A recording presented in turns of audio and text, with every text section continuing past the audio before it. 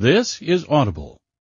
Tantor Audio presents Passion Untamed by Pamela Palmer. Narrated by Rob Shapiro. Prologue Virginia, 1738. The newly marked feral warrior, Black Panther, prowled the wide, flat stone overlooking the raging Potomac River. Snow swirled around him driven by a harsh wind as he waited for the ritual that would, goddess willing, transform him into a shapeshifter, one of the most powerful creatures on earth. Months ago, the animal spirit of one of the deceased ferals had marked him as his own. A bare week later, as he'd set out to find Feral House, the mage witch and Ancreta had tricked him, capturing him. For long months he'd endured her torture as she viciously tried to pry loose the animal spirit inside him, burning a rage into his soul that never eased. Now the time had come to know if she'd succeeded. Around him, the six feral warriors paced bare-chested, a thick gold armband snaking around each man's arm as they raised the mystic circle. In their midst stood the Radiant, the lone woman accompanying them, the one through whom they pulled their power from the earth. The mystic circle would enclose the great rock and hide all within it from the prying eyes of the Indians that still occasionally hunted these woods. The day was dreary, the cold biting against the bare skin of his upper body, a body broken too many times beneath Ancreta's torture. Hatred curled in his belly. Fury lived in his blood. For seven months he'd been her captive, the third of three newly marked ferals the witch had captured over the past two years. Only two had survived, Vincent and him. Ten days ago, Vincent had escaped. Nine days ago, he'd risked capture and death to return. Black Panther tilted his head, letting the wind brush his long black hair from his face. Vincent had returned for him. And finally, this very day, they would complete the ritual. The Renaissance, to be reborn as feral warriors in truth. Vincent stood beside him.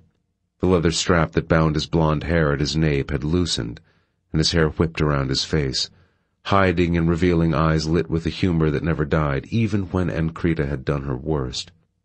The two newly marked, soon-to-be shifters stood as one, their wary, fascinated gazes taking in the feral warriors, the pride of the Therian race.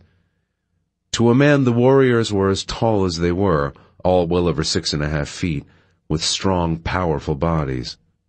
Black Panther remembered and relived the awe he'd felt the morning he'd woken to find the claw mark scars across his eye, and known he'd been chosen to join them.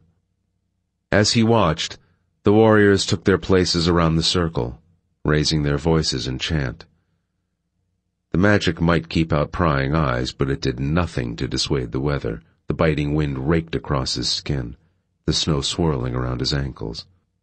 The woman pulled her billowing cloak tight around her, a petulant look on her face. Why we cannot wait a mere day or two to perform the ritual, I do not understand. Tis snowing. The chief of the ferals, Lion, met her discontent with calm command. The warriors have been through much, Udin.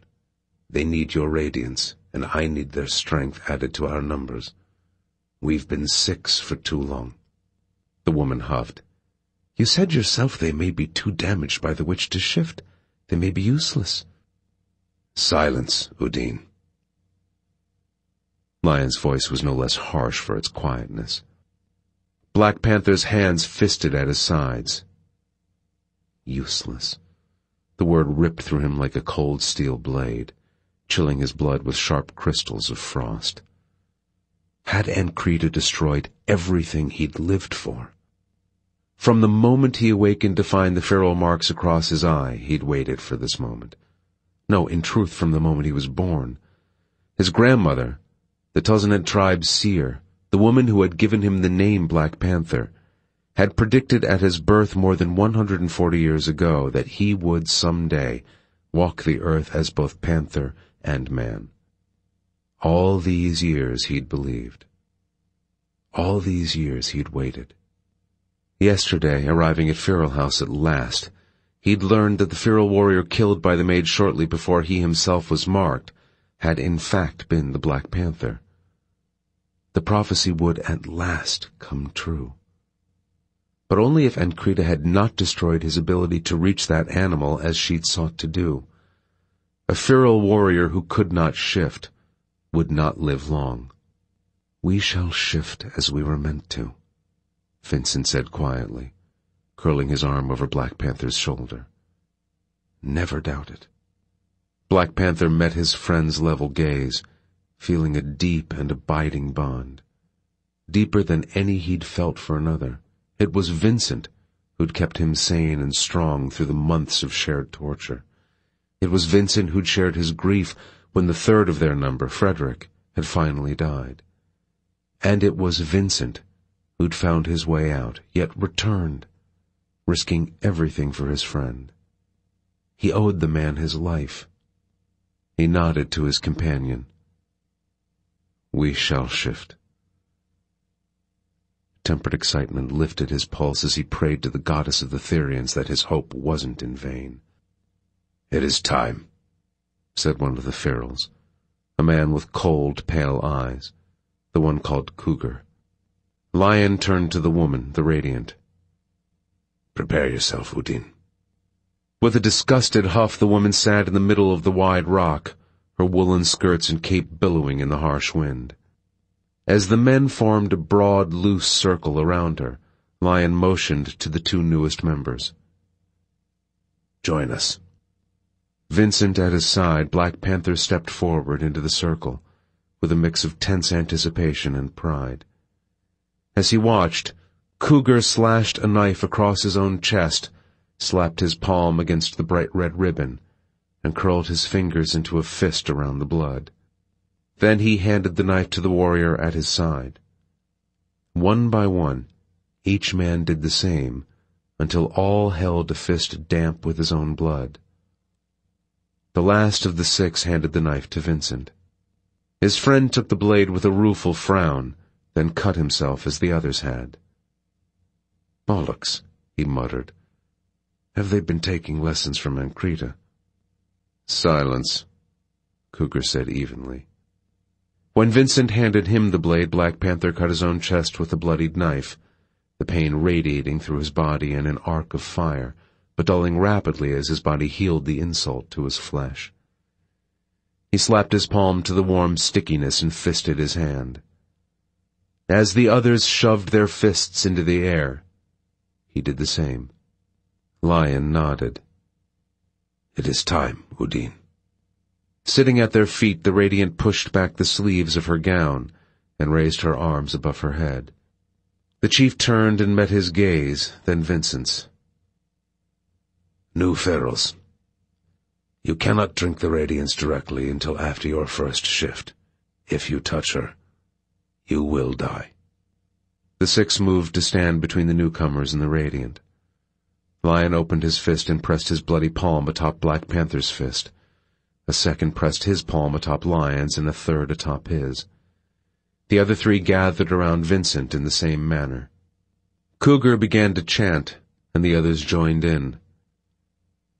Spirits rise and join.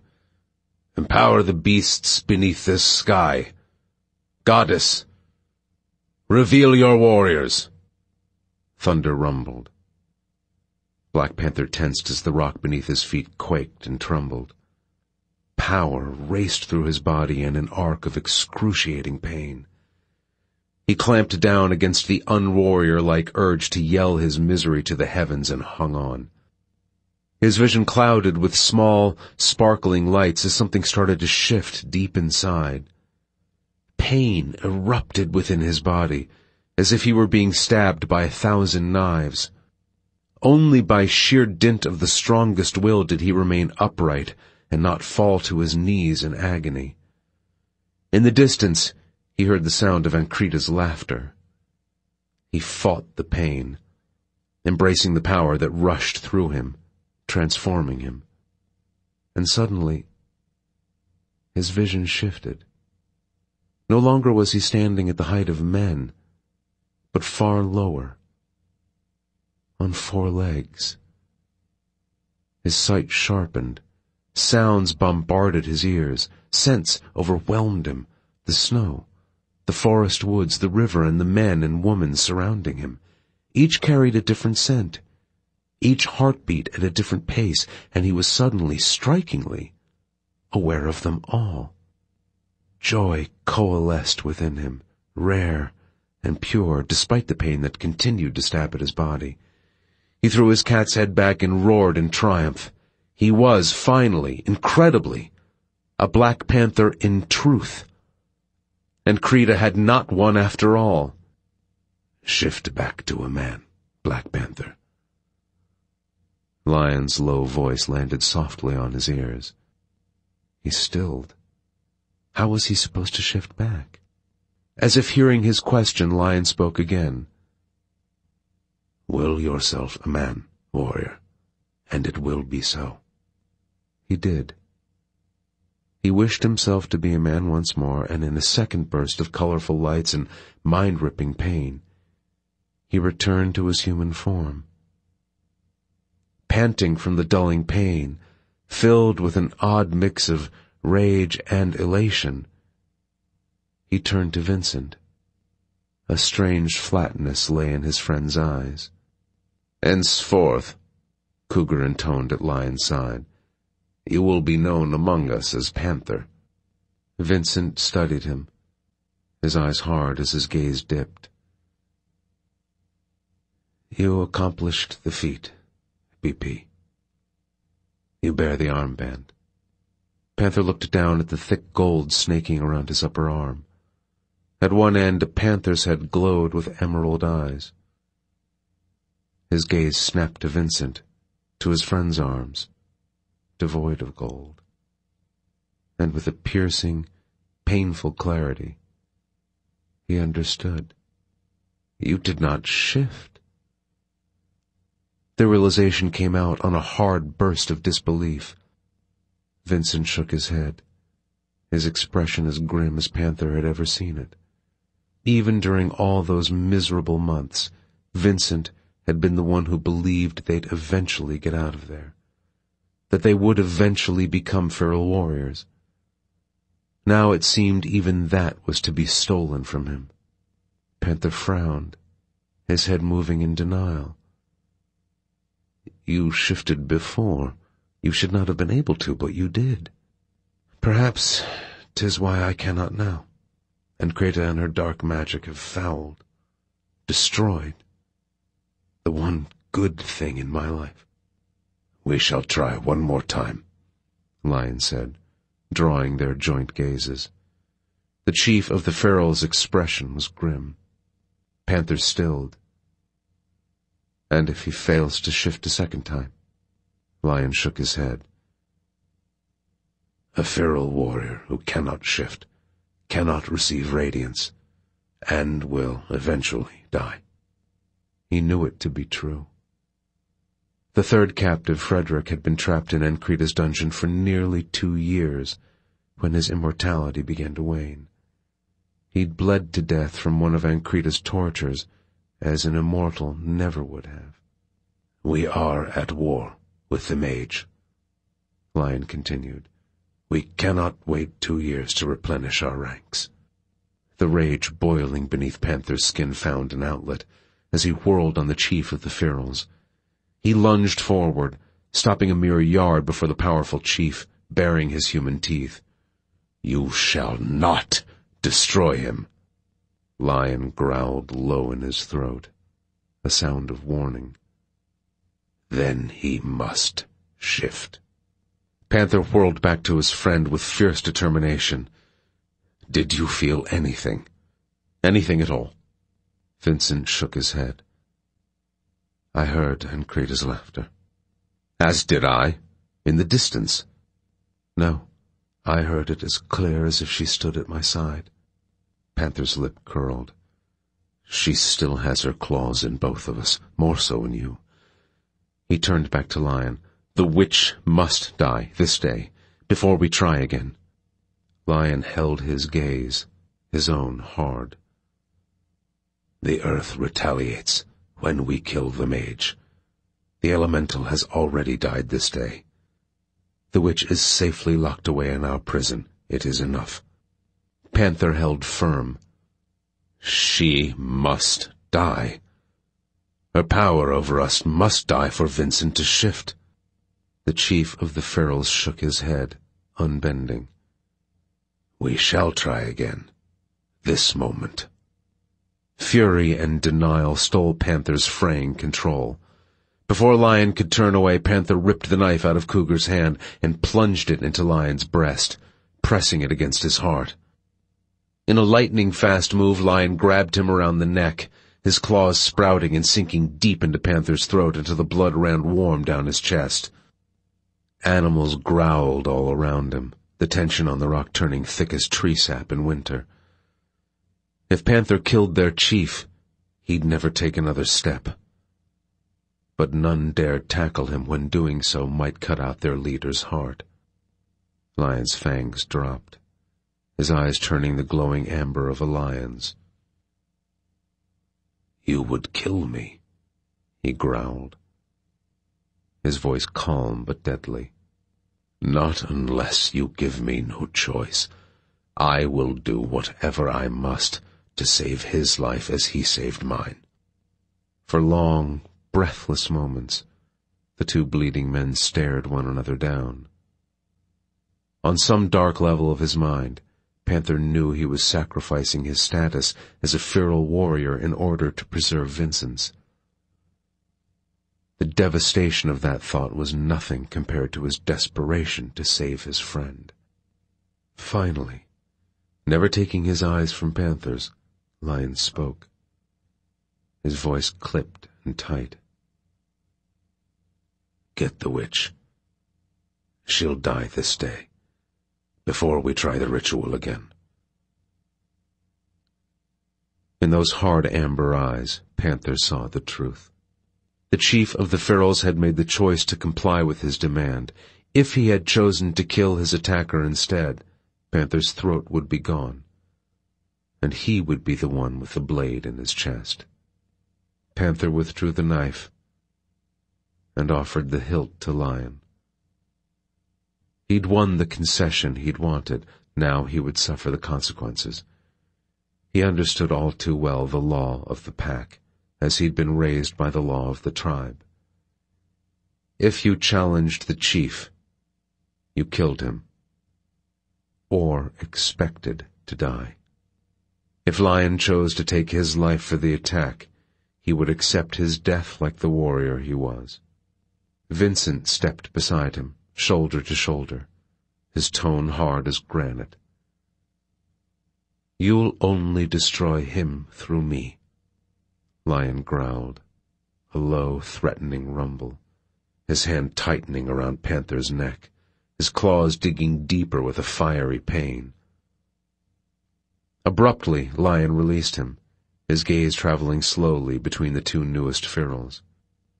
I would punish you severely, both of you if I did not believe the witch had already done so. You've emerged from that hell with a rare loyalty toward one another. Turn that loyalty toward the Nine, and you'll make fine feral warriors. If you do not, his eyes glittered with warning, if either of you ever threatens one of us again, I'll clear the way for your replacements without a second thought. Panther stared at the man, taking his measure, finding both strength and fairness, making him all the more proud to be a feral warrior. Return to your places within the circle, Lion growled. Panther slammed his fist against his chest as he met Lion's gaze. My loyalty is yours. Lion nodded once. Good. By the time Ancreta was dragged onto the rock, Panther's hair was dripping from melted snowflakes, his hands nearly numb. The blonde beauty cowered at his feet in fear. Face your fate, Panther snarled, a borrowed knife in his hand. He looked at Vincent. The head or the heart? The head. Panther nodded once, then shoved the struggling witch onto her back. He wanted her to see death come for her. As fear lanced her copper-ringed irises, he saw again the innocent young beauty he'd believed her to be as he'd come to her rescue all those months ago. A bit of chivalry he had rued every moment since. He knelt beside her, lifting his blade to strike, Vincent mirroring his action on her other side. Die, witch! They said as one. As Vincent's blade hacked off her head in a shower of blood, Panther's blade carved out her heart. Raw, savage satisfaction poured through his body, doing much to heal his soul. It was done. The two men rose as one, blood spattered, but grimly satisfied. Are you ready to try again? Lyon asked. Vincent nodded, a glimmer of a smile lifting his mouth, though his eyes remained hard and wary. Ready as a stallion in a rut. Once more the circle formed. Blood bloomed on the warriors' chests.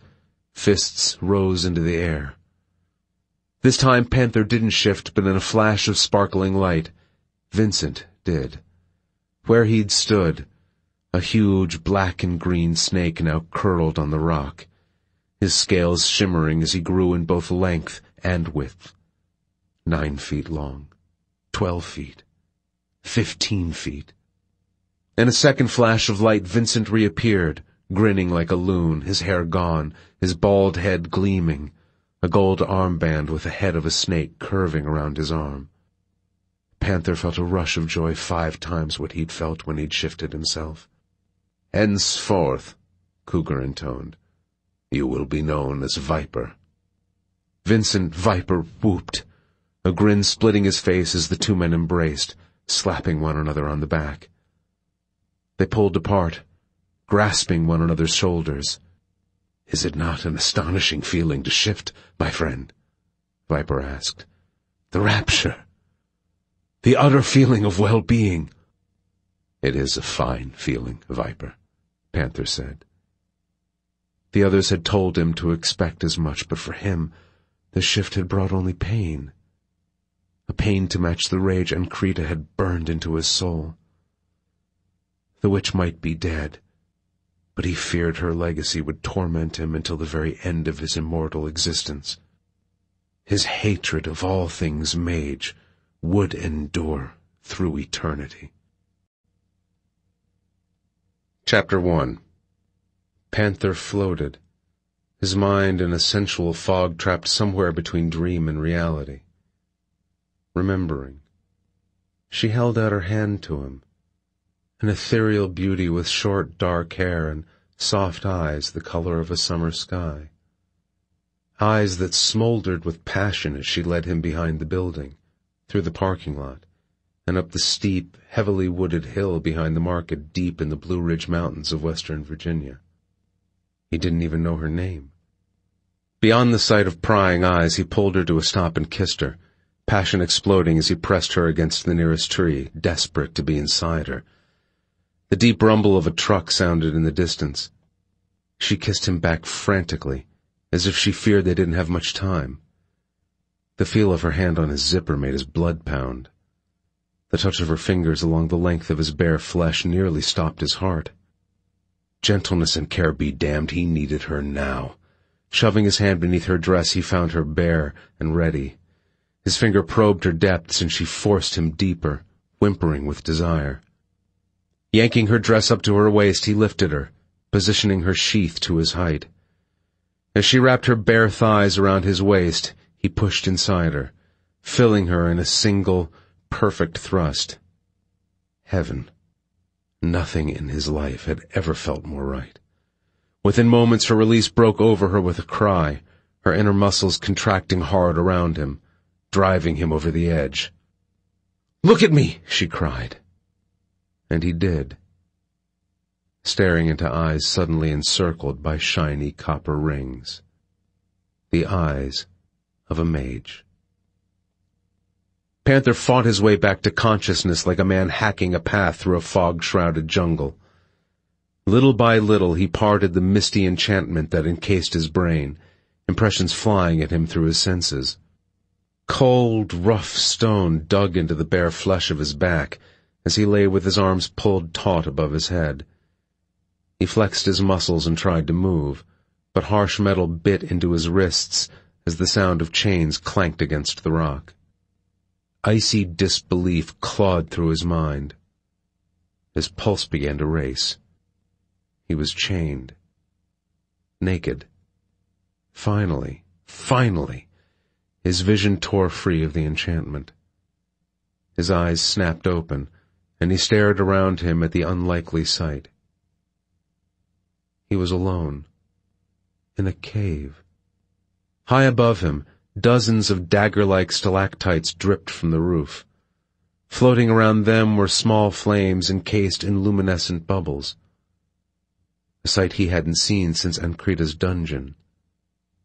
A sight that filled him with cold dread. Mage Lightwicks.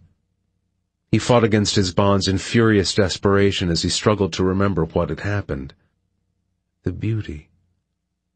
Innocence and wisdom shining from eyes the color of a summer sky. He'd buried himself inside her and found a passion and release more intense, more incredible than any he'd ever known. Until at that moment of raging perfection, she'd revealed herself to be Mage, and he'd felt the net of enchantment snare his mind. The memory stopped his breath, cramping his guts. For the second time in his life, he'd been captured by a mage witch. Fury charged through his body, a yell of denial roaring through his head as he struggled to free himself. This couldn't be happening. He had not fallen into another mage trap. He'd barely survived the first one. Goddess, he had to get out of here. He studied his cage with a strafing gaze. It appeared to be a room, an uneven room roughly fifteen feet by fifteen feet, with a steel door that had been left open. Through the doorway he glimpsed more stone, telling him he was probably in one of the extensive caverns that riddled the Blue Ridge. The air was damp and cool, but he barely felt the chill through the rage boiling his blood. The rock slab beneath him appeared to be high off the ground yet attached to the wall, like some kind of wide, natural shelf. The wall curved just enough to shield him from the mineral-laden water dripping from the stalactites into the puddles on the floor. As he tipped his head back to look behind him, he caught the odd sight of a shower head sticking out of the rock. Plumbing? Was this actually the mage stronghold, then? And not simply a prison? He turned to look in the other direction behind him and froze. Hanging from wooden hangers, from a single peg on the wall, were three softly colored dresses in a shapeless, long-sleeved style he recognized all too well. Hers. Fury ripped through his mind as he remembered in painful clarity lifting the hem of one of those soft, worn dresses, and sliding his hand beneath to encounter only warm flesh and damp heat. A heat the witch had invited him to drive himself into. He had. And it was an act he'd regret for the rest of his life. He wondered just how long that would be now. Ice congealed in his heart. His only reason for being in these mountains at all was to find Viper. Something had happened to his friend during a ritual a few weeks ago. He'd been cut by the demon blade, as they all had, but unlike the rest of them, Viper had changed. Some of the Ferals thought the evil in the blade had stolen his soul. Panther refused to believe it. He would save Viper just as Viper had saved him all those years ago, but he had to find him first. Getting trapped and chained in a witch's lair sure as hell wasn't the way to go about it. His muscles corded as he fought the chains with every ounce of strength he possessed until his skin was damp with sweat and his wrists slick with blood. Yet he accomplished nothing. He was pinned fast, his arms trapped above his head, his legs spread and tethered. Oh, goddess, if only you'd stopped me. No fate could be worse. He'd have sold his soul to have escaped this. Heaven help me. His soul was probably the very thing the witch wanted, to finish what Ancreta had started all those years ago, tearing him loose from his animal, once and for all. Go! Flee! Skye clapped her hands at the small herd of deer gathering around her. Pouring her will into the air, she set them to flight with a swish of their white tails. I'm death, she cried, as they scattered into the surrounding woods. I'm nothing but death to you. But even as the beautiful creatures disappeared, Skye knew they'd return. They always returned, drawn to her as deeply as she was to them. Tears burned her eyes. Not for the first time, she bitterly wished she'd never been born with this affinity for the earth's creatures. The gift that should have been a source of joy had turned her life into a living nightmare. Skye collapsed back against the nearest tree trunk, her heart thudding with agitation, her stomach sick from the weight of hatred. Dear mother, she prayed, take Beric and burn him in hell. But the mother never heard her. How many years had she been trapped in this darkness, chained to this mountain as surely as the warrior she'd captured was chained to the rock slab in her room, even if her chains were less visible. Two days ago she'd been sent to capture him, a shapeshifter, one of the elite feral warriors, one of the most rare creatures in the world and without a doubt, the most beautiful. He'd shown her such extraordinary gentleness such fierce passion. And she'd repaid him with the ultimate betrayal. But she'd had no choice. If only she could end this nightmare. If only she could escape Beric and this mountain. The nudge at her hip had her sinking to her knees to embrace the doe who'd come right back to her. Ever loyal, aren't you, Faithful? The white-tailed deer with a notch out of her ear was her favorite. Her only true friend. One she would never take into the caverns. Ever. The doe nuzzled her cheek, staring at her with those huge brown eyes, giving her the only loyalty she'd known in too many years. Unhappiness burned the backs of her eyes. Fear twisted inside her. Though Beric had assured her he had no intention of killing the feral, she was terrified he'd lied.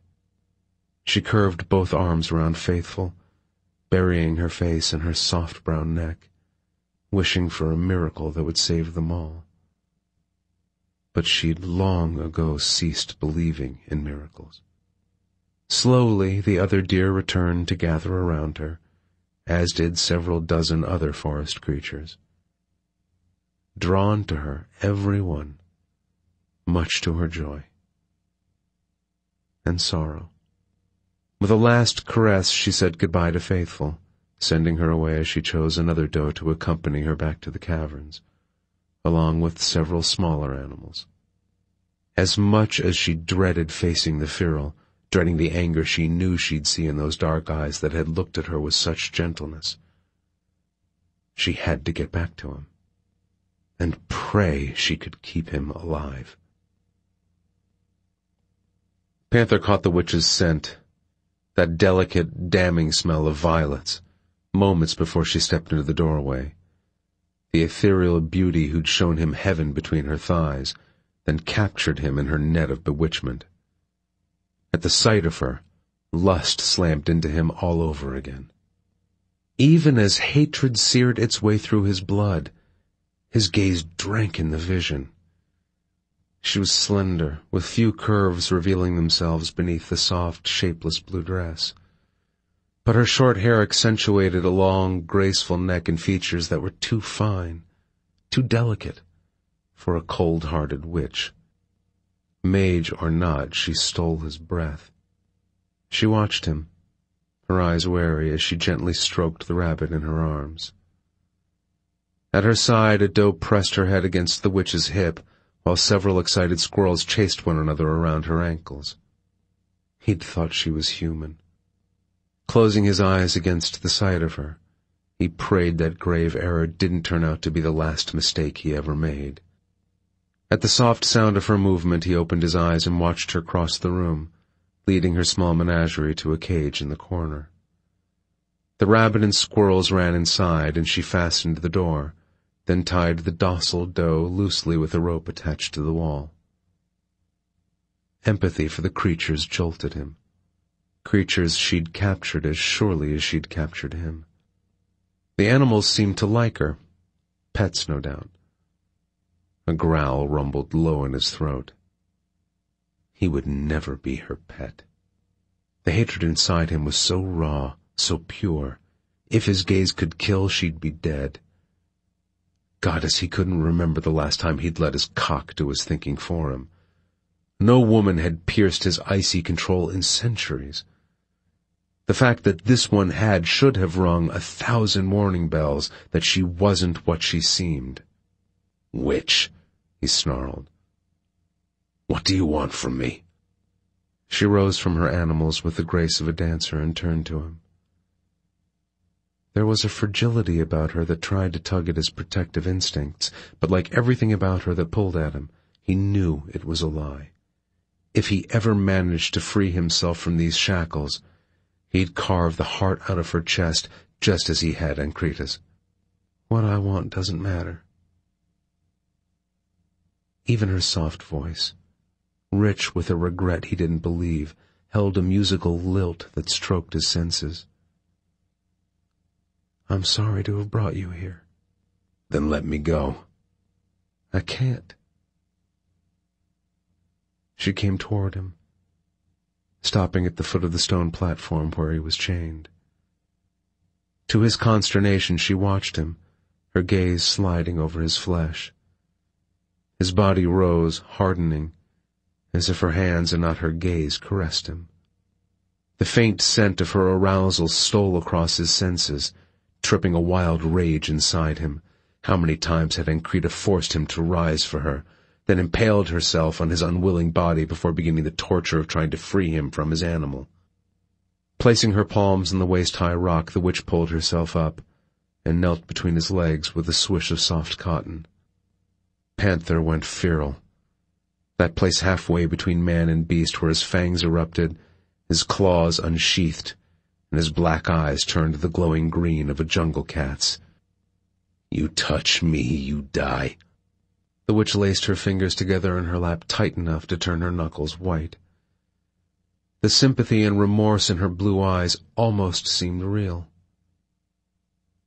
I've been where you are. I wouldn't wish it on my worst enemy. She leaned forward, her voice strong and low and laced with steel. I know you don't believe me, but you aren't my enemy. You are mine, he bit out. She sighed. I know. Sitting back on her heels, she loosened the knot of her hands. I'm sorry. I have to touch you, but I won't touch you there. Her gaze caressed his shaft. Not unless you want me to. I'll kill you first. With a single nod, she splayed her cool palms lightly across his bare thighs.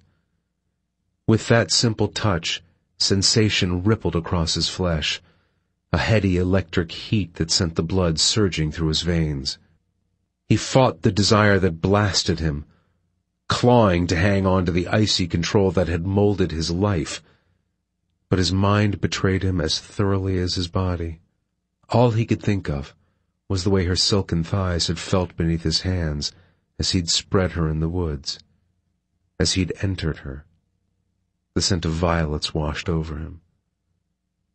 The sight of her mouth, ripe and unsmiling in that delicate face, reminded him of the taste of her kiss, like clear, sweet raindrops. Even knowing what she was, even knowing she'd lured him into her trap with the siren song of lust. He couldn't stop wanting her.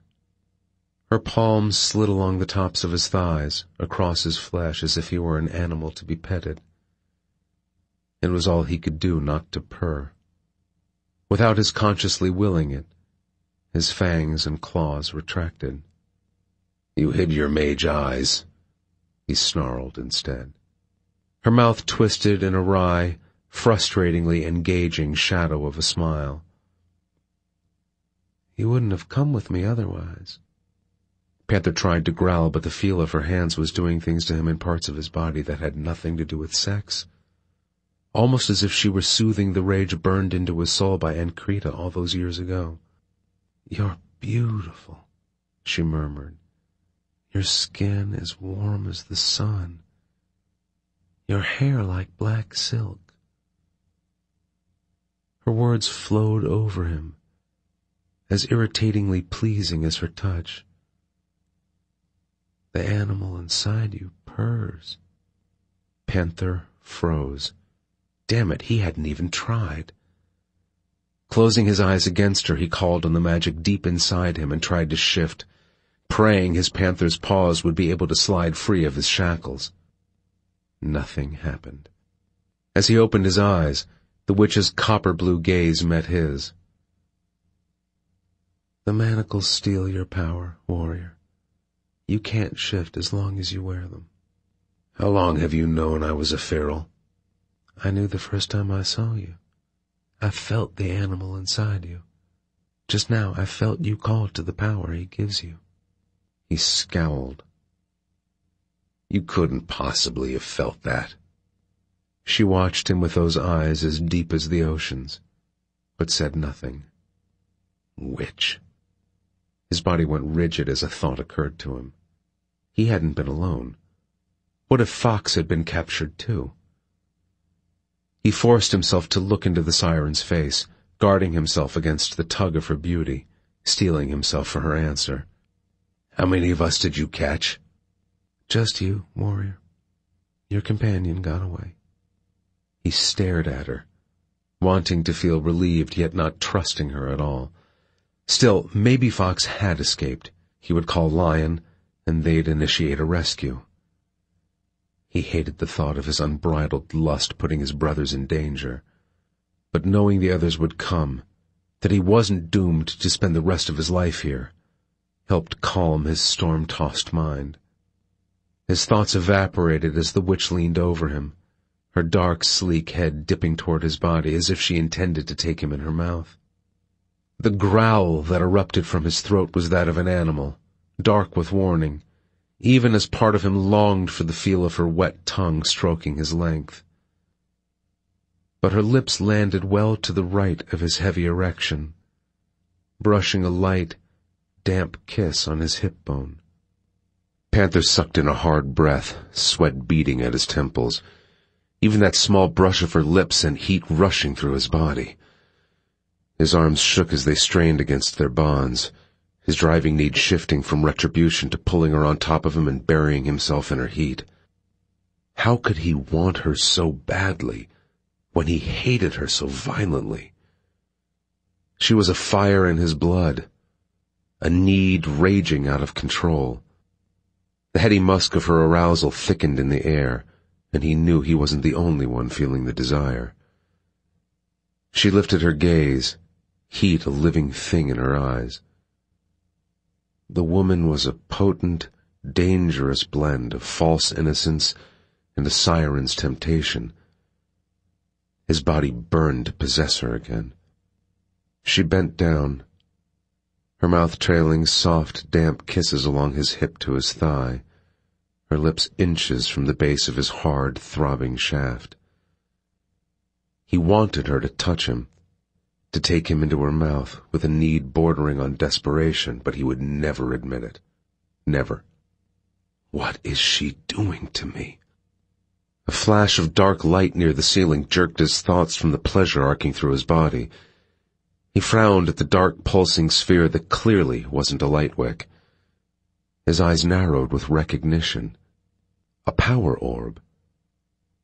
Scanning the ceiling, he saw others nestled high against the ceiling, pulsing with light, throbbing to the beat of his pounding heart, as if they were somehow feeding off him. Or feeding off the passion riding him. You're collecting power, he accused. She looked up, her lids heavy, her lips damp. Sexy as hell. That's the reason you're here. He stared at her unsure if her words relieved him or infuriated him more. His only purpose for being here was to fill those orbs with his lust? To be chained and petted by a beauty of a witch until he was out of his mind with wanting? No way in hell. He knew the mage too well to believe for a single moment the answer was that simple. What are you going to do with the energy once the orbs are filled? She raised up and sat back on her heels shrugging delicately even as her chest rose and fell on rapid, shallow breaths. I don't know. It's for Beric. All I know is that if we don't raise enough, he won't be pleased. Her gaze rose to the ceiling, as if studying the orbs and measuring the results of her play. It's not enough. As one soft hand moved back to his thigh, she reached up and covered her breast, squeezing the small mound through her dress. She gasped, her back arching as her head tilted back. His cock jerked with a hunger of its own. The scent of desire swirled around him. Heat rushed through his blood, pooling in that one part of his anatomy until he was thick and throbbing and nearly out of his head with needing her. He struggled to turn his mind elsewhere. Who's Beric? Even his voice strained against the driving desire to feel her tight around him. Slowly, she released her breast and lifted her hand off his thigh to rake both sets of fingers through her short hair. With a shuddering breath, she said, He's the arch-sorcerer in charge of this stronghold and ruler of all who reside here. He reports to the elemental himself. And he wants the power from these orbs? Yes power from passion. He'd never heard of dark power raised in such a way, but he knew little about mage orbs, less still about the use to which they might try to put that energy. What if they were making some kind of weapon to use against the Ferals? The thought made him ill. What if he'd somehow become the instrument of the destruction of his brothers? Goddess, he couldn't live with this. He couldn't let this happen. She looked up at the ceiling again and sighed. It's enough. With a last feather-like pat to his thigh, the beauty climbed off the stone and walked to the door with a natural, barefooted grace, leaving him hard and distended and throbbing. Witch! Fury burned inside him. But as she disappeared out the portal, it took every ounce of control he possessed not to call her back. Chapter 2 Skye fled the cell that served as her bedroom and hurried through the passages that twisted and turned through the rock following eons of water erosion. The open areas and passages of the cavern remained in their natural state, though Beric's extensive quarters and most of the bedchambers, kitchens, and ritual rooms had been transformed into comfortable living areas, complete with furniture, carpeting, wallpaper, and more. Only Skye lived in an unadorned cell within the rock, though she spent as little time there as possible. Most of her days she stayed outside in the woods or wandering among the unused parts of the cave where she headed now. Low in her body, unrelieved passion made her throb and ache. Regret for her part in the capture of the beautiful shapeshifter ripped at her heart. At last she reached the dagger fields, the raw, uncleared part of the caverns where the dagger-like stones, the stalagmites, rose from below as their counterparts hung from above. The air smelled of cool, damp limestone, with the only trace of lightwick smoke from the single flame that floated behind her, lighting the darkness. Few mage ever ventured this deep into the caves. It was here she came to think when she wasn't in the forest. Lowering herself to a small, dry patch of stone tucked into the curve of a low wall, she struggled to gather her wits, wits that had scattered to the winds with the first touch of the man's thighs beneath her palms. Pulling her knees tight against her chest, she buried her face in her skirt and shook. Her body wanted, it needed, what she'd found with him in the woods earlier. That temporary, explosive quenching of the fire that had burned inside her from the first moment she'd seen him in the market two days ago. Beric had warned her that shapeshifters would be coming. He'd sent her to watch for them, ordering her to choose one for her own. Nothing good would come of it for either her or the shifter, she'd known that. But she'd long ago quit fighting her fate and accepted that she could never thwart one of Beric's commands.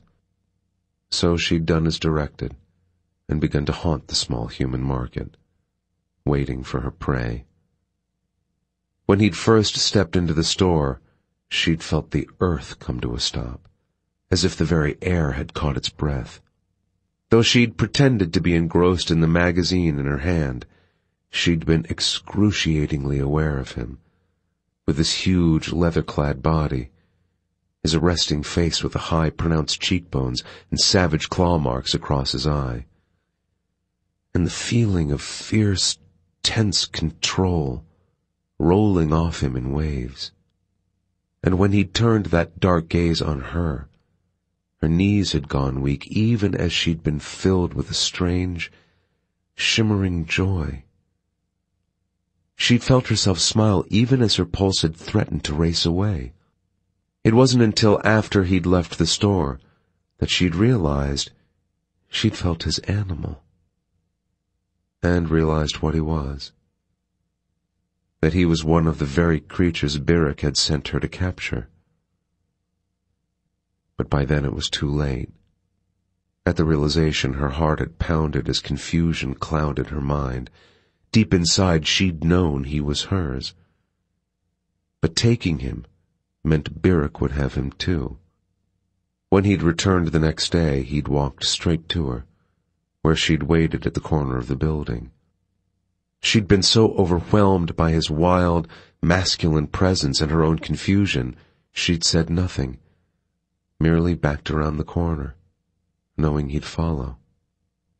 And he had. He'd stared at her with such hunger in his eyes. The animal inside him had leaped in greeting, rubbing itself warmly against her mind.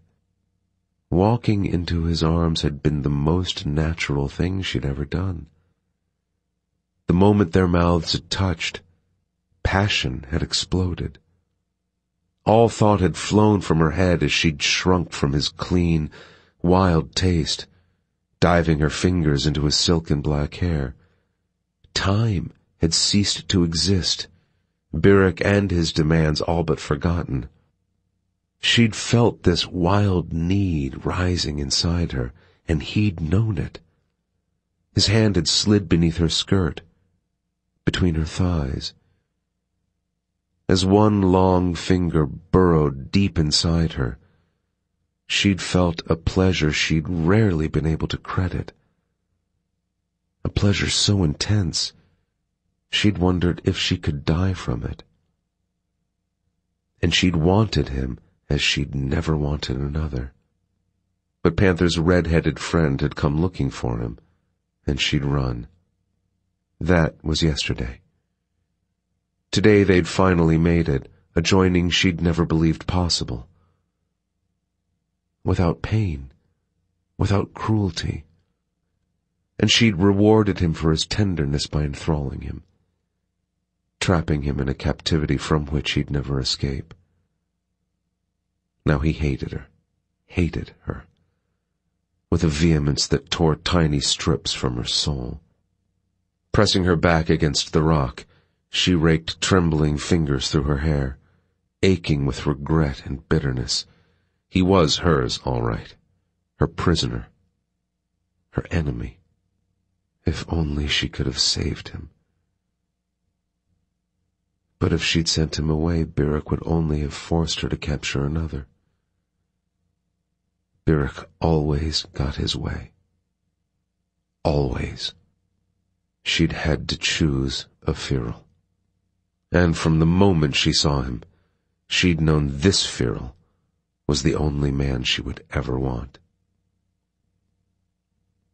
Panther's gaze remained fixed on the door as he waited for the witch's return. Part of him, the part that hated, never wanted to see her again. But another part of him hungered for the sight of her, for another whiff of her violet scent. And he both dreaded and craved another touch of her hands. She'd woven her spell of enchantment over him but good. There was no doubt about it. She had yet to do anything more than touch him, but he knew the mage. The pain would come. He'd escaped this captivity more damaged than he had the last. If he escaped at all. His gaze slid to the ceiling, to one of the light wicks floating high above his head. The first time he ever saw a light wick was the day he met Viper.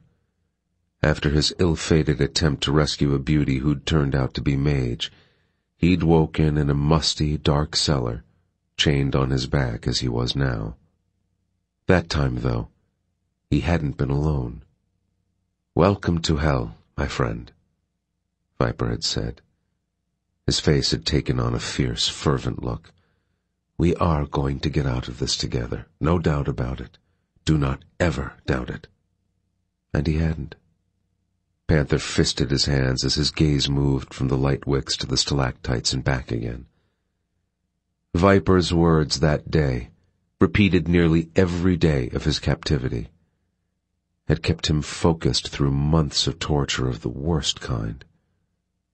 They'd kept him sane. Now he made a similar, silent promise to his friend. I won't give up until I find you, Vipe until I save you, as you saved me. Don't ever doubt it. But damn it, he had to get free if he was ever going to be of any use to either one of them. At the sound of footsteps outside the room, steps too heavy to be the witch's, Panther turned his head to face the entrance, and came face to face with Viper. His friend walked casually through the door, looking the same as he always did, his sleek head gleaming beneath the light wicks, a single earring in the shape of a snake dangling from the lobe of his right ear. He was dressed in his usual attire of open leather vest over a bare, broad chest, the golden Feral armband curled around his arm. Panther's heart lurched with triumphant relief, then plummeted to his stomach as he stared into Viper's eyes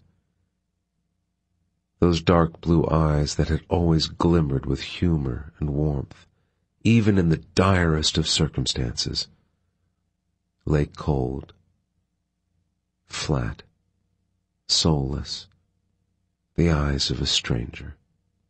Panther felt the loss like a physical blow.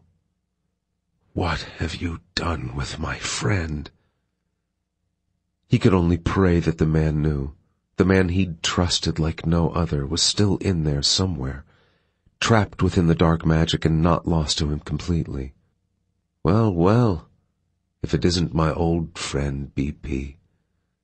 I must say you're looking a little underdressed. Viper sauntered over to him, his mouth lifting into a smile that held no humor. I knew you'd come to rescue me. Catching you was as easy as child's play. Why are you here, Vipe? Panther asked evenly. His emotions were always under tight restraint, caught with the rage he battled every minute of every day. Viper shrugged. You know why. Do I? All I know is Zafine turned you against us. What did she do to you, Viper? Viper tugged on his earring, his brows lowering. For a moment, Panther thought he saw the old Viper walk through those eyes. Truthfully, I'm not sure it was the witch's doing. I think it happened the night we raised the spirit of the lion. I got bitten by that demon blade the same as the rest of you, but it changed me, BP. His eyes narrowed in thought. It rid me of my conscience. I'm not entirely sure it didn't steal my soul. Viper grinned suddenly, the coldness like frost over his eyes. A hell of a way to live. Panther stared at him, railing at the fates. Not Viper. You can't have Viper. He owed the snake his sanity, his life. Grinding his teeth together, Panther fought back the tide of anger. The Ferals would come. He needed to learn all he could. Are the mage still trying to free Satanan and his demon horde? Viper tugged at his earring. Of course. Why? How can you help them unleash that evil? Viper shrugged. And what is evil, BP? Is it evil for the owl to kill the mouse? He smiled coldly. Depends on your point of view, doesn't it? On whether you're the owl or the mouse. Satanan will destroy this world. Will he? Or will he simply feed from it? The demons were always at the top of the food chain. You're not a demon. True, but I'm not looking for power out of this. Again his old friend's eyes narrowed, something approaching confusion entering their dark blue depths. It's a compulsion, BP, to free the evil.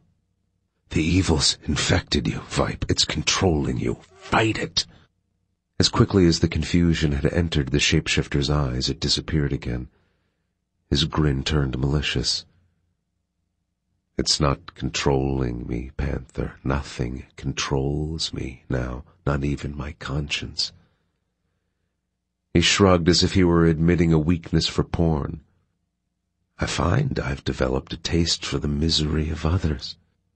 Panther shook his head. This wasn't the man he knew. Why am I here? His gaze flicked up to the pulsing orbs above his head.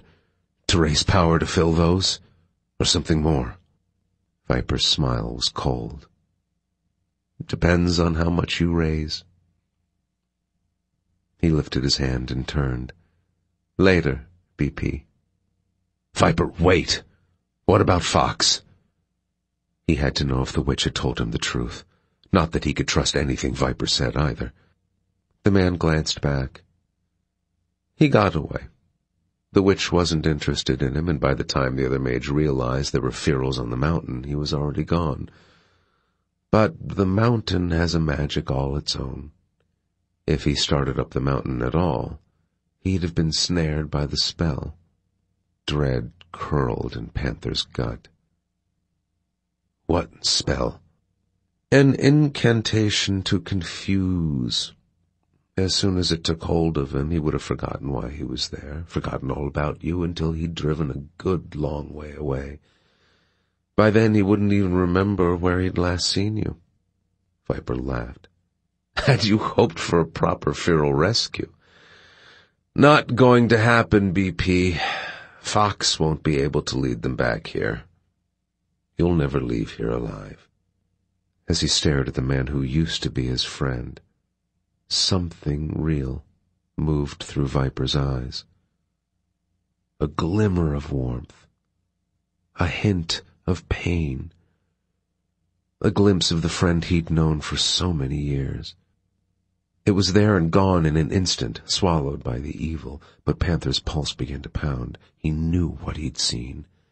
The viper he'd give his life for was still in there. Subjugated to the darkness, but not lost. Not completely. Viper, fight it! There's nothing to fight, Panther, he said coldly. There's no one here who will help you. You have a role to play, just as we all do. Viper's eyes began to glitter. It's going to be amazing, BP. Things are going to happen you won't believe and you won't want to miss. You'll have a front row seat, old friend. I'll make sure of it. Viper turned and walked out the door. Viper! Panther strained against his shackles, rattling his chains in the rock until his body was damp with sweat, and the coppery scent of his own blood coated his nostrils. Desperation, fierce and terrible, vibrated through his body as he fought to free himself with every ounce of strength he possessed. Fox was safe, but unless both Viper and the witch had lied to him, he wouldn't be leading the others back here. Panther was as lost as Viper unless he could somehow find a way to reach his friend beneath the cold eyes of the evil that had ensnared him. Unless he could find a way to free them both. He remembered thinking, after the witch Zafine infiltrated Feral House, turning Viper, that things couldn't get much worse. He hadn't had a clue. Now he was caught in trouble as deep as the blue of the eyes that had ensnared him and he had a bad feeling this trouble had only begun. Chapter 3 Skye rose from her private sanctuary in the Daggerfields and brushed off her soft knit dress. Her pulse finally back to normal, or as close to normal as it was likely to get with the feral strapped to her bed. She had to get back to him. As much as she dreaded facing those hate-filled black eyes, she needed to make sure all her creatures were okay. The ones who walked on four feet, and the very large, very masculine shapeshifter who at present walked on two. Her stomach clenched. Midnight was not far away. She retraced her path, dodging puddles and dripping stone, the rock cool beneath her bare feet. In the distance she heard the sounds of voices as the sorcerers prepared the evening rituals and the women of the cavern readied the evening meal. At one time she would have helped them. But not any more. She was no longer one of them. She alone still possessed a soul. Her stomach growled. It had been two days since she'd last eaten but as she turned a corner in the rock and spied Beric talking to one of his sentinels, her appetite fled. Beric was striking in his way, with his fawn-colored skin, long white hair, and cruel green eyes, his body as lean and quick as the thorn whip he'd used on her as a child. Curled around his neck and draped over one shoulder was a large black rat snake. Two gray and copper corn snakes slithered around his feet. She didn't mind the snakes. She was drawn to all creatures. But the man was another matter. If she could do anything to avoid him, she would, but there was no other way back to her room from here. So she averted her gaze as she approached where he stood, seeking to avoid his notice as she always did. But as she tried to pass, stepping around his snakes, he grabbed her arm his cruel fingers digging into her flesh and pulling her to a stop. Fear shivered up her spine. Beric released her only to lift those thin, brutish fingers to her cheek, making her swallow hard. The brush of his fingers was unnaturally gentle, doing nothing to quell the speeding of her pulse. His gentleness always scared her more than his casual cruelty. Skye held perfectly still, knowing better than to let him see her fear. You did well, Enchantress. His eyes glittered with excitement. The power was more than I'd hoped for, and you've yet to ride him. She didn't ask how he knew she hadn't mated with the feral since bringing him into the cavern. Beric always knew more than he should. He's not ready to be mounted. Beric laughed. He's male, and clearly drawn to you. A few strokes of your hand or tongue, and I guarantee he'll be ready. Skye swallowed again, nodding. There was no use arguing. Beric neither understood nor cared that the Feral's hatred of his captivity and his captor made him fight the attraction or that she'd succeed far better if the man, like any creature in captivity, were given a few days to calm to her touch. The mage who'd been her master, teacher, and tormentor since she was eight grabbed her jaw, squeezing until she thought he might break the bones in her face, hurting her until the tears she struggled to hold back clouded her vision. Don't fail me, Skye. You won't like the consequences. Apprehension fluttered in her stomach. She knew the consequences all too well. I won't fail you. The moment Beric released her, she hurried past him, descending the ancient stairs carved into the rock as she fled to the relative safety of the prison cell that had become her bedroom when she was eight. She'd fought Beric back then, bitterly. He'd taken everything from her, all comfort, all warmth, and when that still hadn't forced her compliance, he'd hurt her. Terribly. Over and over and over again. Until he'd finally broken her will. Giving up hadn't been easy. It had never been in her nature to acquiesce, but the pain had become more than she could stand. And she'd finally understood there was nothing more that she could do but accept her fate. As she neared the door to her chamber, she thought of the beautiful man trapped inside, and what she had to do. Her fist pressed against the harsh ache of guilt lodged beneath her breastbone. She wasn't the only one who suffered because of Beric's control over her. If she wanted to keep the feral alive, she had little choice but to make him suffer more. She reached her room to find him as she'd left him, chained and furious. A man chained and naked as he was should look helpless, but dark, angry eyes speared her as danger rolled off him, filling the very air of the room. He was the most powerful, most unsettling male she'd ever encountered. Just being in the same room with him sent her pulse pounding in a way that had only a little to do with fear. A thrill of energy rolled across her skin, drawing her eyes to the orbs. Beric had drained them while she was gone, yet already they were beginning to glow again. Lust shimmered in the air. Hers, certainly. Did he feel it too? There was so much fury in his eyes it was difficult to say, but then her gaze traveled the length of his hard, muscular body, coming to rest on the arousal standing straight up from his groin, long and thick and rigid. Oh, he felt it all right, and wasn't the least bit happy about it. Free me, the man growled between clenched teeth as he watched her with a predator's stillness.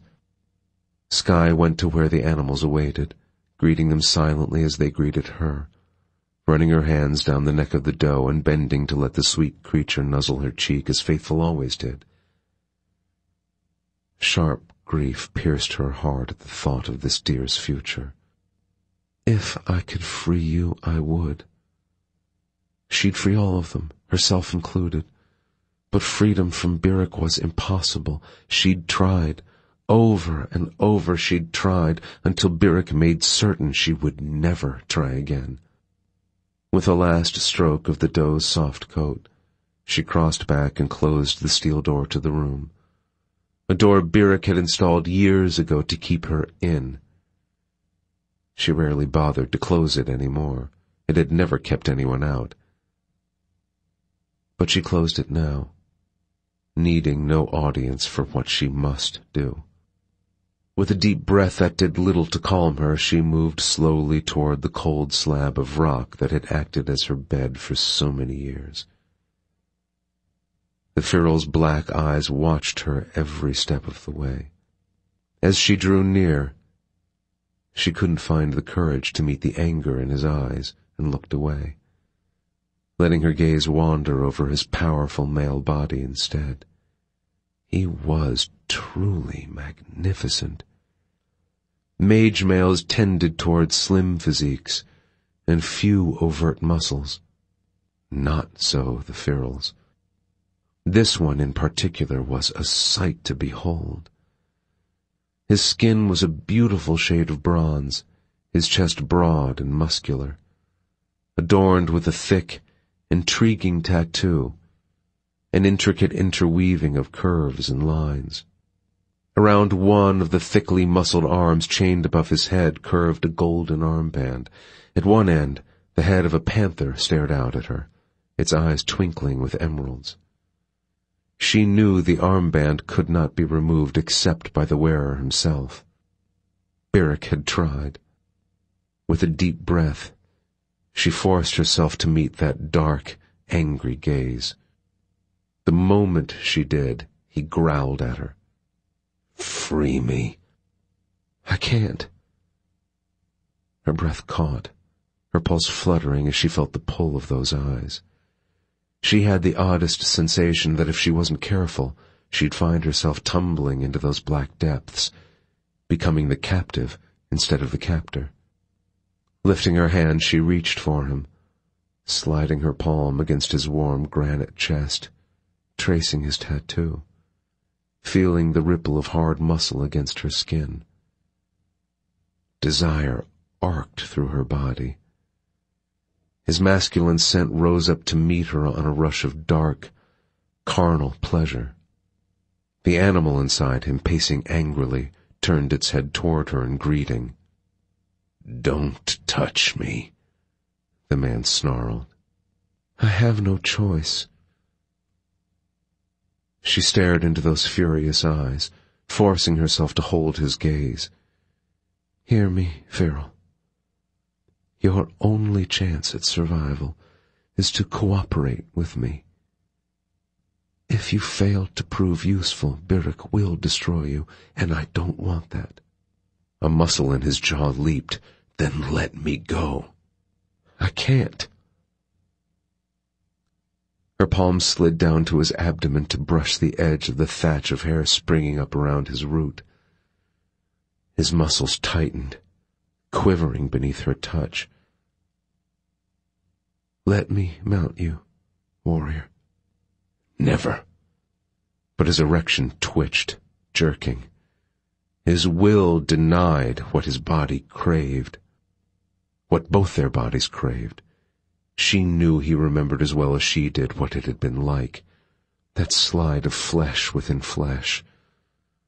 The pleasure, good mother, the pleasure. She hadn't realized it could be like that.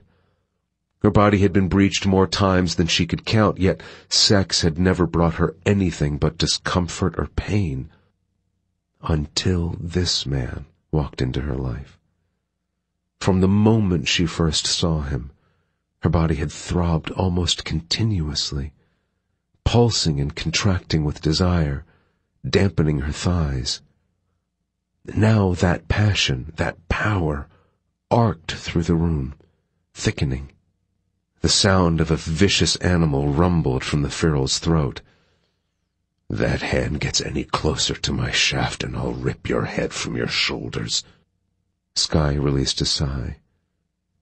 I don't want to force you. Then don't, he snapped. You don't understand. If only she had the time to back off and let him calm beneath her touch for a few days, but Beric had never been a patient man, and she sensed the anger ran deep in this Feral. A few days or even weeks might not be enough. I understand all I need to, he snarled. But he didn't. Not at all. She had no choice but to raise the passion between them in whatever way she must. Skye dipped her head to his chest, kissing his warm skin. He smelled of night forests, wild and untamed. Darting her tongue out, she tasted him, as pleased by his taste as by his scent. Everything about him made her want him more. Moving a step to the side, she pressed her mouth to his abdomen, then to his hip bone, scenting the faint musk of his erection. She lifted her head and looked at him, her breathing uneven, her eyes growing heavy with desire. Can I kiss you there? No. She continued to his broad, rock-hard thigh, kissing, licking. Witch! His growl was still one of furious warning, but beneath the anger, passion vibrated. I want you inside me, warrior, she said huskily, just as you want me. Your body longs to press deep within mine. I don't want you. I never want you. You wanted me before. In the woods. That was before I knew what you were. She sighed. He'd thought she was human. Beric had given her the ability to hide the copper rings around her irises for just that purpose.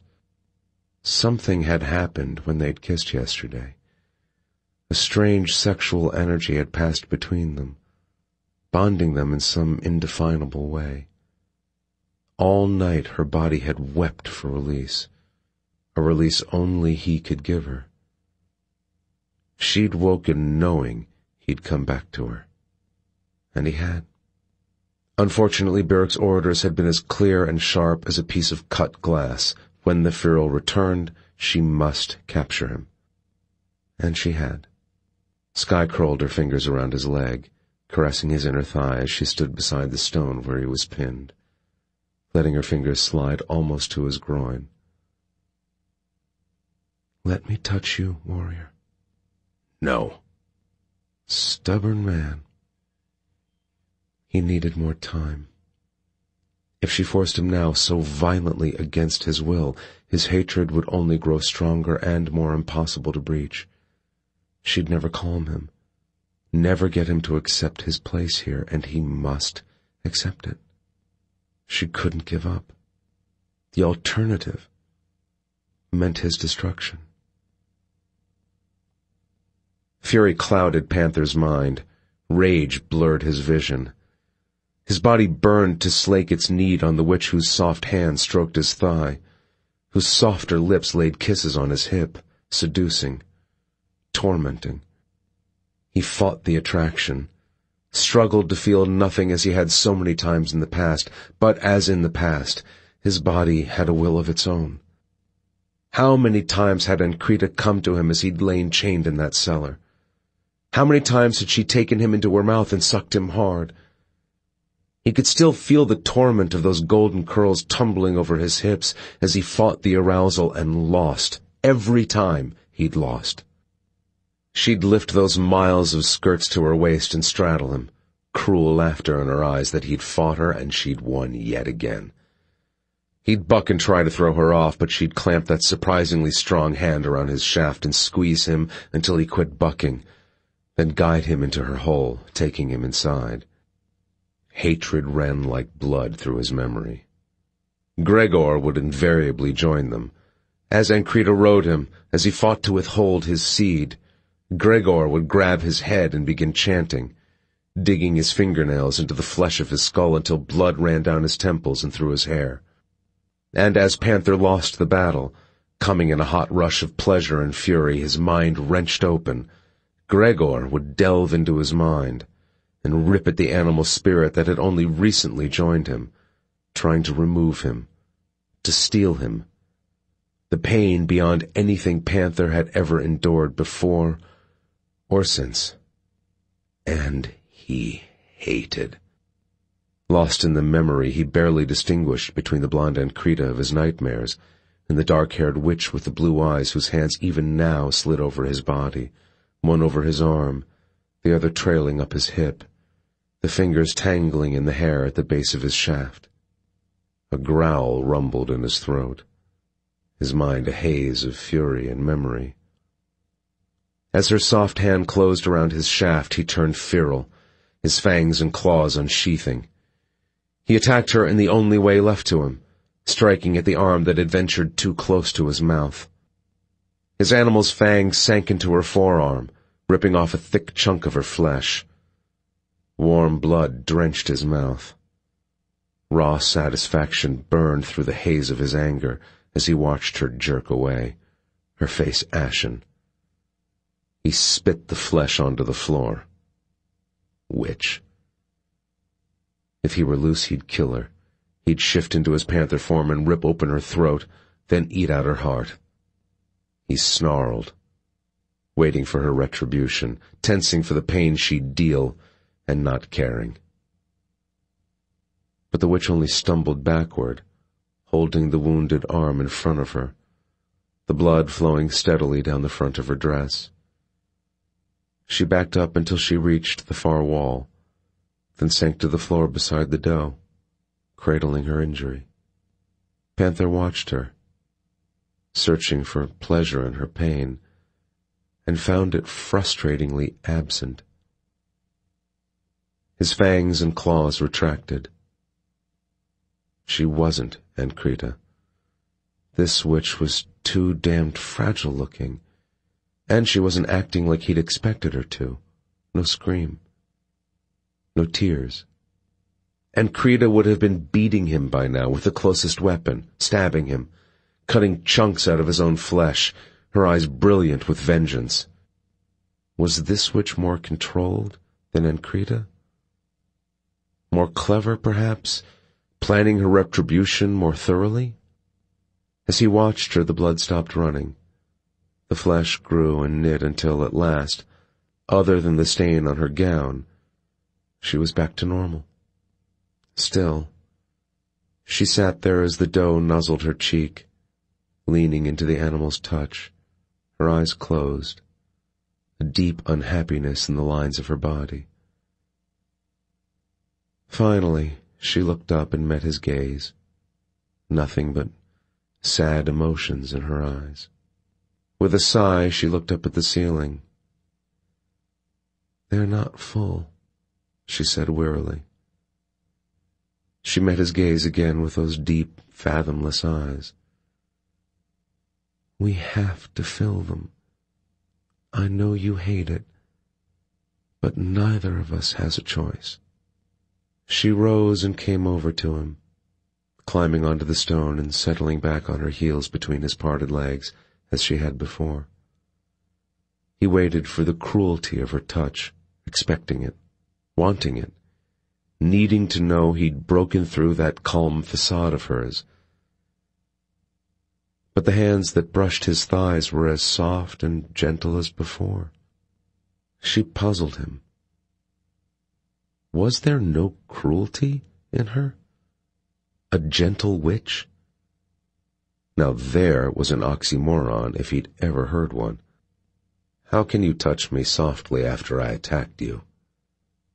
He heard himself ask. She didn't meet his gaze. You've done nothing more than any wild creature would do when trapped. He scowled at her, and at the twinge of guilt he felt for hurting her, the evidence of which darkened her dress. Damn it, I won't feel guilty. Her gentleness, her vulnerability were just an act, a lie, maybe even flat-out enchantment. He'd be a fool to trust her in any way, and he'd already been fool enough to last an immortal lifetime. His successful strike and her silent acceptance of the pain had taken the edge off his fury but done nothing to dampen his desire. As she knelt between his legs, caressing his hips, thighs, and abdomen, touching his shaft with only her heated gaze, he felt the sexual energy roll over his flesh and pound in his blood. His breathing turned labored as he struggled not to rock his hips, as he fought against the need to demand she take him into her body and bring him to release. Finally, she lifted her hands and moved to his side, to sit with her back against the curve of the rock shelf. Her face was flushed, her own breathing labored, her chest rising with each harsh breath. Slowly his body cooled. Slowly she quieted, not quite touching him, until she laid her palm against his rib cage. The animal inside you calms to my touch.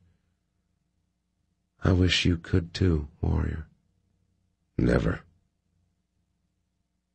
But the word was without heat. A gentle witch. Was it possible? She climbed down off the rock and went to her animals, freeing them.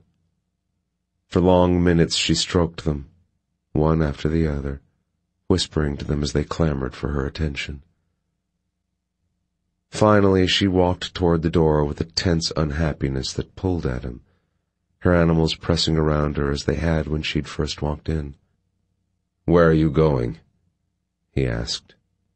She looked back at him, over her shoulder. It's almost midnight, she said quietly. He saw the glisten of tears in her eyes.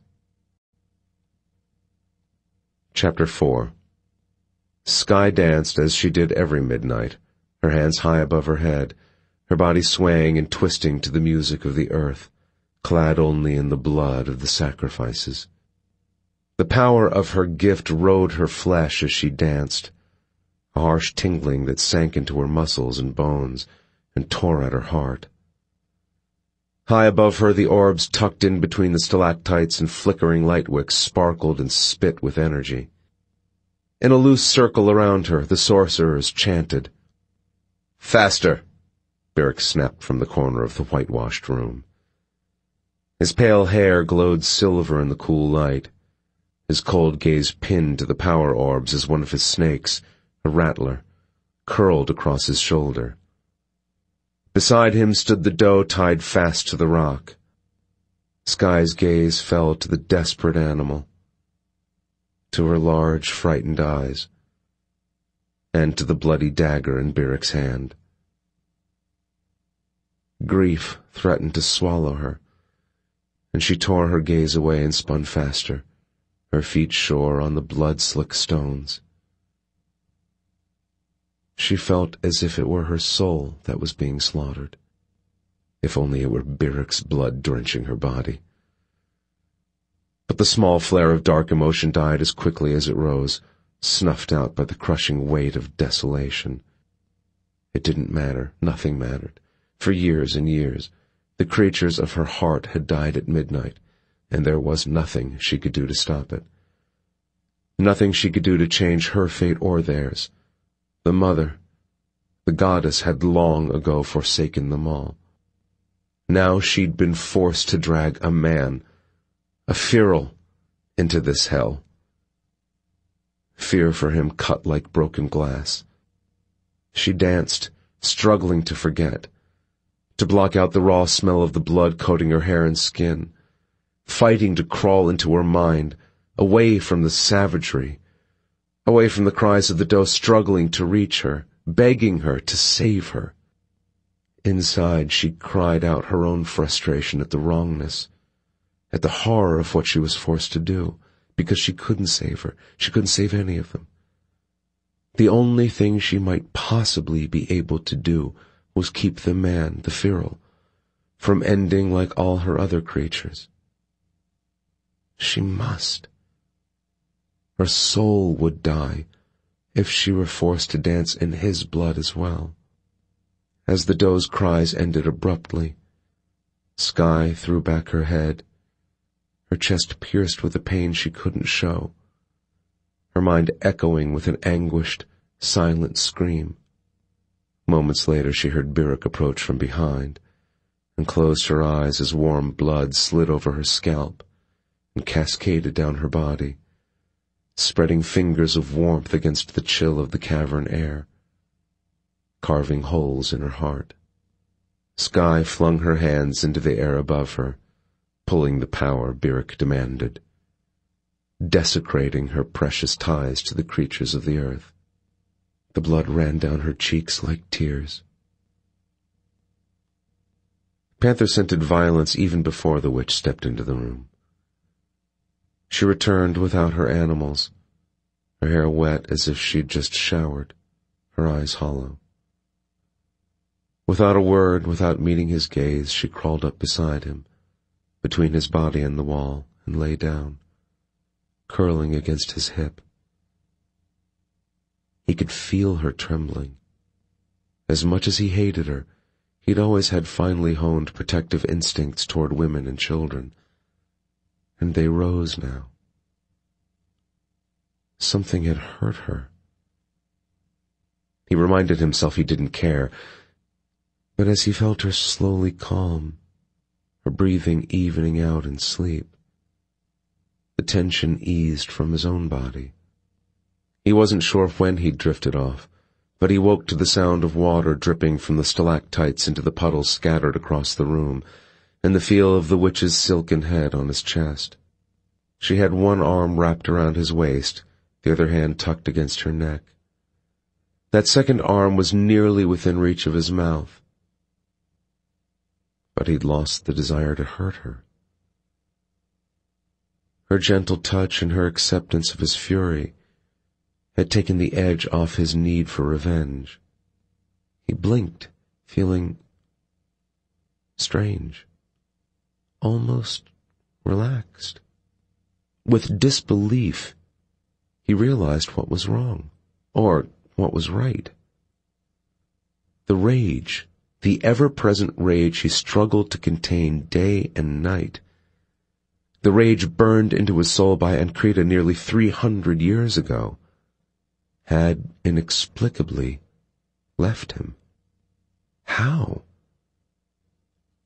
Was this simply more magic? Did he care? Chained atop this cold stone, deep in the bowels of a second mage captivity, he felt more at peace than he had in years. Eased. Whole in a way he hadn't felt in centuries. Had she somehow miraculously healed him? Or was her nearness affecting him in a way he'd never imagined anyone could? The implications rocked him. He almost hoped it was just enchantment, just a lie, because if it wasn't, if this easing of the torment he'd lived with for centuries was somehow coming from her. A witch. Heaven help him. The last thing he wanted was to need her. More than he did already. Panther woke to the sound of footsteps moments before the steel door crashed in against the rock. The witch startled awake, rearing up, filling him with the scent of sleep-warmed violets and the acrid tang of fear. In the doorway stood a man with the slim build of a mage and hair a dozen shades paler than his skin. His face was long, his lips thin, and his copper-ringed eyes blazed with a cold fury. Panther's muscles tensed for a battle he wouldn't be able to fight, fury of his own raging through his body as he strained against his shackles until they bit into his flesh. The strange peace he'd felt when he woke during the night had vanished with the woman's fear. Beric, the witch breathed, her eyes wide, her voice tight with dread. I warned you, the mage said coldly, and started toward them. But... The mage latched onto her upper arm and yanked her off the rock. As the witch stumbled, he pulled her to the wall, grabbed her shoulders, and slammed her back until her skull collided with stone with a sharp crack. Panther's body went taut with outrage, but the bastard wasn't through. He grabbed her face, holding on until the witch's eyes widened with pain and the smells of burning flesh and blood assailed his sensitive nose. Finally, the mage released her. As the fragile woman sunk to the ground, he leveled several hard kicks to her ribs and one to the side of her head, then strode out of the room without a backward glance. Panther stared at the woman lying on the damp rocky floor like a broken doll blood running down her cheek from where the bastard must have cracked her skull. For long moments, the only sound in the room was the drip, drip, drip from the rock daggers and the faint, thready beat of her heart. Witch, he called softly. But she gave no indication she heard him. Minute by minute, her heartbeat strengthened as her immortal body healed the ravages of the assault until, finally, she stirred. Slowly, painfully, she curled into a ball, as if to protect herself from further attack. But, like the attack itself, she took the pain without a groan, without a cry. Her suffering was somehow all the more difficult to bear for its terrible silence. His gut contracted as he remembered tearing at her arm. and how she'd suffered that time too without a sound. He wasn't sure what to make of her. She'd hidden what she was, enthralled him, and captured him. She was everything he hated. Yet now he was forced to wonder if she'd had any choice in the matter. Had he misjudged her? Was there really such a thing as a gentle witch? One thing was certain. This one was nothing like Ancreta. His muscles bunched as she pushed herself onto her elbows, as if he could somehow lend her strength. She struggled to sit up, then collapsed back against the wall with a grimace that told him what the move had cost her. He looked at her smudged and bloodied face and wanted to beat the hell out of the man who'd done this to her. Beric. Why did he beat you, little witch? He didn't know her name. She opened her eyes slowly, the blue depths dark with pain. I don't know. Her expression tightened. I do know. I just don't know why he'd punish me for it now. She met his gaze. He wants me to mount you. Panther jerked, his hands fisting. No, he snarled. Like hell she'd mount him. His body quaked with the remembered fury and bitter helplessness of all those times beneath Ancreta. The dark-haired witch, so unlike Ancreta, sighed and tipped her head back, her gaze reaching the ceiling, perhaps beyond. I wanted to give you time to accept me, warrior. He's not going to allow it. Her voice broke as she met his gaze, suffering in her eyes. I'm sorry. She pushed herself to her feet, then stumbled back against the wall with a grimace before lurching forward, slowly, painfully.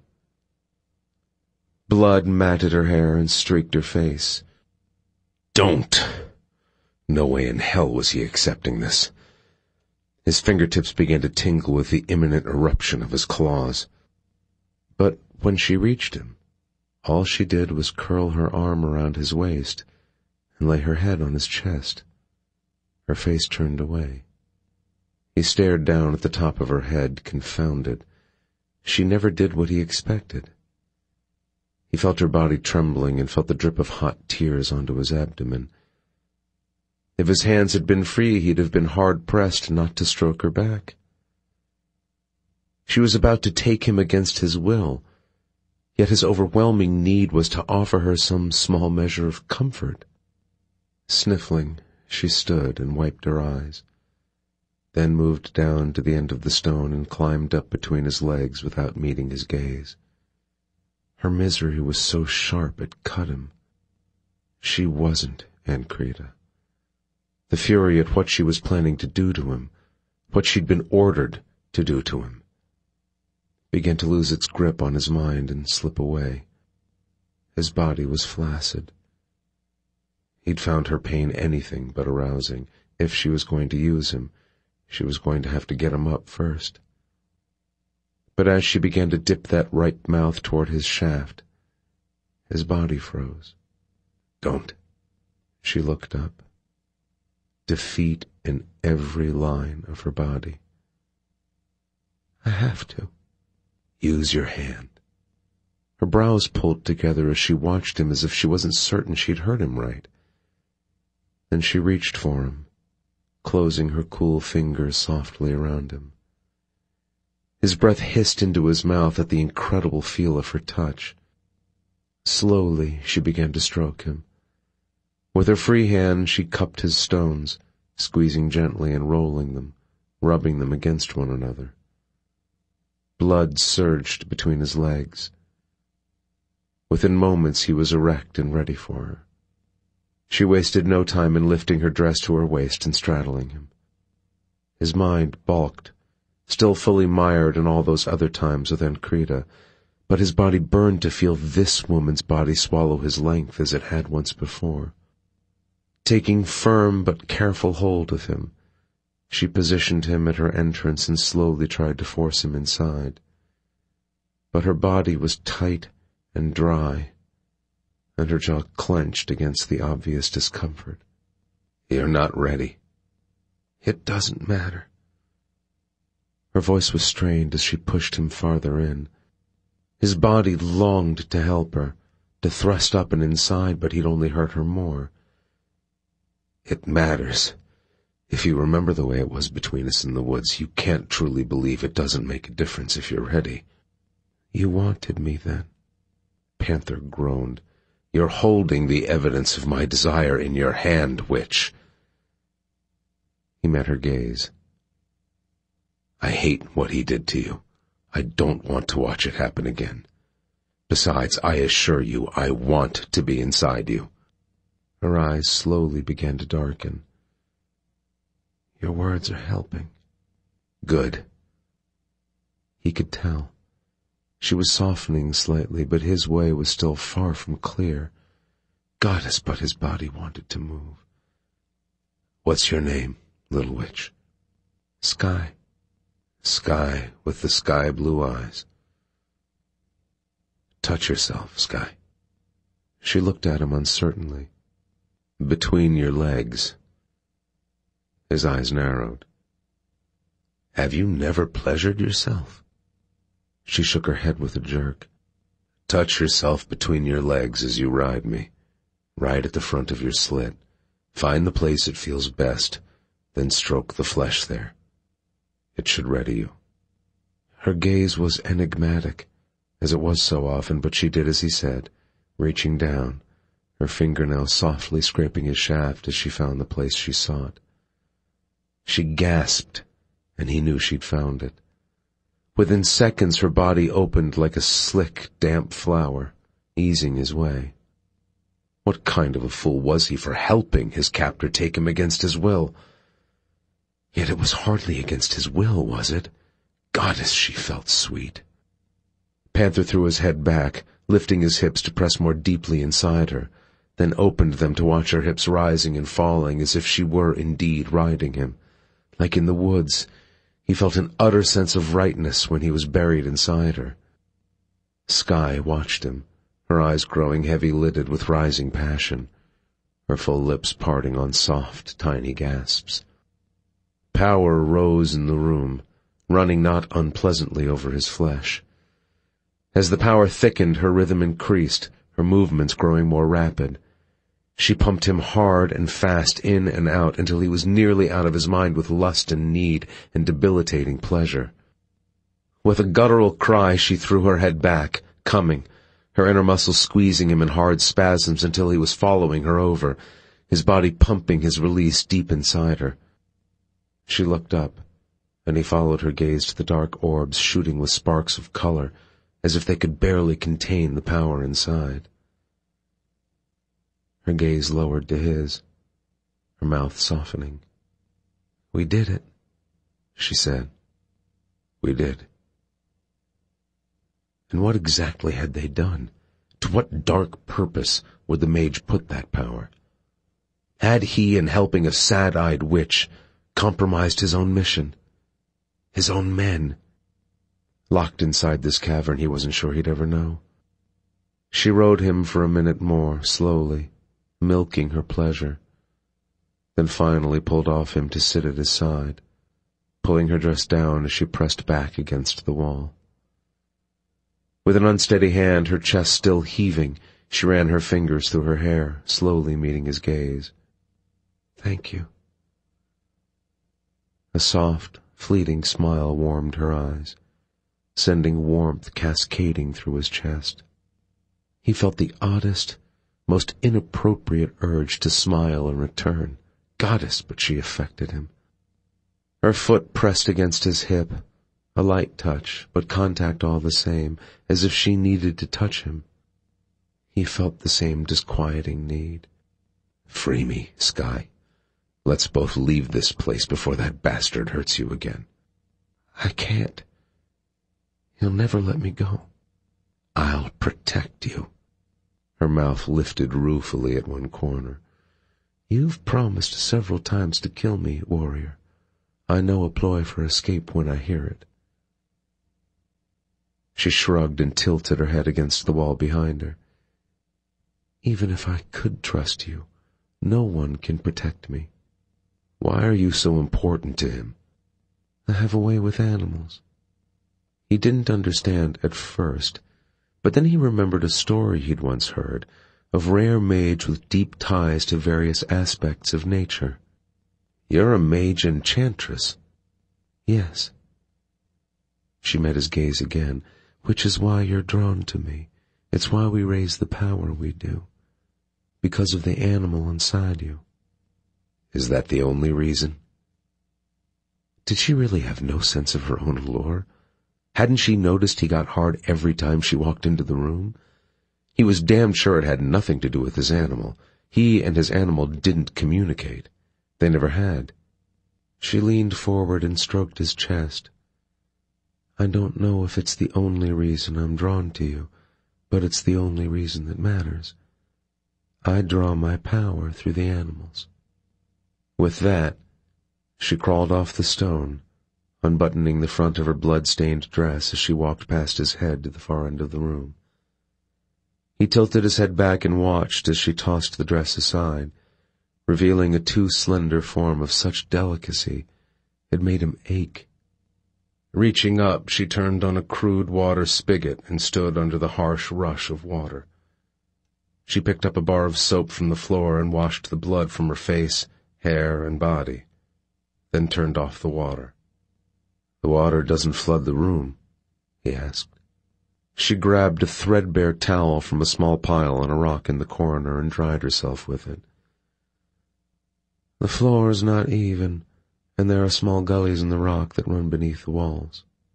How long have the mage lived in this place? Since the last war with the Ferals. The war that came to a head with the mage's capture of three newly marked Ferals, 1738. After Lyon captured nearly a dozen mage sorcerers and sentinels, and killed their high leader, the elemental, he'd demanded peace, and gotten it. For 270 plus years, the two races had lived in strained harmony, basically ignoring one another. A cold war that was cold no longer. He watched her drop the towel and pull a navy blue dress off one of the hangers. How long have you been here? He asked her. I don't know. She shrugged the dress over her head. Time has no meaning in this place. Were you born here? No. I was eight when Beric claimed me from my mother, taking me as his apprentice. He's an enchanter too, though his gift isn't nearly as strong as mine. He mostly just calls snakes. A small scowl marred her features, hinting at a temper he'd yet to see. He taught me, forced me, to draw my power for his own use. I haven't been off this mountain since. What was happening in the human world at the time you came here? Do you remember? Did you know? They were sending men into orbit around the Earth. They were trying to reach the moon. The 1960s. You've been down here about forty years. You're still very young. She quirked a brow, a glimmer of a challenge in her eyes that pleased him. And you're older? He smiled, surprising himself. Almost four hundred. An answering smile broke over her face, bright and amused, but gone almost as quickly as it appeared. Yet in that fleeting instant, in the brief radiance of her smile, he felt as if he'd been sucker punched. Skye pushed her sleeves to her forearms and came over to him, her natural grace back in full. But when she stopped beside him, her gaze wouldn't quite meet his. With her hair wet, her features so achingly delicate, she looked as fragile as a sapling in a storm. A need to protect her rose fiercely within him. Her pensive, fathomless gaze finally rose to his, pressing into his chest, into his heart. It's been a long time since I had someone to talk to. Someone who offered a little sympathy. She bent and laid a feather-soft kiss on his chest. A pressure built inside him, squeezing at his heart. Thank you, she said softly. He met her gaze. You're welcome. She turned and started toward the door. Where are you going, Skye? To the woods. She glanced back at him with pensive eyes. I need the woods. A sanctuary, and the protection he couldn't provide. As she disappeared around the corner, he stared at the empty doorway for a long, long time. A hundred dire problems pressed on his mind, yet all he could think about was her. Skye. Without a doubt he'd been enchanted. The question was, by magic or by the woman herself? Hours later, Skye finally left the forest to return to the caverns, another doe by her side and a plump woodchuck in her arms. Though it was a day away from another midnight, she felt the need for their company. As she descended the cavern stairs, a pair of crows circled her head. Two more squirrels scampered around her feet. She set the woodchuck down and slipped into the kitchen to fetch her Feral some food. She knew he had to be hungry, though he hadn't asked for anything. Besides, she felt this soft need to bring him something, a gift, in return for his kindness. Not the gift he wanted, of course, she couldn't free him, but food she could manage. She wrapped several thick strips of roast venison in two pieces of cheesecloth, and slipped one wrapped package into each of the deep pockets in the seams of her dress. With the woodchuck once more in her arms, she led her little troop down the stone stairs that ran throughout the cavern. Spying Beric deep in discussion with two of the sorcerers and the feral viper, her heart lurched. The doe, feeling her distress, pressed her head against her hip. As always, she tried to pass without drawing his attention, but Beric's hand snagged her arm roughly, dislodging the woodchuck. The creature fell to the rock at her feet with a squeal and waddled behind her as Beric's flat eyes pinned her fast. It worked, he said coldly. Skye nodded, holding the man's gaze for only a moment before looking away. She fought not to tremble. Viper laughed darkly. I told you it would. Panther's too much of a knight not to come to the aid of a damsel in distress. His gaze flicked to her hip. I smell food. Taking him lunch? A treat for a performance well done? Yes. She glanced at him briefly, seeing the same coldness in his eyes she saw in everyone's these days, everyone except Panther's. She liked that she knew his name now. In Panther's eyes she only ever saw heat, the heat of fury or passion. Viper nodded, that cold humor lifting his mouth. He was a big man, taller than Beric by a good six inches. You'll have him eating out of your hand. He turned that gaze back on Beric. As I knew she would. Beric pulled her closer, his hand tightening painfully around her upper arm. It wasn't enough, Enchantress. She started, her gaze jerking up to his as understanding rushed over her. The power she'd raised with the Feral wasn't enough. The orbs had been spitting with more power than she'd ever seen. How could it not be enough? I'll try again. Instead of dismaying her, the thought released a rush of heat low in her body. No. Leave him alone. I have something else in mind. He released her with a flick of his hand. Go, feed your pet, then return to me. Skye blinked, bewildered and not a little worried. As Beric turned his back on her, she hurried away, her pulse too fast. He was planning something. What? Her heart sank to her toes. Surely he wouldn't kill him. Surely not that. but she knew all too well Beric was more than capable of such savageness. Her Feral couldn't die. Yes, he was a rare and beautiful creature, and no, she never wanted any of her creatures to die, but this was different. He was different, strong, powerful, a knight, Viper called him. A warrior of honor and courage, capable of treating even his enemy with gentleness when he'd been coerced into feeling pity for her. For the first time in years, she was reminded there were those still in possession of a conscience, warriors with goodness in their hearts, with souls, and she would not see this one destroyed. Nor selfishly did she want to lose him. For so long she'd lived in the cold, she'd almost forgotten what warmth felt like. His fury with her for capturing him had turned to fury over her beating. A precious gift. When she'd been hurting, He'd not only accepted her body, but helped her take him without pain. For so many years she'd been alone, without sympathy, without care. Those she'd loved, the friends, had all been sent elsewhere, or changed, transformed for the strength of the elementals in Ynir's army. Not in years had someone cared that she'd been beaten not in years had anyone tried to ease her misery. Not until she'd captured a dark-eyed panther with hatred in his eyes and honor in his soul.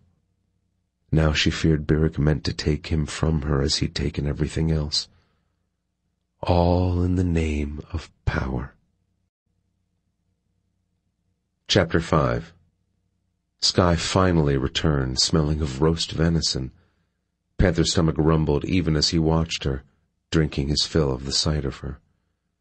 Her hair and dress were damp, as if she'd been caught in the rain. Her quiet, delicate beauty did something to him, flowing through him like a calming river even as it heated his blood. Once again animals surrounded her, though a different collection than before. As before, she ushered the smaller animals into a pair of cages and tied the doe with a rope at the wall. Then she came to him, her eyes at once troubled and lit with a warmth that slid softly across his heart. I brought you something. But as she pulled the wrapped venison out of her pocket, her gaze went to his wrists, sticky with his blood. Her brows lowered unhappily. You've been struggling. Always. Her eyes pleaded. Accept your fate, warrior. There's nothing else you can do. He shook his head. Never quit fighting, little witch. It means the death of your soul. Those troubled eyes of hers darkened as she unwrapped the meat in her hand. I thought you might be hungry. I am. She gave him a rueful frown and cocked her head. Are you going to bite me again? No. He thought of the way she'd curled around her injured arm after he'd attacked her, the blood soaking her dress. I'm sorry for that. I thought you deserved it. I've changed my mind. Her mobile mouth shifted into a semblance of a smile as her eyes softened. I'm glad. She held the meat to his mouth for him to take a thick, juicy bite. She stroked his chest with her free hand, nearly making him purr. Yet even as she touched him without wariness, he smelled fear in her. He could hear it in the racing of her heart. I won't bite you, Skye. Her gaze flicked to his. I believe you. She tried to feed him again, and he shook his head. You first. You're too thin. I'm not hungry. He scowled at her. I find that hard to believe. But those shadows in her eyes were darkening. Tell me what's the matter. She caught her bottom lip between her teeth and looked away. Nothing. You're afraid. I'm fine. Are you afraid of Beric? Her tiny jerk at the mention of his name told Panther what he wanted to know. He's threatened you again. No more than normal. She met his gaze, unhappiness etched into every line of her face. This time he's threatened you. How? Panther's jaw clenched, his muscles flexing against his bonds. He was all for a battle, but to fight, he had to be free. I don't know. He said the energy we raised wasn't enough, but when I offered to try again, he said no. He had something else in mind. It can't be good. Panther captured her gaze and held it fast. Get me out of here, Skye. I'll take you with me. You'll be safe from him. And where would you take me? Your people have been at war with mine forever. What difference does it make? He wouldn't beat you any more. She shook her head, fisting her hand on his chest. I can't leave. I don't have a choice. We all have choices, Skye. He stared into her eyes, willing her to hear him. His life might depend on it. Whether we choose to face them or hide from them defines who we are. Whether we choose to let evil live or we fight to destroy it defines our lives. Choose, Skye. Choose. A spark of temper lit her eyes. You don't understand. Skye. She pulled away from him. You can't possibly understand. I have fought him. Over and over I've fought him. And all I've done is end up bloody and broken. He's too powerful. And his reach is too long. Even if I managed to get away, and I wouldn't, he'd hurt me until I begged to come back to him just to end the misery. I'll protect you. You can't! She whirled and fled the room, his dinner still in her hand. Skye! He waited, praying she'd return. But she didn't. He cursed himself for a fool. She was his only hope of escape, his only company, other than the animals chirping and whistling with agitation in the cages in the corner. He'd pushed her too hard, too fast, and scared her away. He was still kicking himself for it some time later, when he heard heavy footsteps in the passage outside the room. The moment the pale-haired Beric stepped into the room, a green snake curled around his neck. Panther knew this was it. The time had come.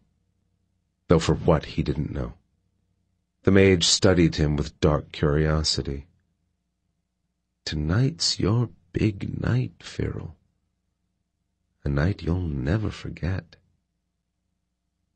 The mage reached for him.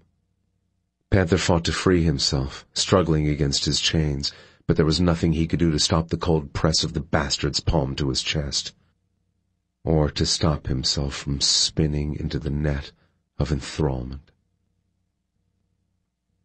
Wake up, BP. Panther heard Viper's voice as if from a distance. The hard kick to his ribs sent pain shooting through his body, propelling him into the thick, mind sludge of partial enchantment. Impressions bombarded his struggling brain. He could tell he wasn't alone with Viper by the murmur of other voices and the squawk of crows. Smells drove into his senses. Old blood. New fires. And violets. Skye. As before, he was on his back, but the rock beneath him felt different. Cool puddles of water gathered beneath his left calf and right shoulder. He tried to move, but he was caught as firmly as before, the chains clanking on the rock beneath his head. Finally, his vision broke free. As he looked around him, he saw that everything had changed. He was on the floor this time, in a different, larger room within the cavern. A room that was dark except for a small shaft of moonlight breaking through from high above and the glowing embers of banked fires and vessels scattered around the room. Though the floor was bare, the walls glowed with whitewash and graphic symbols he recognized as part of the ancient language of the mage. Among the symbols, he knew only one. Sacrifice. The rage that lived in his blood boiled over. He was not an animal to be chained and slaughtered. He struggled against the shackles, With a furious growl, he called on the power of the animal inside him and once again tried to shift. Like before, nothing happened. Fight it all you want, Viper drawled, standing at his side, his voice floating down from high above him. You aren't going anywhere, BP. With his furious gaze, he searched the room. At one end stood nearly a dozen mage sorcerers in ritual robes. Ritual robes. Goddess, he smelled layers and layers of old blood in here. Was his about to coat these stones too? He searched for Skye and finally found her in the corner, stroking the agitated deer. Viper squatted beside him, his forearm on his knee, his gaze on Skye. She's a pretty little piece, isn't she, with those big doe-like eyes? I told her you were a sucker for a damsel in distress. Wasn't that how Ancreta trapped you all those years ago? Panther's eyes narrowed as he tore his gaze from the woman to look up at the man who'd once been his friend. A malicious smile hovered at Viper's mouth. I told her all she had to do was play the victim and you'd be eating right out of her hand, giving her whatever she wanted. Play the victim. A chill of foreboding rolled down his spine. Viper shrugged. Beric may have overplayed his role a bit when he beat her. He's been doing a shitload of groveling to make it up to her, but I hear the ploy worked like a charm. You not only let her fuck you, but you helped her enjoy herself. He grinned and pretended to high-five him. Way to go, BP! Panther stared at him. He was supposed to believe that beating was an act? A lie to gain his cooperation? No way in hell. He'd seen the bastard's face. He'd seen the pain and bleakness in Skye's. No woman could be that good an actress. That chill in his spine leached into his blood. Except Perhaps a witch.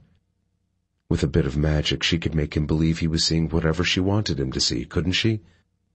Hell! Denial roared through his head. Had he really been taken in all over again? Or was Viper the one lying? How in the hell was he supposed to know? The only thing he knew for certain was he couldn't trust either of them. And if this night ended as he feared it might, it wouldn't matter. Nothing would matter once he was dead. The smoke of the banked fires teased his nose. He stared up into his old friend's eyes, a growl grumbling deep in his throat as he saw no glimmer of the viper he knew. Am I staked out for slaughter? A cruel smile slashed across Viper's face. What fun would it be if you knew what to expect? You've turned into a bastard, Viper. oh, I've turned into a lot more than a bastard, BP. Viper rose. Looks like it's time to begin. As the mage circled the perimeter of the room, Skye stood.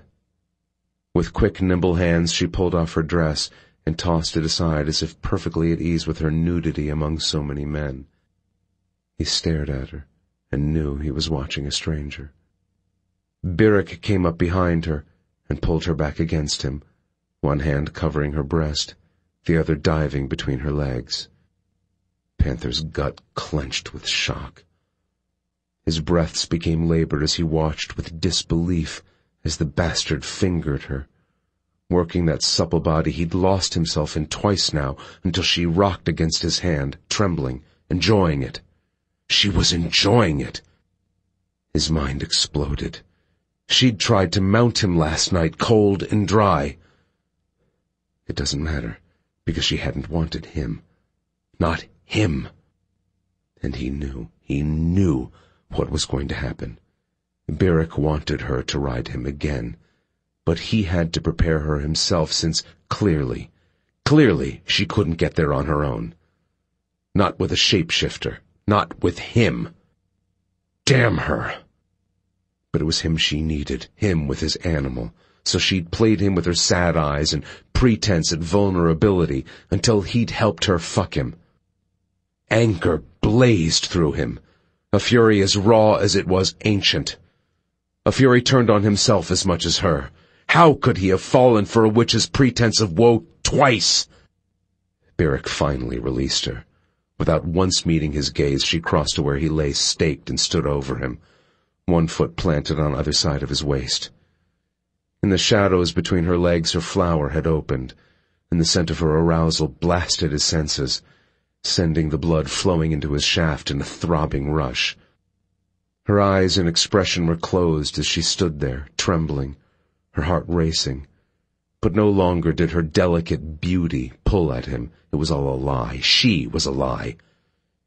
His chest ached.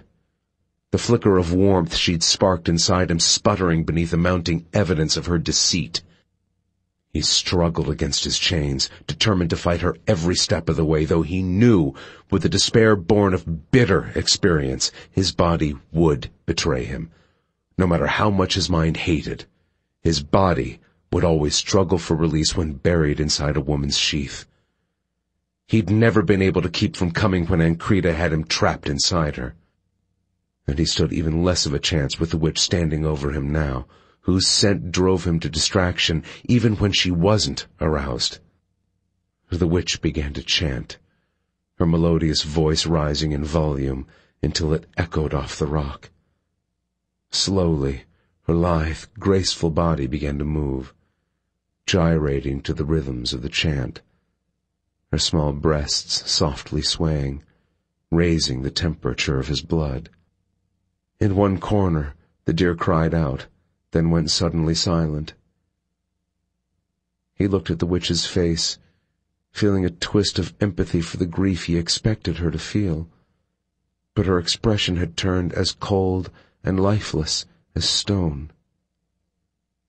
Something shriveled inside him at this proof she was nothing more than a cold, calculating bitch, like all mage witches.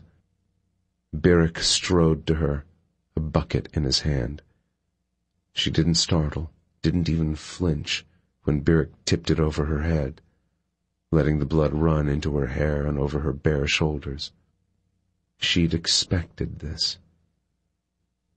With a kick to his gut, he knew this was the reason she'd brought the animals into the cavern in the first place, to dance in their blood. Hatred seared his mind. She'd had him so completely fooled. With sick fascination, Panther watched Skye slide her hands over her breasts and abdomen, slicking her palms. Then she squatted over him and took his swollen shaft in her hand, coating him with a sticky warmth. He went feral, his fangs elongating, his claws unsheathing as he snarled, fighting his body's traitorous response to her as much as he fought the woman herself. But she barely looked at him as she guided him between her legs. As he had so many times with Ancreta, he tried to buck her off him, but the witch was too well coordinated, moving with him, refusing to be denied. She forced him inside her. Despite Beric's ministrations, her body was still too tight, but nothing on her face reflected the discomfort. There was nothing he could do to help her, nothing he would do, even if he could. He wanted her to hurt. Damn her! Slowly, she began to ride him, resuming her chant as around the room the sorcerers joined their voices to hers until the sound pounded a thunderous beat echoed in Skye's movements. A beat echoed by his own heart. The chant pounded in his blood and in his shaft, the power rising until the hair on his head felt like it was trying to stand on end. Above him, Skye's short hair was lifting, as if she'd stepped into an electrical storm. Above her, the orbs he hadn't noticed before pulsed with dark light, growing. As the power rose higher, the blue-eyed witch began to gasp, her gasps quickly turning to small screams of pleasure. The pleasure had him in its grip too, flowing through his chest and limbs, tightening every muscle, every blood vessel, as desire and pressure built in his cock to a fevered pitch. His body climbed to heights that appalled him until he was driving into her as desperate for the coming explosion as he'd ever been for anything. His mind rebelled, horrified at the sexual fire burning his body in the midst of such savagery. But the power in the room was driving him now, driving them both, and there was no fighting it. With a scream, the witch came. As her hard, rapid contractions drove him to a blinding release, his gaze caught Beric's. The bastard stood over them, watching Panther utterly lose control. His face a mask of deep arousal, his eyes alive with anticipation. Crawling with evil. Panther snarled. Hatred burned inside him as he spilled his seed. A roar filled the room, turning the air hot and wild until it singed his lungs and scorched his skin. Pain ripped through his body on a sudden tide of fire. A scream echoed through the walls from beyond, drawing Beric's shout of triumph. Caught in the clutches of the pain, Panther barely noticed when the chanting ended, and the men rushed from the room, leaving him alone with Skye. He stared up at her. At the face he'd once thought beautiful, now covered in blood. Her eyes closed, her expression tight with pleasure, or pain. Hatred burned low in his gut as the sharp pain slowly died away except for a throbbing sting across his left eye. Skye rose, lifting off him unsteadily as she tried to stand, only to collapse by his feet where she lay on her back, gasping. He didn't know how long they stayed like that, lying in the moonlight and dying embers amid the blood, their flesh rippling with the remnants of power. Neither spoke. There was nothing to say. Yet again, he wondered what Beric meant to do with the power they'd raised. Beric finally returned, light wicks floating above him.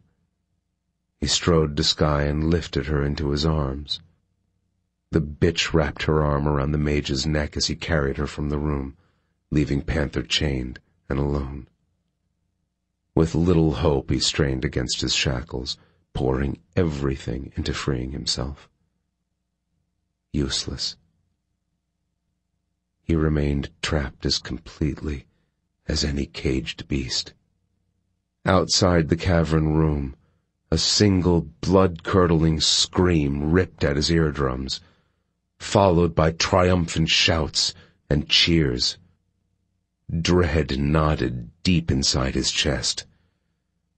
Goddess help him, what evil had they unleashed? Chapter 6 Panther wasn't sure when they'd enthralled and transferred him, but as the fog cleared from his head, he found himself standing upright outside a glass enclosure deep within the caverns. The clank of chains and the bite of cold shackles told him he was pinned fast to the wall behind him. Glancing down, he saw that he was wearing pants again, the leather pants he'd worn that disastrous afternoon he'd followed Skye into the woods. How long ago? He'd been out of it too much to know how long he'd been a prisoner. Last thing he remembered, he'd been covered with blood. The ritual. Memory slammed into him, the force of his fury stealing his breath. His mouth tightened, his teeth grinding. Goddess, but the witch had played him. His furious gaze scrutinized the glassed chamber twelve to fifteen feet below him, trying to make sense of what he was seeing. In one corner, paint, or blood, had been splattered everywhere, copious amounts of it. His gaze narrowed as he tried to correlate the lit, bloody chamber below with the dark one he'd been in earlier, and failed. No, they were definitely not the same room. The fine hairs rose on the back of his neck. So what had happened here? And why was he chained so he could see it? He sensed Viper even before the Feral rounded the corner to join him. Release me, Vipe, Panther growled. You have to see this, BP. No one's seen anything like it in millennia. Watch. The fun is about to begin. On cue, four people stepped into sight in the room below, two men and two women, accompanied by a single mage sentinel. Slowly, little by little, the people blinked and looked around groggily, as if coming out of enchantment. Are they human? Yes. Watch. The mage left the room through a far door. Moments later, from an entrance below that Panther couldn't see, another figure entered the room. A male, he thought, judging by the breadth of the shoulders, clad in some kind of filmy dark cloak, his back to Panther. The man's hair was long and black and sparkled like diamonds. He didn't walk, but floated upright, a foot off the ground, and his cloak... A chill slid down Panther's spine. Not a cloak at all, but the indistinct lines of his body. The hair on Panther's arms began to lift, his gaze narrowing. The air in the cavern dropped a good ten degrees. This was no man. A faint scent of rotting meat met Panther's nose. His heart began to race. The creature turned, revealing a bluish-gray face badly contorted, as if made from melting wax, a single set of sharp fangs hanging from its mouth. As it raised its hands, dagger-like claws dripped from its fingertips. Panther's heart pounded with disbelief as he stared at the most fundamentally horrifying sight he'd ever seen. A demon. A creature gone from this earth for more than five thousand years, trapped all this time in the demon blade. The mage have opened the blade, Panther hissed. With the power Panther had helped raise, God has helped them all. Don't get your tail in a knot, BP. The blade isn't open, not entirely. We only managed to soften it enough to eke out a few of the wraith demons, the worker bees of the demon world. They're basically mindless feeding machines without Satanan in here to control them, but it's amazing, isn't it? His voice rose with excitement. Panther stared in fascinated horror at the creature of dark legend, a monster the Ferals had fought to keep from the earth for thousands of years. And failed. With the power you raise with the little witch, we'll free an entire army. Viper chuckled. You've found your calling, BP. The words swirled in Panther's mind until he had to swallow to keep the bile from rising in his throat. He had to stop this. He had to find a way to keep from freeing more of these things. But his horrified gaze wouldn't turn away from the creature. Oddly, though the people were clearly agitated by the sight of all the blood, None of them were reacting to the demon itself. They didn't seem to see him. Ah, goddess, of course they couldn't see him, just as humans couldn't see the Drayden. One of the men looked up at the faces peering down at him. What's going on here? What in the hell do you people want? They won't be able to see him until he attacks them, Viper said, his voice sharp with anticipation. The creature stopped in front of one of the women lifted a single clawed finger, and ripped open her cheek down to the bone. With a scream, the woman stumbled back, her eyes widening until they filled her face as she finally saw the creature who'd attacked her. Her scream turned to one of terror as she tripped and fell back onto the floor. Crying and whimpering, she scuttled back from a monster more hideous than any nightmare. He'll leave her like that, Viper murmured, as if to himself. They feed on fear and pain. He'll make sure they all see him before he plays with them. How can you know this? You've been out of it a while, BP. We've already fed two of these fiends. The blood. No wonder. As one of the men rushed to the woman's side, the demon circled him, then turned his body horizontal in the air and bit through the man's hand, tearing it from his body. A guttural scream rose from the man's throat. Humans. They didn't regenerate lost limbs or missing body parts. His forehead burned with fury at the rank destruction. Needless. Vile. Panther took deep breaths through his nose as Viper's words echoed in his ears. With the power you raise with the little witch, we'll free an entire army. Every night the blood and sex, his body used to free more of this evil. He couldn't let this happen. With a growl, he struggled to free himself until his body was slick with sweat and his muscles straining. He could not let this happen. But no matter how hard he tried to free himself, the chains held him fast, just as the cage held the humans below. He tried to look away from the carnage, but couldn't. All four humans were screaming now. All were bloodied, searching for a way out. But there was no escape. The demon sank his claws into the arm of one of the men, holding him fast. As the man pummeled him with his free fist, the demon pulled a strip of flesh from his skull, hair and all. Blood poured down the screaming man's face. What are you going to do with these things, Viper? Capture human after human to feed them? You must know you can't control them. You'll never contain them once they're free. Viper grinned. Who wants to contain them? Panther forced his gaze elsewhere, sickened by the thought of these monsters set loose on the general population. All around the glassed walls, Mage watched with avid, excited expressions. Except one. Huddled against the wall, not six yards away, was Skye, dressed and showered. Her hand covered her mouth, Tears ran down pale, pale cheeks as she watched the horror unfold in front of her.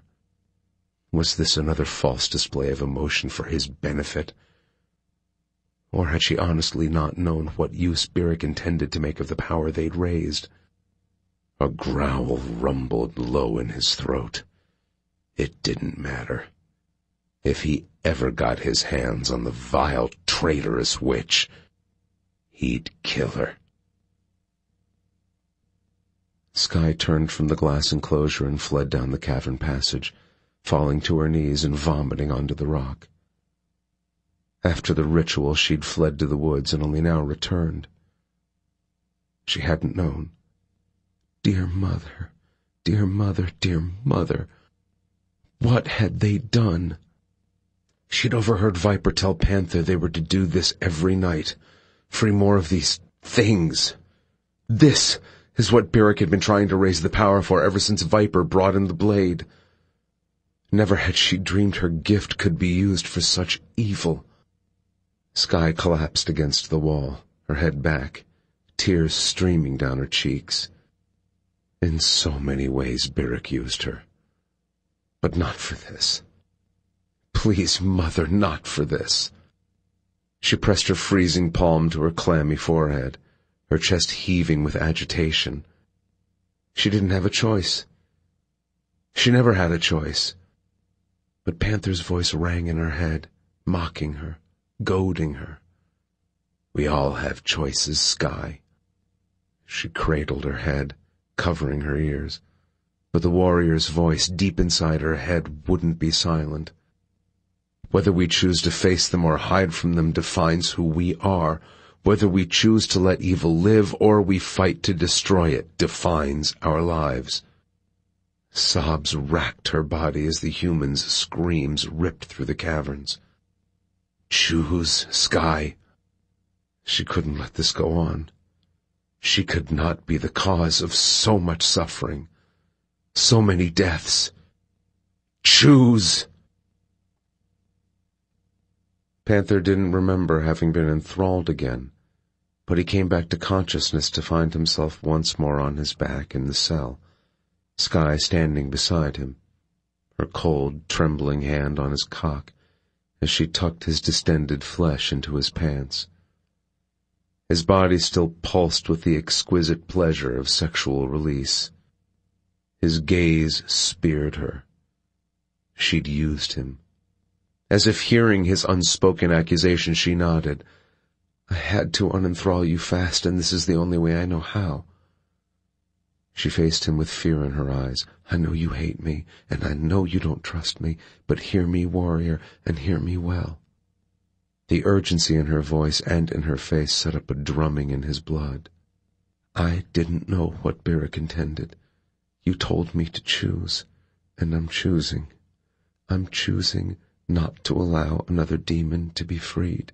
I'm choosing to free you instead.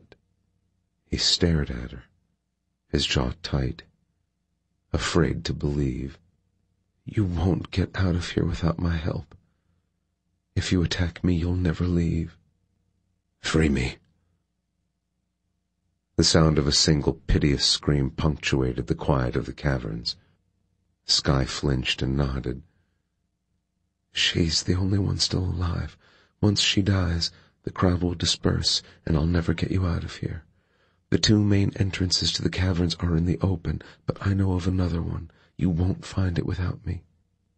Like hell he wouldn't find his way out. After he got what he'd come for. Viper. She unlatched his ankles, then one after the other, his wrists.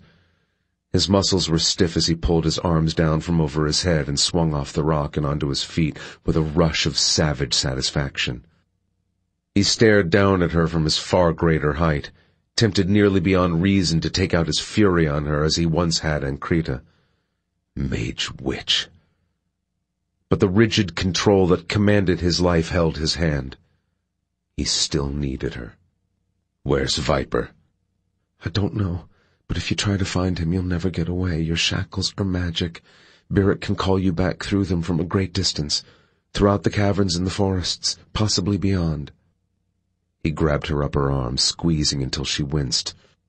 Remove the shackles. I can't. I don't have the magic. Her eyes beseeched him. Panther, there's no time. This will be your only chance to escape. Save yourself. Save us all. The need to get Viper out of there, to fight his enemies, retrieve the demon blade, and kill the demons was a breathing, burning thing inside him. But if she was right, escaping now, before Beric realized she'd freed him, might be his only option. He'd rally the ferals, and they would attack as one. Panther released her. She hesitated for one pulsing, wary moment, then turned and fled for the door. Come! Skye led Panther down the back passage. When she reached the dagger fields, she turned to the menacing feral towering over her from behind. Watch your head as you watch your feet. If one of the stalactites crashes, we'll be caught. He said nothing, the only emotion in his eyes the promise of a slow, violent death. Her heart thudded, and she thought of running and letting him find his own way out. But he'd never find it and they'd be right back where they were tonight, freeing demons. Choose! She took a breath and rushed into the uncleared field of stalagmites, leading him through the open to a particularly dangerous patch where the floor and ceiling sloped together, converging until the rock-like dangers hanging from above and rising from below began to resemble sharp, interwoven teeth. She'd climbed through here enough times to know the only path, but she was much smaller than he was. Still, as she made her way, no sound followed behind her. She turned to find him moving through the rock as sleekly and silently as the cat that lived inside him. In the distance, the last of the screams died away, and the sound of excited voices rose. Her pulse began to pound. They were running out of time. Few ever came this way, but she wasn't the only one who knew the route. If anyone saw her with the feral, they'd sound the alarm, and his chance at escape would vanish. Her heart thudding, beads of perspiration rolling between her breasts, she finally led him out of the difficult patch of rock and onto a wide path. Around the next bend was the small opening that led to the forest and freedom. Even from here she could feel the night air wafting in, cool and damp with rain. With a breath for courage, she turned to the angry feral. When you get outside, run, and don't look back. The shackles are magic and will keep you from shifting. I don't know how far is too far for Beric to call you back. She stepped back between two stalagmites and pointed. There, warrior. Around those rocks. You'll find the opening to the outside. Be safe. Run. Panther's hand closed tight around her wrist, his expression turning ugly. Do you really think I'd leave you behind, witch, when all I can think of is taking my revenge on you? Skye's knees went weak with fear. Please, I can't leave. He won't let me leave. Panther jerked her off her feet and onto the solid rock of his chest, his free hand closing around her throat. Your choices end here, witch. As her mind went white with terror, his thumb pressed into the crevice beneath her ear. Then all went black. Chapter 7 Cold rain drizzled over Panther's head, running in rivulets down his bare chest and beating on the shackles he still wore as he ran through the dark, wet fields. He'd run several miles already, but wasn't stopping until he had gone at least a few more. Around his shoulders he'd draped the unconscious witch. She'd told him the shackles could be used to call him back, and though he had reason to doubt everything she said, he was taking no chances. Running from that place, and his chance to save Viper, was possibly the hardest thing he'd ever done. But he'd be no use to Viper or anyone else if Beric caught him and chained him again. He wondered how long he'd been out of it between the blood ritual and the demon demonstration. He could have sworn it was night during the first, but as he'd escaped the cave, the sky had been purple with dusk. Had he lost another entire day? How many more days on top of that since the witch dragged him down to her lair? He followed the now dark road, but took care to remain out of sight of it half-dressed, wearing shackles, and carrying an unconscious young woman, he'd draw far more attention than he wanted from the humans and would be easy prey for the mage if they came after him. His first goal was to find a phone and call Lion. And find a knife. He had yet to attract Draden, but it was only a matter of time. There were no swarms this far from the Radiant, thank the goddess. But the occasional rogue Draden could be found anywhere. Sooner or later, if there were any in the area, they'd find him. As he approached a dark farmhouse, he decided a little breaking and entering was his only alternative. He laid Skye within a cluster of trees on the hillside and pressed his thumb into her slender neck to make sure she stayed fully unconscious. He stared down at her damp, delicate face, emotions warring inside him. He hated her for reeling him in, for making him believe she was in need of his sympathy and protection when she was really just a conniving bitch. But even as he knew what she was, her fragile beauty tugged at him.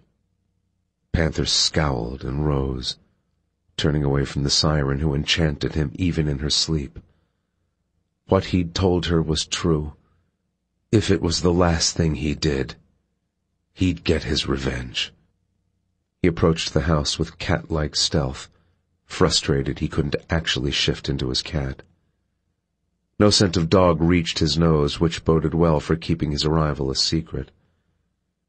When he found the back door unlocked, he slipped inside, palmed a kitchen knife from the woodblock on the counter, and grabbed the phone.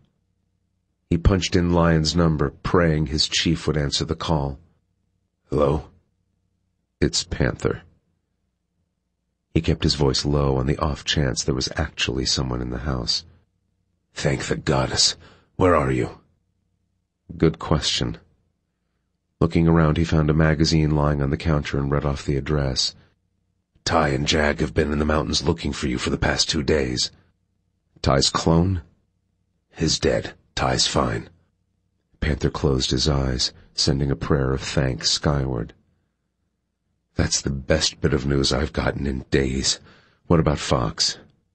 He's here. What's the situation? Do you need additional backup? No. The attack is going to have to wait. I'm wearing mage shackles and can't go near the place without risk of enthrallment. Then I'll send Ty and Jag to pick you up. Roar. I'm not alone. I've got the witch who captured me. We have some unfinished business, he added darkly. Lion was silent for several moments. The last thing we need is another witch in this house. She needs to be interrogated. Silence. Then a low growl. Bring her in. But I want her hands tied at all times, and you'll have to be cleared of any possible enchantment when you get in, all of you. You want me to call Evangeline? Yes. Evangeline had been his sexual partner of choice for decades. Their relationship had never extended beyond the sex, though that was his fault. He had no softness to give a woman anymore, thanks to Ancreta. I'll call the shaman. I believe he knows a binding spell to keep your witch from practicing her magic, and he may know of a way to get you out of those shackles. Hold on. Kara's got Ty on her cell phone. He repeated the address Panther had given him. They're about an hour north of their BP. He'll find you. We'll regroup here. Agreed. Panther replaced the phone in its cradle, left the house as quietly as he'd arrived, and went to retrieve Skye. As he climbed the hill to the trees where he'd left her, he heard the low growl of a dog. His heart lurched. He'd left Skye unconscious, unprotected.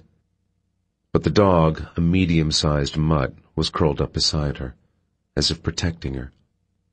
Go, he shouted softly to the dog. The animal jumped up and barked at him. Panther went feral, baring his teeth. The dog turned tail and ran. Even unconscious, she drew the animals. Looking down at her, at the dress plastered against her too slender body, he couldn't deny he struggled against the same need to protect her. When he thought the mutt had hurt her, he'd been furious. Panther scowled. Even unconscious, she wove her spell around him. Protect her, hell! All he wanted to do was hurt her.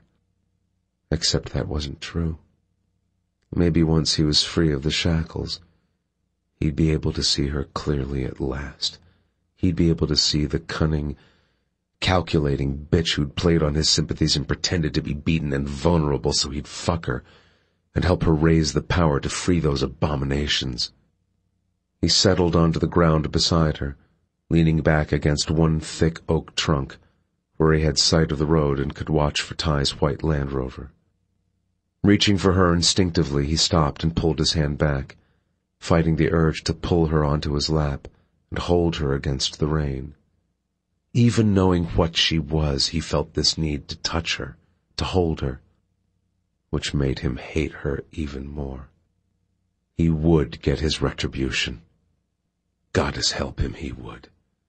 She'd rue the day she turned those sad, blue eyes on him and pulled him under her spell. Panther Man, Jag drawled, thrusting out his arm and slapping his forearm to Panther's as each man grasped the other's wrist in the traditional greeting. Glad to see you made it out of there, Geronimo. Panther nodded, then turned to Ty. As one they embraced, Little emotion ever escaped past the fury that consumed his life, but he felt a relief to see his old friend that went all the way to his soul. You finally got that clone. Hell yeah. Ty pulled back. Sharp, warm emotion glittered in his eyes. We've been looking for you for days. He didn't have to say the words for Panther to know they'd feared he was dead. How long have I been gone? I lost track of time in that place. About six days. He nodded at Skye, still lying asleep in the grass. Is that the witch? That's her. Ty scowled. Do we really want to bring another one of those things in the house? I'm not leaving her behind. But we need to tie her hands. Got any rope? Ty flicked his hand at Jag. Give me your belt. Jag grunted but unfastened the belt on his camouflage pants and tossed it over. Panther knelt in the wet grass beside Skye and tied her arms behind her back. Mage generally couldn't enchant a feral or Therian without the direct touch of their hand. This one had claimed she couldn't do even that, but he didn't trust her. As he slung her over his shoulder, an attractive brunette slid out of Ty's SUV and joined them. When Ty slid his arm around her shoulder, Panther lifted a brow. He'd heard Ty had taken a human as his mate, but he'd thought it was only to keep her from betraying him while he used her to capture his clone. This is Delaney, BP. The woman extended her hand to him, and he shook it, impressed by her fearless, straightforward attitude. He wasn't exactly the most docile-looking of males, none of the Ferals were. Panther nodded to her. It's dangerous out here for a human. The woman smiled, her sharp gaze meeting his own. Turns out I'm no longer human. No longer mortal, anyway. Panther's surprised gaze swiveled to Ty. Ty grinned. It's true, but it's a long story. Let's get... Draden, Jag warned. A tiny little flock of them. Sure enough, half a dozen of the fiends were descending from the sky. Panther grabbed the knife he'd taken from the farmhouse and plucked out the hearts of the ones that came near him, as his friends dispatched the others. Let's get out of here before more find us, Ty said, closing his switchblade. Panther carried the unconscious witch to the SUV and laid her in the cargo area and back, then climbed in beside Jag while Delaney took the front seat beside Ty. If Skye woke, he'd be ready to grab her before she could touch anyone. The last thing he needed was her enchanting more Morphirals. Not when he suspected he was still under her spell. Even before she was fully awake, Skye's heart began to pound like a hammer on an anvil. She was lying on her side, yet moving, the low hum of an engine tight against her ear. A car. This couldn't be happening. Beric would never let her go, yet clearly somehow she'd escaped the cavern. In a rush of memory, it all came back. She'd tried to free Panther, and he'd grabbed her, knocking her out. He'd captured her. As his last words rang in her ears, her stomach cramped with fear. Do you really think I'd leave you behind, witch, when all I can think of is taking my revenge on you? Skye began to tremble, perspiration dampening her back. Slowly, carefully, she opened her eyes to find herself swallowed by a darkness punctuated by flashes of light from the windows above. How's Fox? Panther's voice rumbled close by, the sound strangely comforting, even as it filled her with dread. He was furious with her, convinced everything she'd told him was a lie. Viper had told her as much. If she could ever convince him she wasn't his enemy, that she hated Beric more than he did, she felt in her heart he'd help her again. Just as he had that night Beric attacked her. But if not, her mouth turned to dust. If not, she was going to suffer. Fox is fine, a male voice replied from the front of the car. He avoided capture, though they managed to slam him with some kind of confusion spell. He couldn't remember where he'd lost you. A third man grunted, the one directly in front of her. it took three fucks to clear him of the magic. Watch your language around my mate, Jag, the man in front warned. A low sound of warm, feminine laughter erupted, also from the front. A sound Skye might have found pleasing if she weren't so frightened. Six years with the FBI, believe me, I've heard worse. I've said worse. But I'm still having a hard time believing sex cures magical enchantment. That sounds like a line if I ever heard one. Right up there with, but honey, it'll make your acne go away. It's during, the man began. I know, I know, the woman replied. It's during the moment of sexual release that the mind and body are most open. She made a sound that was half humor, half sigh. I don't really doubt it's true. It's just one of a hundred things I'm having trouble wrapping my human mind around. You know, Dee, after being in the car with a witch... The man's voice trailed off suggestively. The woman laughed, that same sultry burst of air. As if you needed an excuse. Her voice was rich with warmth and deep with affection. Skye blinked into the darkness.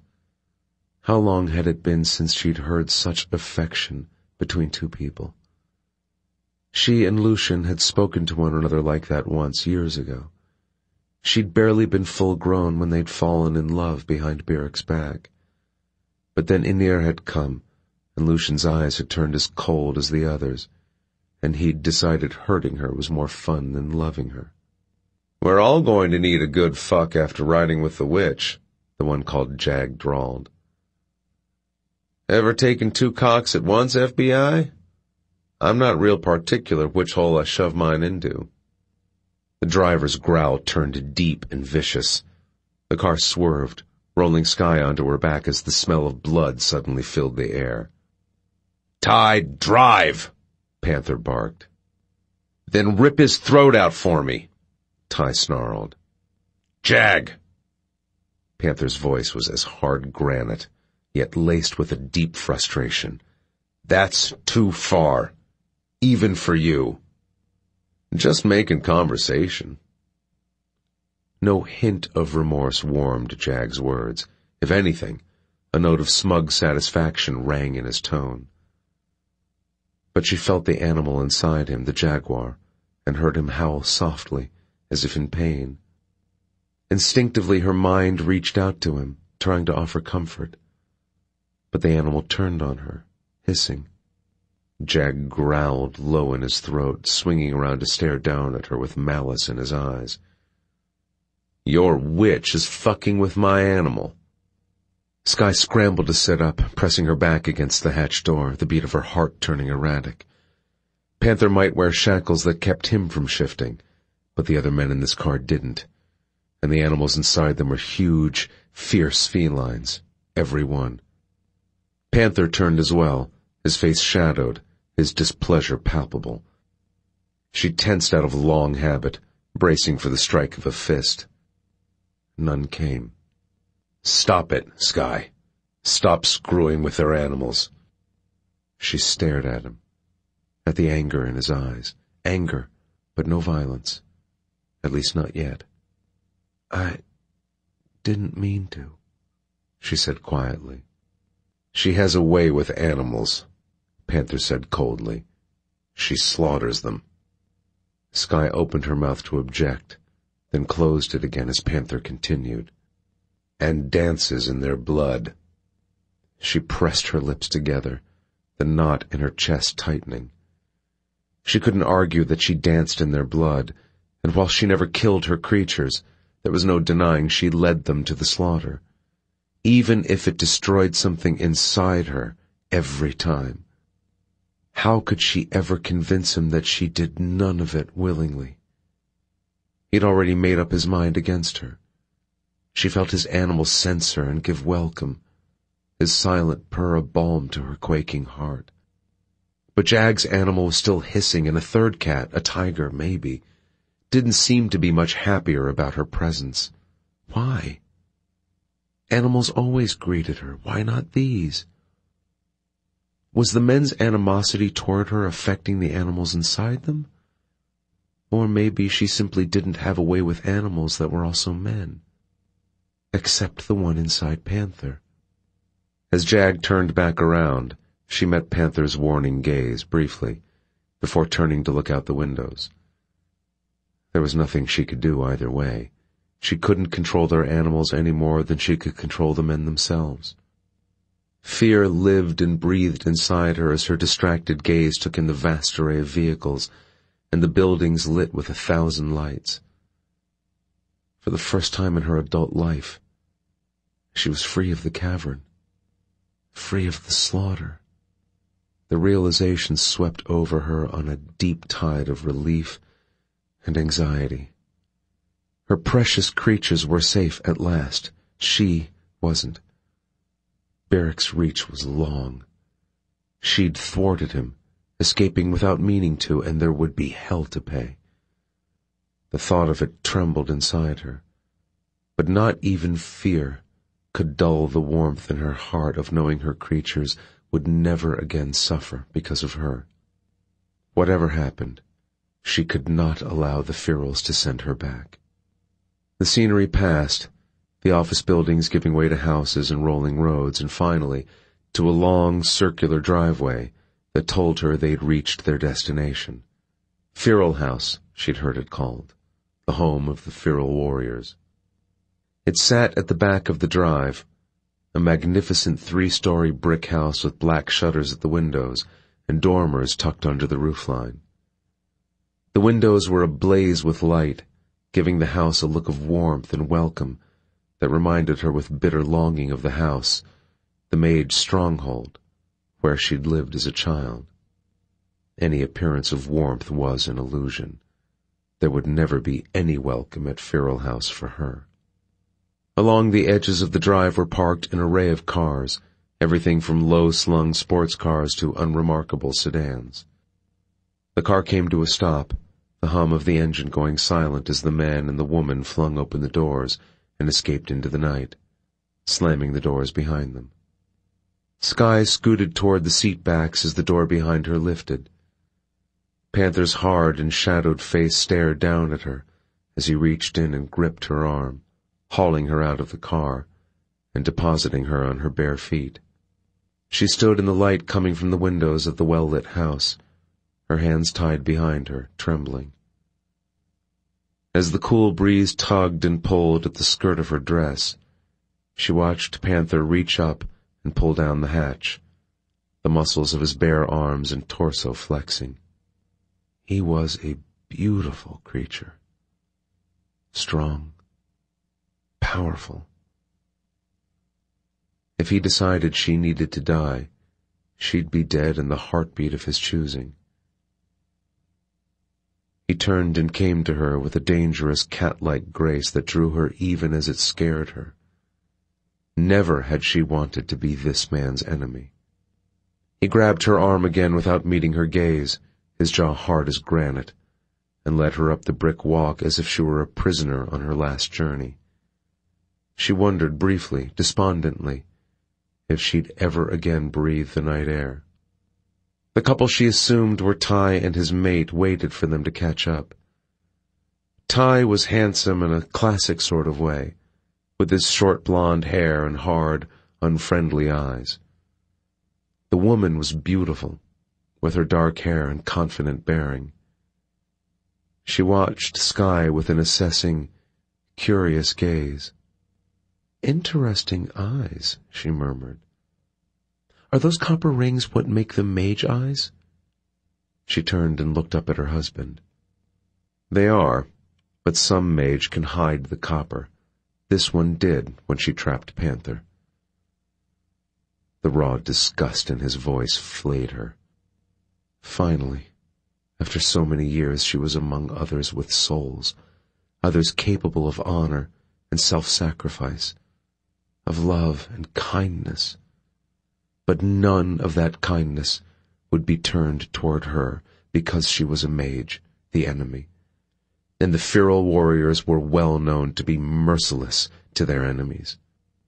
Panther ushered her through the front door and into the warm interior of an extraordinary house. There were luxuriously appointed apartments within the caverns where she'd lived all these years, the apartments of Beric and his sorcerers, but she rarely visited them, and never willingly.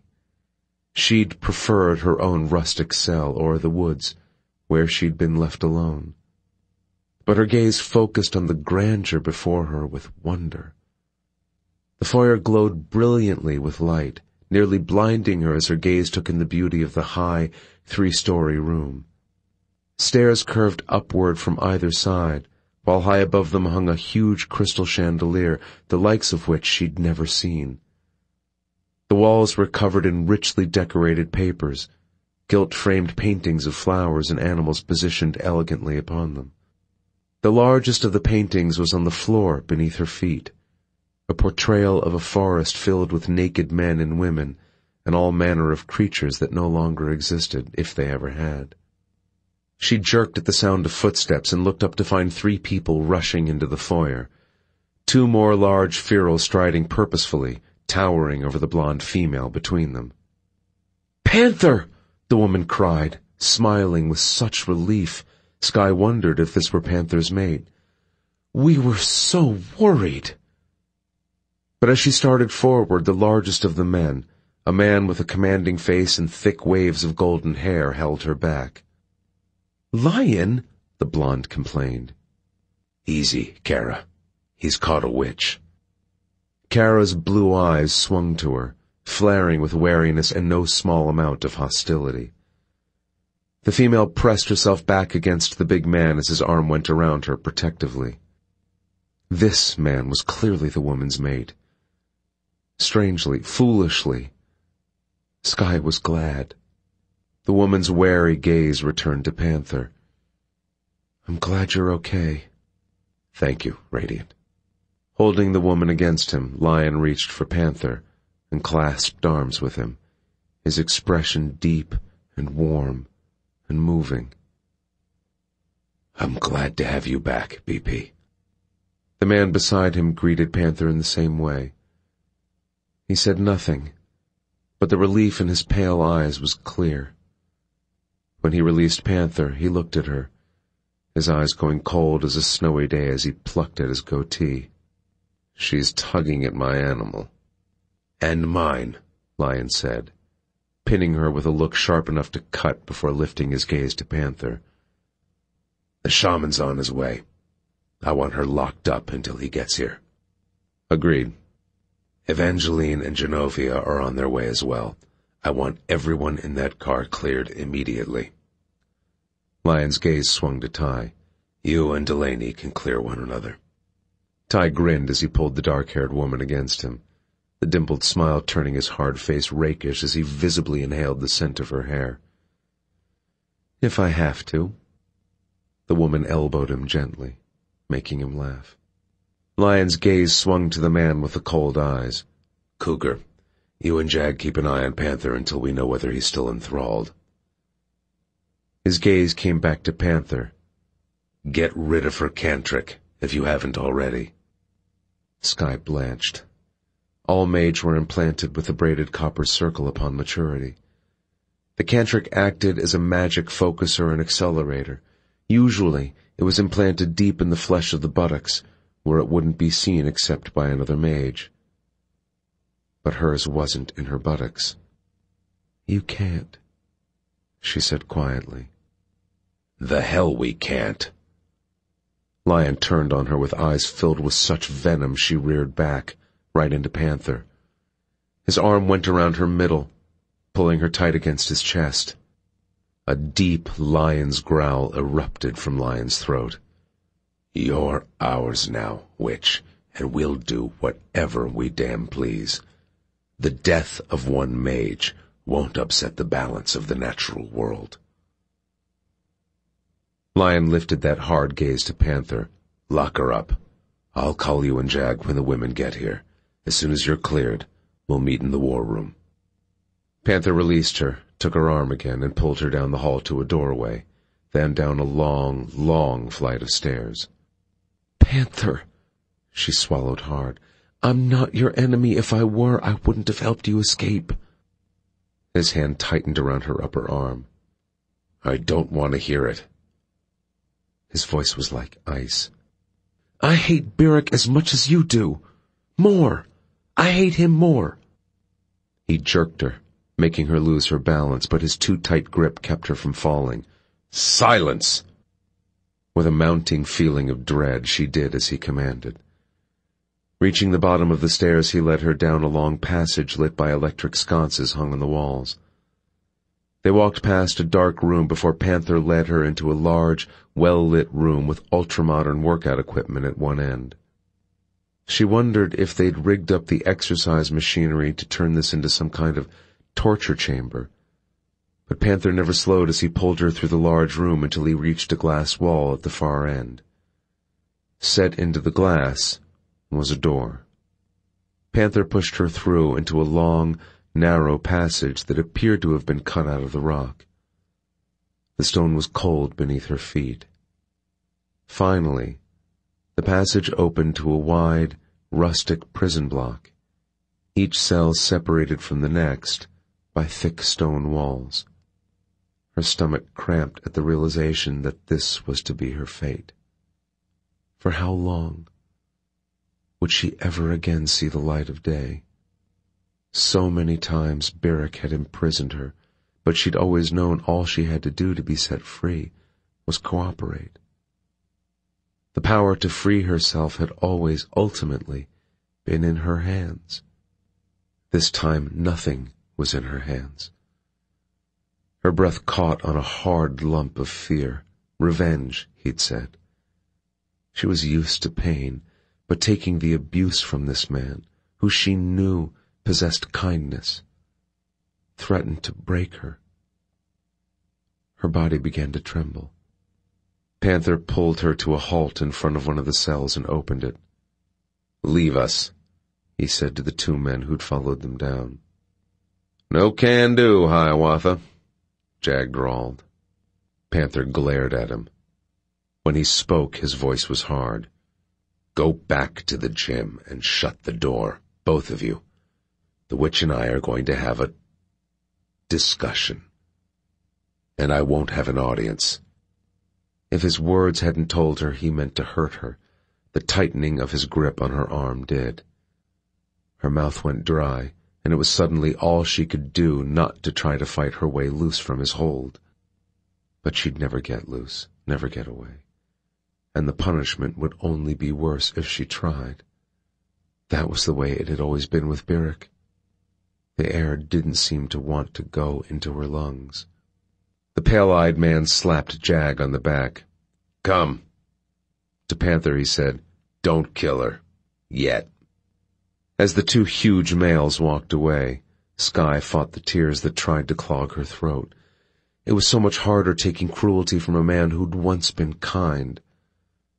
Lucian's betrayal had broken her as Beric's attacks never had. Panther released her arm and pushed her into the cell. Skye whirled to face him, desperate to try to make him understand. Please, Panther, nothing I did was because I wanted to, except free you. Shut up, Skye. He controls me. I don't have a choice. I never have a choice. He grabbed her and pushed her around, pressing her face first into the rock wall until the cold stone bit into her cheek. Shut up! She felt his hand tugging at the hem of her dress and closed her eyes against the burn of tears. He grabbed her buttocks, his fingers digging into her painfully, over and over, first one side, then the other. Where is it? Where's your cantric? His hands began to grip her thighs, bruising her. It was embedded in my heart when I was eight. His hand stopped abruptly. That's impossible. She swallowed hard, remembering the words of his chief. Get rid of her, Cantric. Panther, please. He tugged and pulled at her wrists, and suddenly her arms were free of the binding. Gripping her shoulders, he turned her around roughly, his eyes hard as flint. Take off your dress. She stared at him. He wasn't going to kill her, not yet. Of course not, she thought bitterly. He'd yet to take his revenge. With shaking hands, she reached for the hem, pulling the fabric up and over her head in a single tug. Nudity didn't bother her. She was far too used to it. Instead of tossing the dress to the floor, she pulled it against her chest like a shield. No, nudity didn't bother her. It was why he wanted her naked that terrified her. What punishment did he intend to visit on her body? Her heart began to pound in hard, erratic thuds. Trembling, she met his hard gaze. Fire burned in his eyes, and the promise of pain as many times as Beric had hurt her, she knew this would be worse, because Beric was without a soul. He got no more pleasure from hurting her than he did anyone else. In a strange way, it wasn't personal, and because of that, the pain he inflicted never touched her mind or her heart. But Panther wasn't like Beric. She knew he had kindness in him. She'd felt it been warmed by it. Whatever punishment Panther chose to mete out would be very, very personal. When he hurt her, she was going to bleed all the way to her soul. Chapter 8 It's payback time, Panther snarled. Leaving Skye in the cage, pressed against the wall with her dress clutched to her chest, he grabbed a small coil of rope off the wall. He was so damned mad at her. He knew what she was. Yet she simpered and pleaded and tugged at his sympathies, playing him. She was still playing him. It's time I rode you as you rode me, witch. But you like it bloody, don't you? I wonder how you'll like it when the blood's your own. With the knife he'd taken from the farmhouse, he started cutting lengths of rope and tying them to the eye bolts fastened at the base of the walls at regular intervals for just this purpose.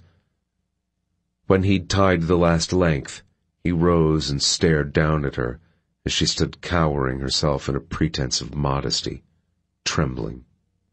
Creamy shoulders sloped from a long, graceful neck.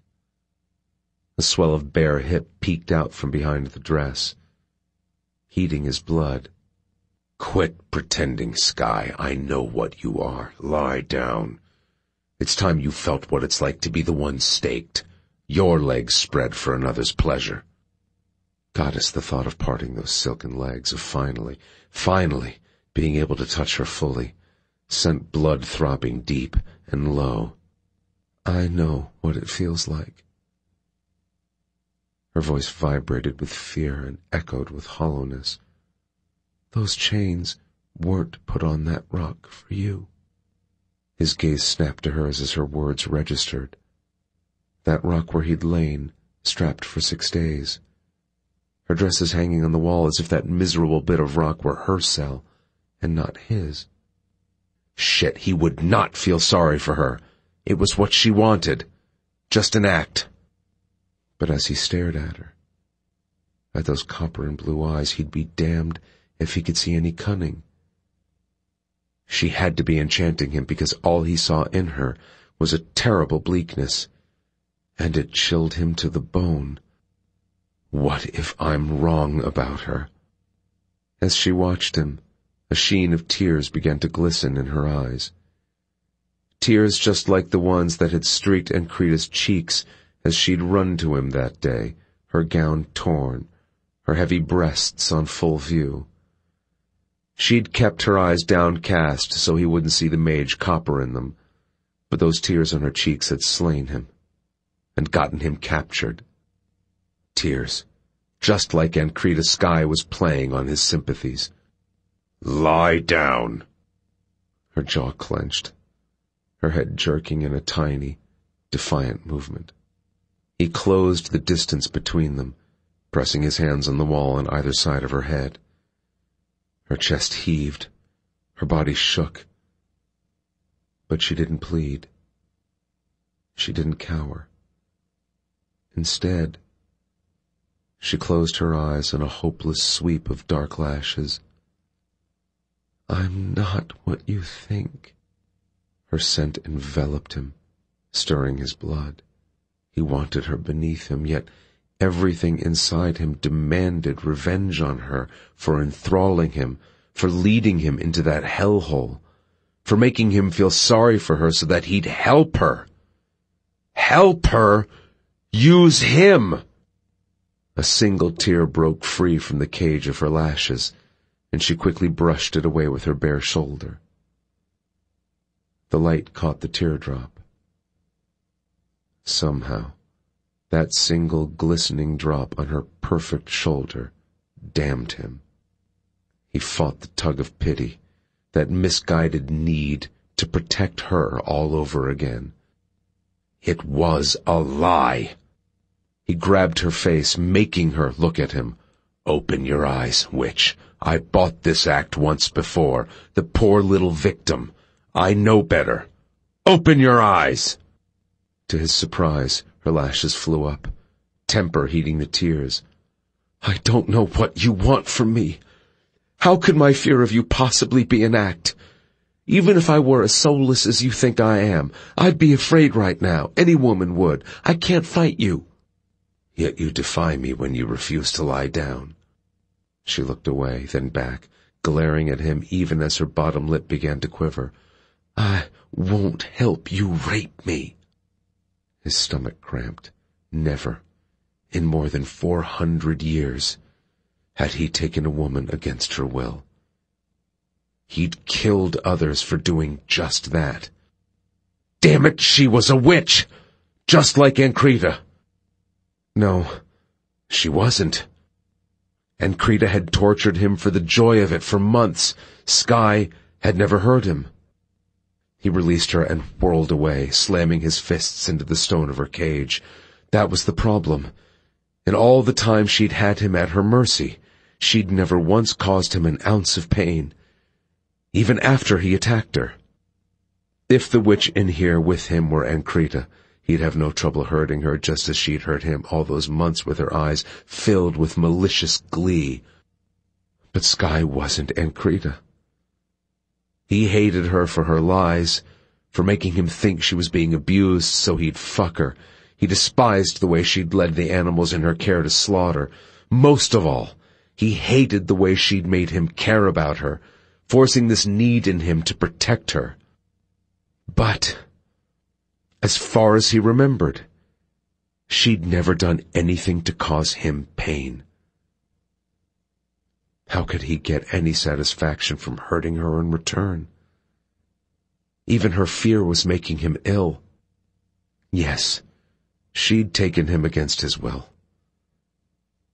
But he couldn't pretend there was any similarity.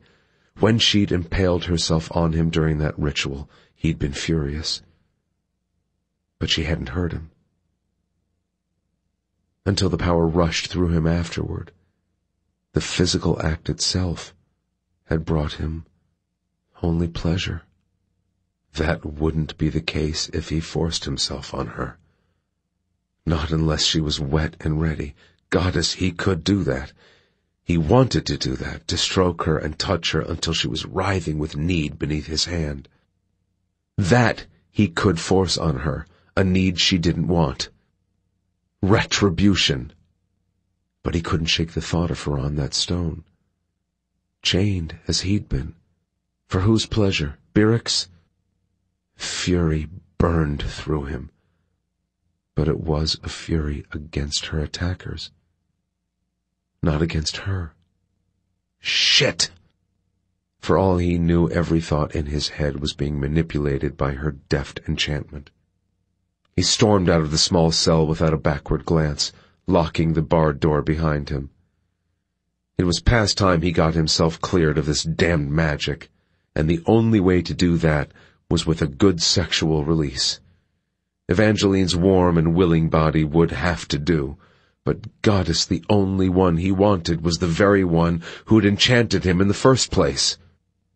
Skye!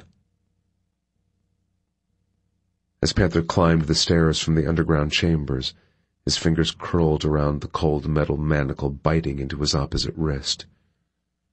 Dark fury twined with the rage that was as much a part of him as the magic that allowed him to shift.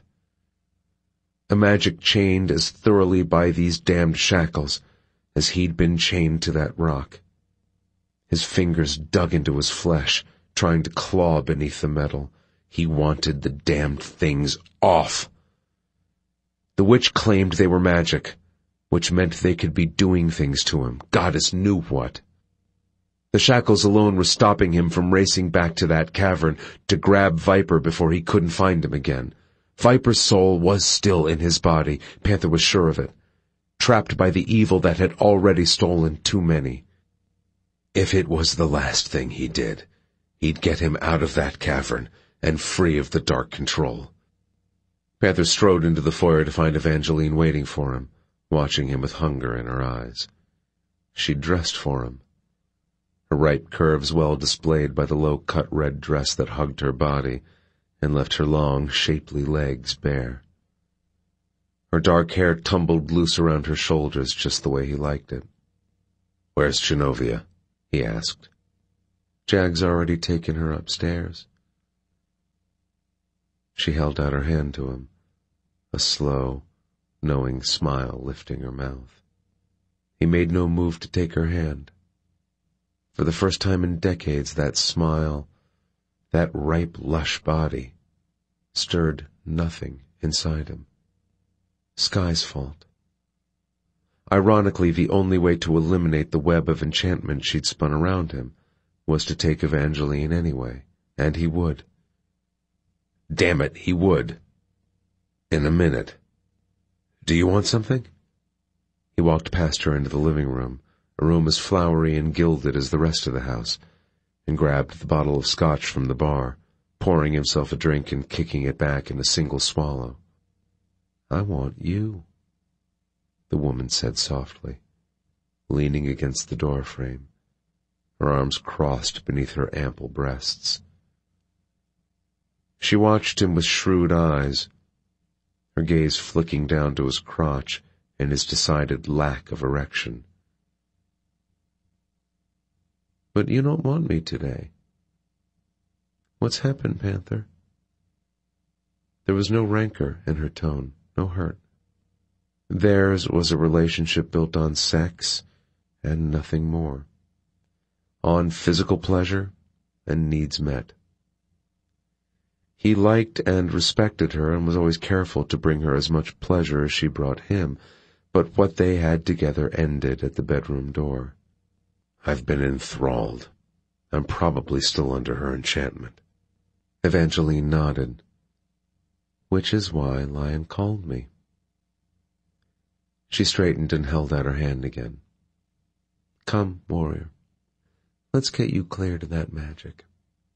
Then, when you're interested again, I'll pleasure you a second time, if you like. Panther watched her, seeking the rush of heat that should have accompanied her words, but it was frustratingly absent. Still, she was right. The sooner he got the witch's magic out of his system, the better. Without touching her, he led her upstairs to his bedroom, his own private sanctuary. The previous radiant, Beatrice, had insisted on sharing her love of art with all the Ferals, Paintings of Indians on horseback covered two of his walls, but the large, rough-hewn furniture and collections of now antique guns and arrowheads were all his. He closed the door and watched the woman slowly strip out of the dress until she wore nothing but a pair of tiny lace panties and a bra, which left little to the imagination. Evangeline was soft and curvy and sexy as hell. At least he'd always thought so. But as he imagined removing those scraps of lace and having his way with the womanly parts beneath, he felt nothing. His body refused to rise. He gave a snort of disgust. Evangeline frowned. She really has you under her spell, doesn't she? With a growl, he closed the distance between them, turned Evangeline in his arms, pressing her back against his chest as his hands covered her full, ripe breasts. Too ripe. His hands itched to cup a pair of small breasts on a too slender frame. Damn it! Evangeline eased out of his arms. Close your eyes, Panther. Maybe that will help. Close your eyes and think of her. Evie. Do whatever it takes to get aroused, warrior. We have to clear you of her magic. He leaned back against the door and did as she suggested, closing his eyes. The moment he did, Skye's face rose in his mind as he'd first seen her. The excitement in her eyes as she'd looked up from perusing the magazine had caught his gaze. He thought of the way she'd looked as he'd driven himself into her in the woods, her head thrown back in ecstasy. His body rose and heated at the thought. He felt soft hands on his crotch, unzipping his pants, taking his heavy shaft into a warm palm. He arched into the touch, heat coursing through his body. The scent of jasmine filled his senses, and he stilled, everything inside him rebelling. Jasmine, not violets. He didn't want jasmine. He didn't want Evangeline. The only one who could slake this hunger was Skye. He opened his eyes to look down at the woman preparing to take him into her mouth. Her hair was too long, her body too lush, too ripe. His body went soft. With a growl of disgust, he moved away from her, zipping himself back into his pants as he prowled the room like a caged and wounded animal. Damn it! He might as well still be shackled and chained to the witch's rock for all the freedom he had from her. What do you want me to do, Panther? Evangeline asked carefully. I don't know. He had a beautiful, practically naked, willing woman in front of him, and direct orders from his chief to find sexual release, and he couldn't take her. He didn't want to be inside her, not between her legs, not in her mouth. He didn't even want her touching him. Goddess, that witch had him screwed up. If you're not going to let me clear you, Panther, you'll have to do it yourself, and I'll have to watch to make sure you do. We can't have the enchantment keeping you from getting cleared. Shit! Standing where Evangeline's scent didn't overpower him, he closed his eyes and thought of Skye. Of the day he kissed her for the first time, still thinking she was human. He'd ordered Fox back to the country store a second time, needing to see her again. He hadn't expected her to be there, but she'd been waiting. And when she'd slid into his arms and pressed her mouth to his, fire erupted inside him, heating his body. As she swept her tongue into his mouth, all thought of gentleness flew from his head. He took her mouth, plundering, conquering with his tongue as he pulled her tight against him. She tasted like raindrops and smelled like violets, and all he could think of was being inside her. Her arms slipped from around his neck and moved down to slide over that distended part of his anatomy, telling him her thoughts were as carnal and desperate as his own. He slid his palm down her thigh, then up again, lifting the skirt of her dress until he found the hem. He reached beneath, his fingers skimming her warm flesh, his hand slipping between her thighs, finding her hot, damp core. The woman wore no undergarments. A smile pulled at his mouth as he kissed her hard and slid a single shaking finger deep inside her tight, wet sheath. Panther opened his eyes and strode to the bathroom, leaving the door open as he pulled his throbbing erection out of his pants and began pumping himself off over the sink. His mind remained on Skye. Fox had interrupted them, or he might have taken her right there, right then. He'd been so hard for her. And she'd been so ready. Damn the witch! In his mind he saw her again as she'd ridden him on the stone that first time, fingering herself as he'd directed her to. Goddess, she'd been glorious as the passion had begun to ride her, as the cries had escaped that slender throat. And when she'd come... His body tightened as the memory of her orgasm brought on his own. With a low groan he pumped his seed into the sink, the release satisfying in only the most basic way. Grabbing a towel, he cleaned himself off, then zipped up his pants as he glanced at Evangeline watching him from the doorway. Heat in her eyes. No matching heat rose in his body. A flare of panic ran beneath his breastbone. He'd cleared himself of the magic. It should be gone. Reaching for Evangeline, he pulled her into his arms and released her just as quickly, wanting her even less than he had before. Skye's slender body rose in his mind, her scent the only one he craved. Shit! He stormed past Evangeline into the bedroom, the ever-present rage boiling his blood. Behind him, a feminine snort of disbelief. She's enchanted you, all right, just not with magic. You're into her for real, warrior. Panther swung to face his scantily clad companion. I have not fallen for a witch. Maybe not emotionally, but physically you want her bad. Bad enough that no one else will do. Panther felt the rush of feral anger, his teeth and claws elongating, his mind spoiling for a fight.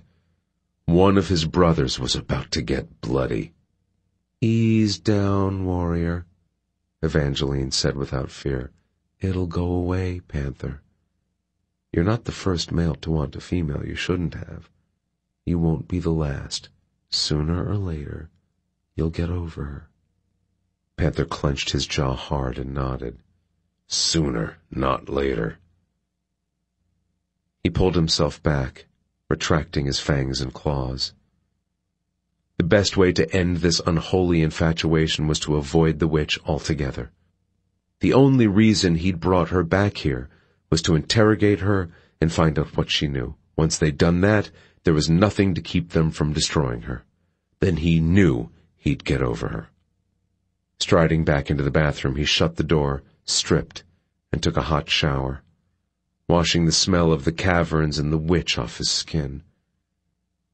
As he dried himself, he made his decision. He'd give her into Roar's keeping. Let his chief decide what to do with her, because, enchanted or not, he obviously wasn't thinking clearly when it came to this particular witch, and there was too much at stake for him to make any more errors. Panther dressed quickly, in a clean pair of black leathers and a black silk shirt, buckling his knife belt around his waist. The witch was no longer his concern. If only for one damned minute he could stop wanting her. Chapter 9 Skye stood within her prison cell deep below Feral House, once more dressed, her back against the wall. Her body quaked as she struggled for breath, fearing what Panther would do when he returned, dreading Beric's retribution. How many times had Beric told her if she ever escaped him, he'd make her long to return, or long to die. If only she could escape them both. But where would she go? Home. She'd go home. Tears heated her eyes as the longing for her mother nearly overwhelmed her. But she didn't know how to find her. Her world had been so contained, so secure. She had no frame of reference within the human world to lead her back there. No idea what human town they'd lived near, or even what state. No way to contact the people she'd loved. And no way to know if they too had lost their souls, and were now part of Inir's army. She brushed at the tear that rolled down her cheek. It didn't matter because she'd never be free. Escape was impossible. The feral warriors would never let her go. She wasn't sure they'd even let her live once she'd told them what she knew about Beric and the demons. The memory of what she'd witnessed doubled her over until she thought she would be sick again. The terror of those poor people still pulsed through her blood, their screams ringing forever in her head. The foul smell of the demon himself felt permanently burned into her nose. She pressed the back of her fist against her mouth all the more reason she could never let Beric catch her again. He would only try to use her power to free more of those things. Even if he didn't get Panther too, he'd search for another way until he succeeded in freeing more. And she'd die before she helped him set loose another of those monsters. Slowly she sank to the floor, cold from the bleakness of the future before her. Her old life was over and she had none to replace it. She could never go back, yet trapped in the Feral's prison, there was no way to go forward. Was this it, then? She pressed her head back against the wall, tears falling freely as Panther's words replayed in her head. Whether we choose to let evil live or we fight to destroy it defines our lives. Choose, Skye. She snorted softly. She had no choices. But she'd made one, hadn't she? She'd freed Panther and accidentally removed herself from Beric's control in the process. And it had been the right choice, no matter what happened to her. When the Ferals came to interrogate her, she'd tell them everything she knew. Maybe in some small way she could help them defeat Beric and his demons. Maybe in some small way she could make up for all the suffering she'd caused with her gift. Then, if they still felt they had to destroy her, so be it. What was one life when so many would die? When so many creatures had already died because of her? With a hard shudder she pulled her knees up, wrapping her arms tight around them. So be it. But, dear mother, I don't want to die. As Panther descended the stairs with Evangeline, Lion opened the front door to the shaman. To all appearances, the man who stepped into Feral House was little more than a boy, a fifteen-year-old dressed in costume, ruffled white shirt and black breeches from a bygone era. He nodded to Lion, then looked up to meet Panther's gaze, his eyes ancient in his youthful face. The shaman gave a brief nod. Warrior? Shaman. A growl rumbled in Panther's throat. Get me out of these shackles. I'll do what I can. When he reached the foyer, Panther motioned the shaman into the living room. Like every room in Feral House, the walls were covered in original oil paintings, most dating from the mid-19th century. While Panther took a seat on one of the deeply cushioned chairs, the shaman pulled up a footstool and took hold of one of Panther's arms, pressing his slender fingers around the manacle. Closing his eyes, he began to chant, murmuring words under his breath from a language Panther had heard him use before, one he himself didn't know. Minute after minute passed. Long, tense minutes, where Panther forgot to breathe, his mind and body concentrating so hard on willing the shaman's magic to work. When the shaman opened his eyes and pressed his lips together unhappily, Panther wanted to yell his fury. The shaman shook his head. I'm sorry. It's strong, strong magic, warrior. I'm going to have to do more research to see if I can find another way. Panther closed his eyes, wrestling down the fury inflamed by his frustration.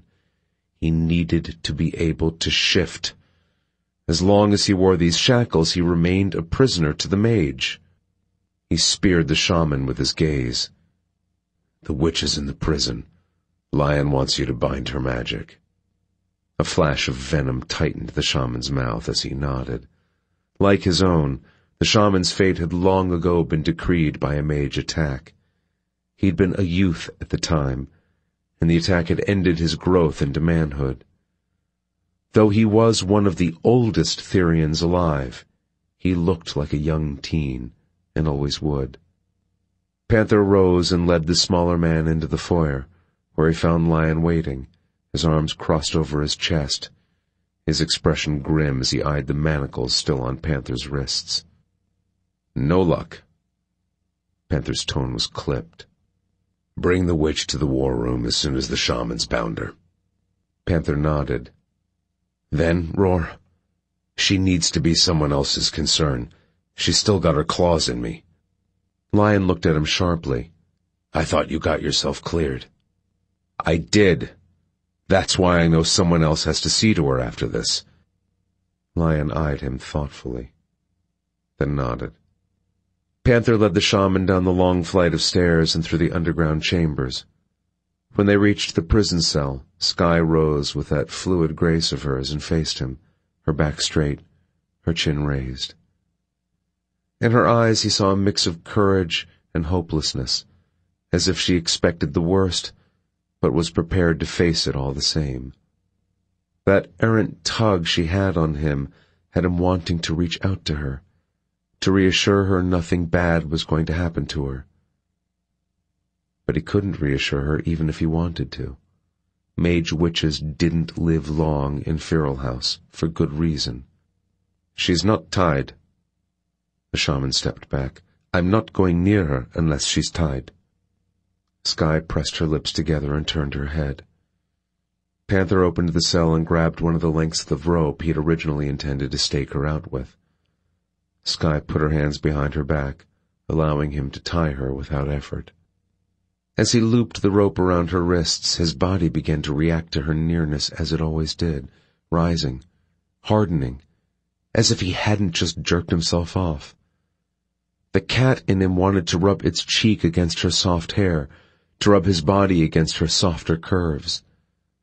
His hands itched to slide over the parts of her only his eyes had ever touched.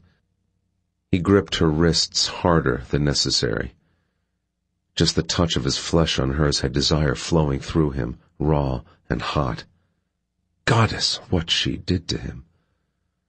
She turned her head, and it was all he could do not to press his mouth against the long, silken length of her neck.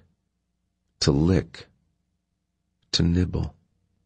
With a growl of deep frustration, he finished tying her and stepped out of the cell, allowing the shaman to take his place. The shaman watched her with all the warmth one might reserve for a hissing cobra. Repugnance darkened his eyes as he circled the witch, chanting the binding spell. Skye looked down at her bare feet. Sympathy rose from some misbegotten place inside him. So what if everyone loathed her? She was mage. He would not feel sorry for a witch. The shaman stopped abruptly. You haven't removed her cantric. I couldn't find it. She says it's buried in her heart. That's impossible.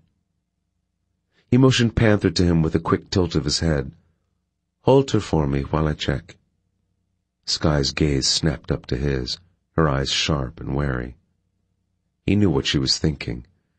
The shaman doesn't have to use a knife to find your cantric witch. Calm down. Moving behind her, he took hold of those slender shoulders, feeling a strength in her bones that he wouldn't have expected. Maybe she wasn't quite as delicate as she looked. His mind played with him, reminding him of the inviting appeal of those shoulders when they'd been bare a short while ago. Would the skin taste as sweet as her kisses?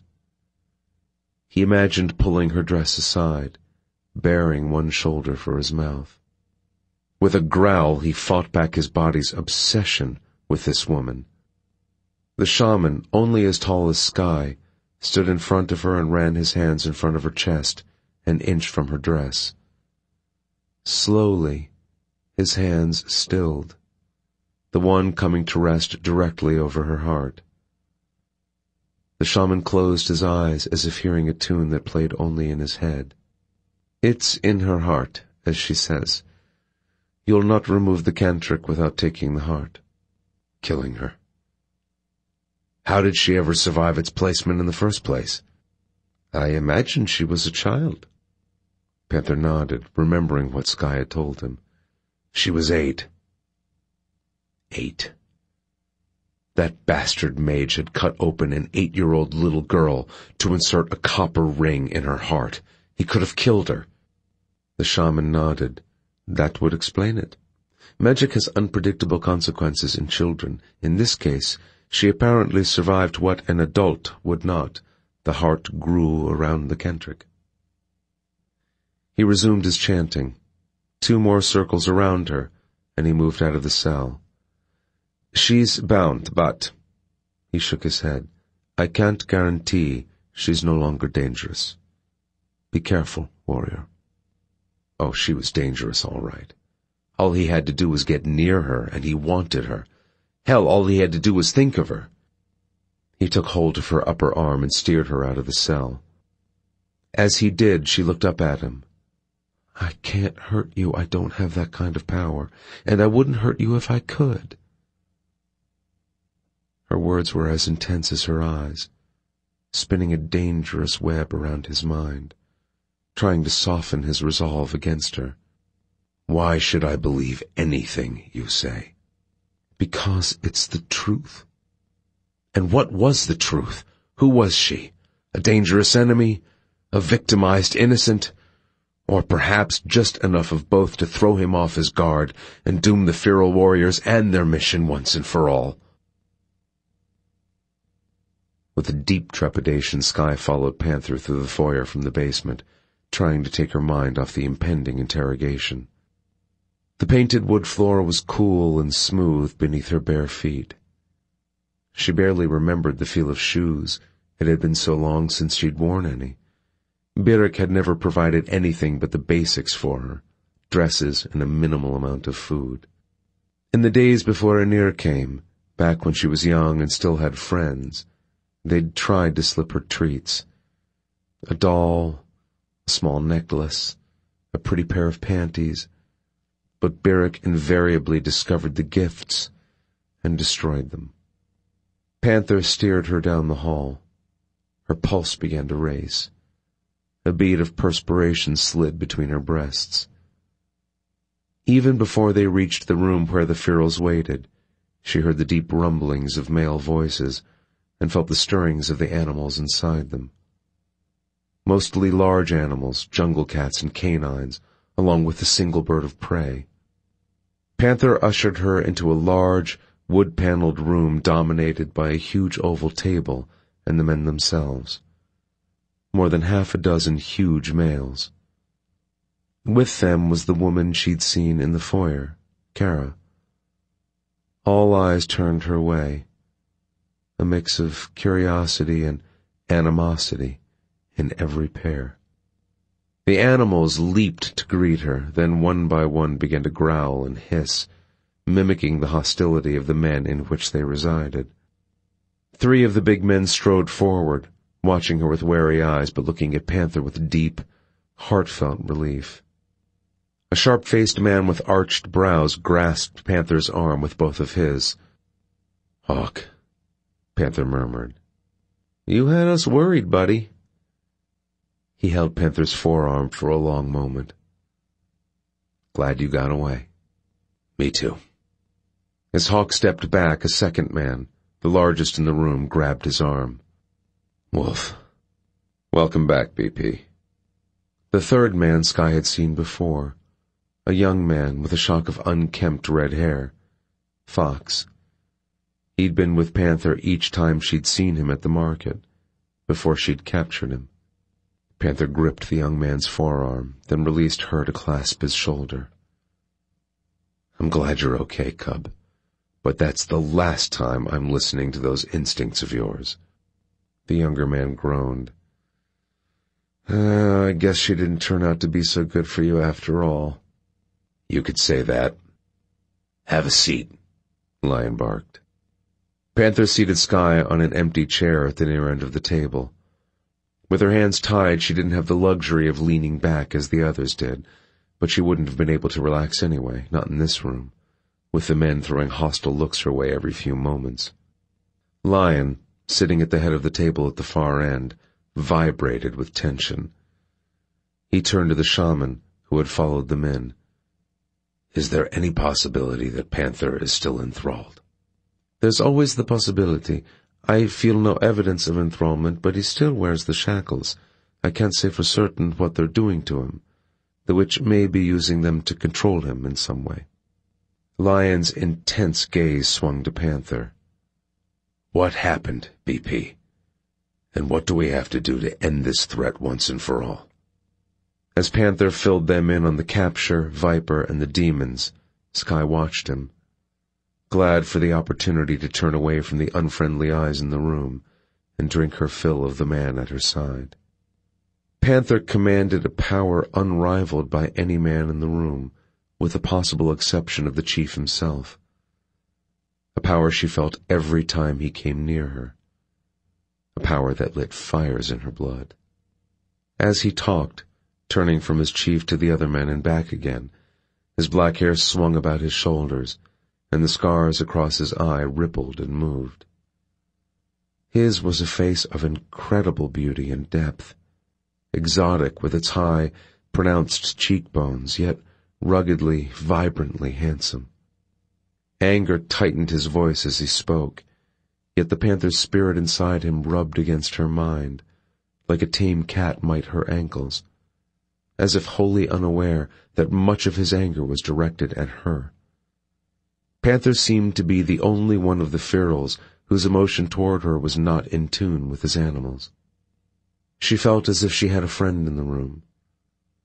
Unfortunately, that panther spirit could never help her if the others, even the man he shared a body with, turned against her.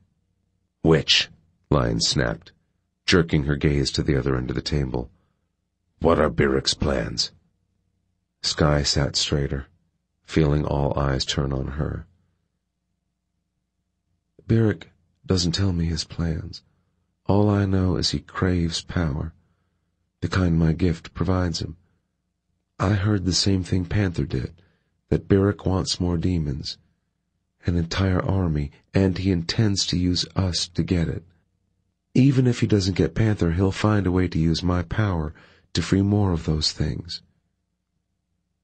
She met the chief of the feral's gaze, her fingers curling into her fists until her nails bit into the flesh of her palms. You can't let that happen.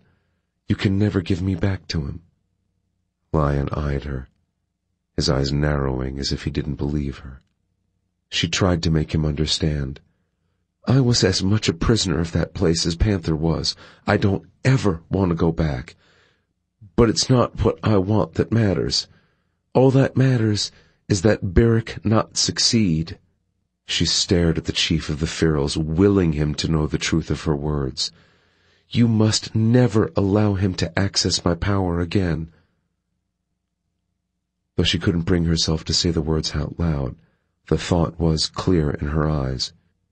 If you have to, destroy me first. The room was silent. Beside her she felt the tug of Panther's strong presence, and turned to find him watching her with dark, unfathomable eyes, as if he couldn't quite figure her out. Sometimes she almost felt like he believed her, like he saw the truth. Almost.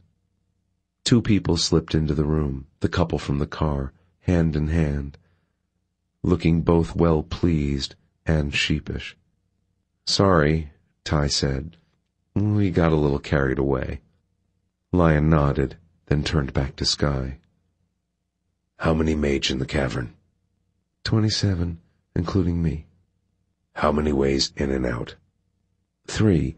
Two main passages and a little used back passage, which was the one I led Panther through to escape. But I don't know if you can get through the warding on the mountain to reach the cavern. I know it's impossible for humans to breach. She's fucking with my animal again, Jag snarled, his brows low and menacing as he rose from his chair and started toward her. Sky tensed. Jag, Lion warned. Panther stood, putting himself between her and the angry warrior. She can't help it. Animals are drawn to her. Jag scowled. Mine's not drawn to her. It's getting itchy, annoyed. And so am I. Sit down, Jag, Lion said. We've got to understand what's going on before we deal with the witch. His words did nothing to calm Skye. And little enough to calm the angry Feral. Jag scowled. He didn't reach for her, but neither did he return to his seat. Instead, he paced like a caged animal, ready to bite off the first hand thrust into his cage. Panther remained standing at her back. How did the mage regain their ancient magic? Lion demanded of her. They didn't. Do you think we're fools? The chief of the Feral's voice was deceptively soft. No, I think you may be the only one standing between the world and true evil. The mage haven't regained their ancient magic. They've acquired dark magic. Lion's gaze narrowed, but in question now rather than hostility. Explain. Skye clasped her hands, knitting her fingers together behind her. I don't know the entire story, but I've heard rumors that the elemental, Inir, was infected by dark spirit years ago. He was only a sentinel at the time, but within a few months he rose through the ranks to become the High Leader. I do know he changes people. I think he changed Beric a long time ago, before he claimed me. I saw the changes myself when Inir came to the cavern years ago. How many years? I'm not sure. I'd reached my full height, but not my maturity. It was probably eight or nine years after I'd arrived there, thirty or so years ago. He did something to the mage. I think he stole their souls. They serve the purpose of the high demon now. The room went deathly silent. Growls slowly erupted. Satanan hasn't risen, Lion said. No. Skye shook her head. Inir's intent is to free him. The shaman nodded, leaning forward. Dark spirit always seeks to free evil. Some believe the dark spirit left in the world is part of Satanan himself, tiny bits of his consciousness left behind when he was imprisoned. Lion's eyes narrowed as he stared at Skye. So you have no soul. The cords in Lion's neck were beginning to stand out. Skye's pulse ratcheted up another notch. I alone was left untouched by Inir's sorcerers. Beric feared I'd lose my ability to call the animals if they changed me. He feared he'd lose the source of my power. Yet you're able to hide your mage eyes, Panther said behind her. That's a magic mage haven't had in millennia. She turned and looked up, meeting his piercing black gaze. Beric gave me that ability in the form of a short-term spell to enable me to capture you. I can no longer hide them. Our first target is Beric and the cavern stronghold. Skye turned back to the table as Lion addressed his men. I want Viper and the blade out of there and those demons destroyed. Lion looked at the shaman. What's it going to take to free Panther from the shackles? I don't know. Work on it. I need him. Lion turned back to the table. But we can't wait. Cougar, Wolf, and Hawk, you'll leave for the Blue Ridge immediately. Once you've located the cavern, we'll regroup and move on at full strength. Fox leaned forward, his face eager. And me. Let me go, Lion. I've already been out there. I'll recognize the area. You remembered shit, Cub, Jag said. Or have you forgotten? Lion? Fox persisted. The chief of the Ferals shook his head. You stay here, Fox. You were touched by magic once out there. I'm not sending you again. He turned to Hawk. Go. I don't know what she's doing to our animals, but I feel it too. The sooner you're out of here, the better. Fox and Panther can fill you in further over the phone. Hawk nodded as all three men rose and left. Skye watched them go, wondering why the animals were becoming so agitated, and there was no denying they were, all but Panther's. Why? She was doing nothing to antagonize the Ferals themselves, and certainly nothing to harm their animals. Why would they be getting more and more angry? Jag began snarling, glaring at her. You take your life in your hands, witch, Lion warned. I don't know what I'm doing. She was beginning to shake. It's not on purpose. Jag started around the table toward her again. Panther moved to block his access to her, but Jag didn't back off this time. Instead, fangs sprouted in his mouth, claws erupted from his fingertips, and his eyes turned the color of a jungle cat's. Panther tensed, his arms opening at his sides as if preparing for a fight. Back off, Jag. If you can't make her stop fucking with our animals, I will. To Skye's horror, the terrifying creature Jag had become leaped at Panther, his claws out. She ducked, fearing they were going to land right on top of her, but Panther met the attack with one of his own. The two men, both part animal, tumbled to the ground, clawing and ripping at flesh in a tangle of teeth and claws and massive limbs. Enough! Lion roared. The fight went on for about ten more seconds before the two bloody combatants rose to their feet and retracted their fangs, eyeing one another as if ready to go at it again. Her heart pounded. No one touches her but me, Panther snarled. Skye felt something warm and raw stir in her chest as she realized he was protecting her from his own men. Get her out of here, BP, Lion snapped. I don't know what the hell she's doing, but I'm about to leap out of my own skin, lock her up in the prison, then come back. We have some decisions to make. Panther's jaw clenched, drawing his cheekbones in high relief.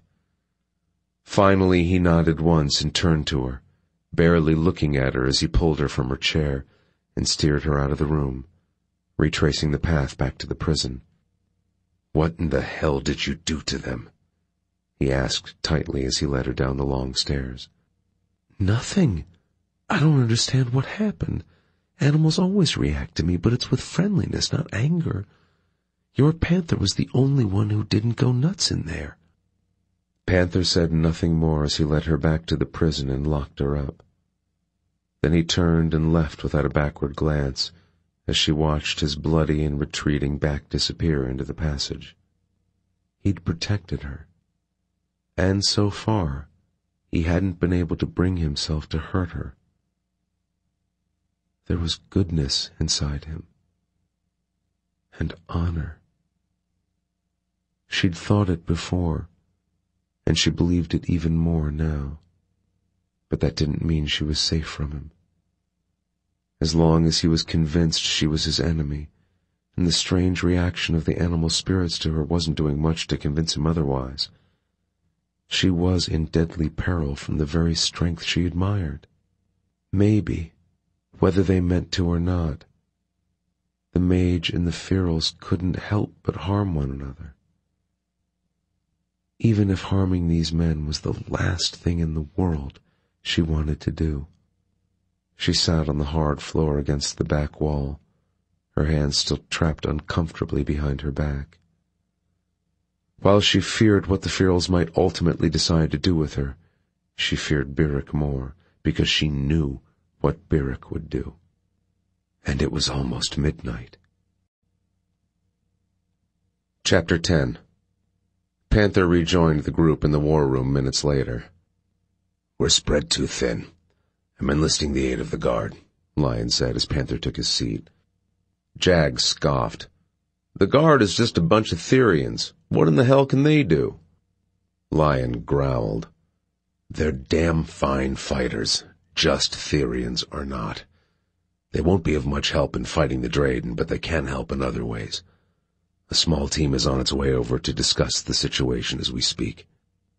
Panther half listened to the discussion, shaken by how violently he'd reacted to Jag's threat against Skye. It infuriated him.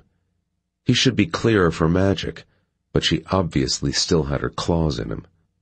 Lion placed his hands palm down on the table and looked at Panther. Until those shackles come off, you'll be guarding Feral House. I don't want you leaving. Great.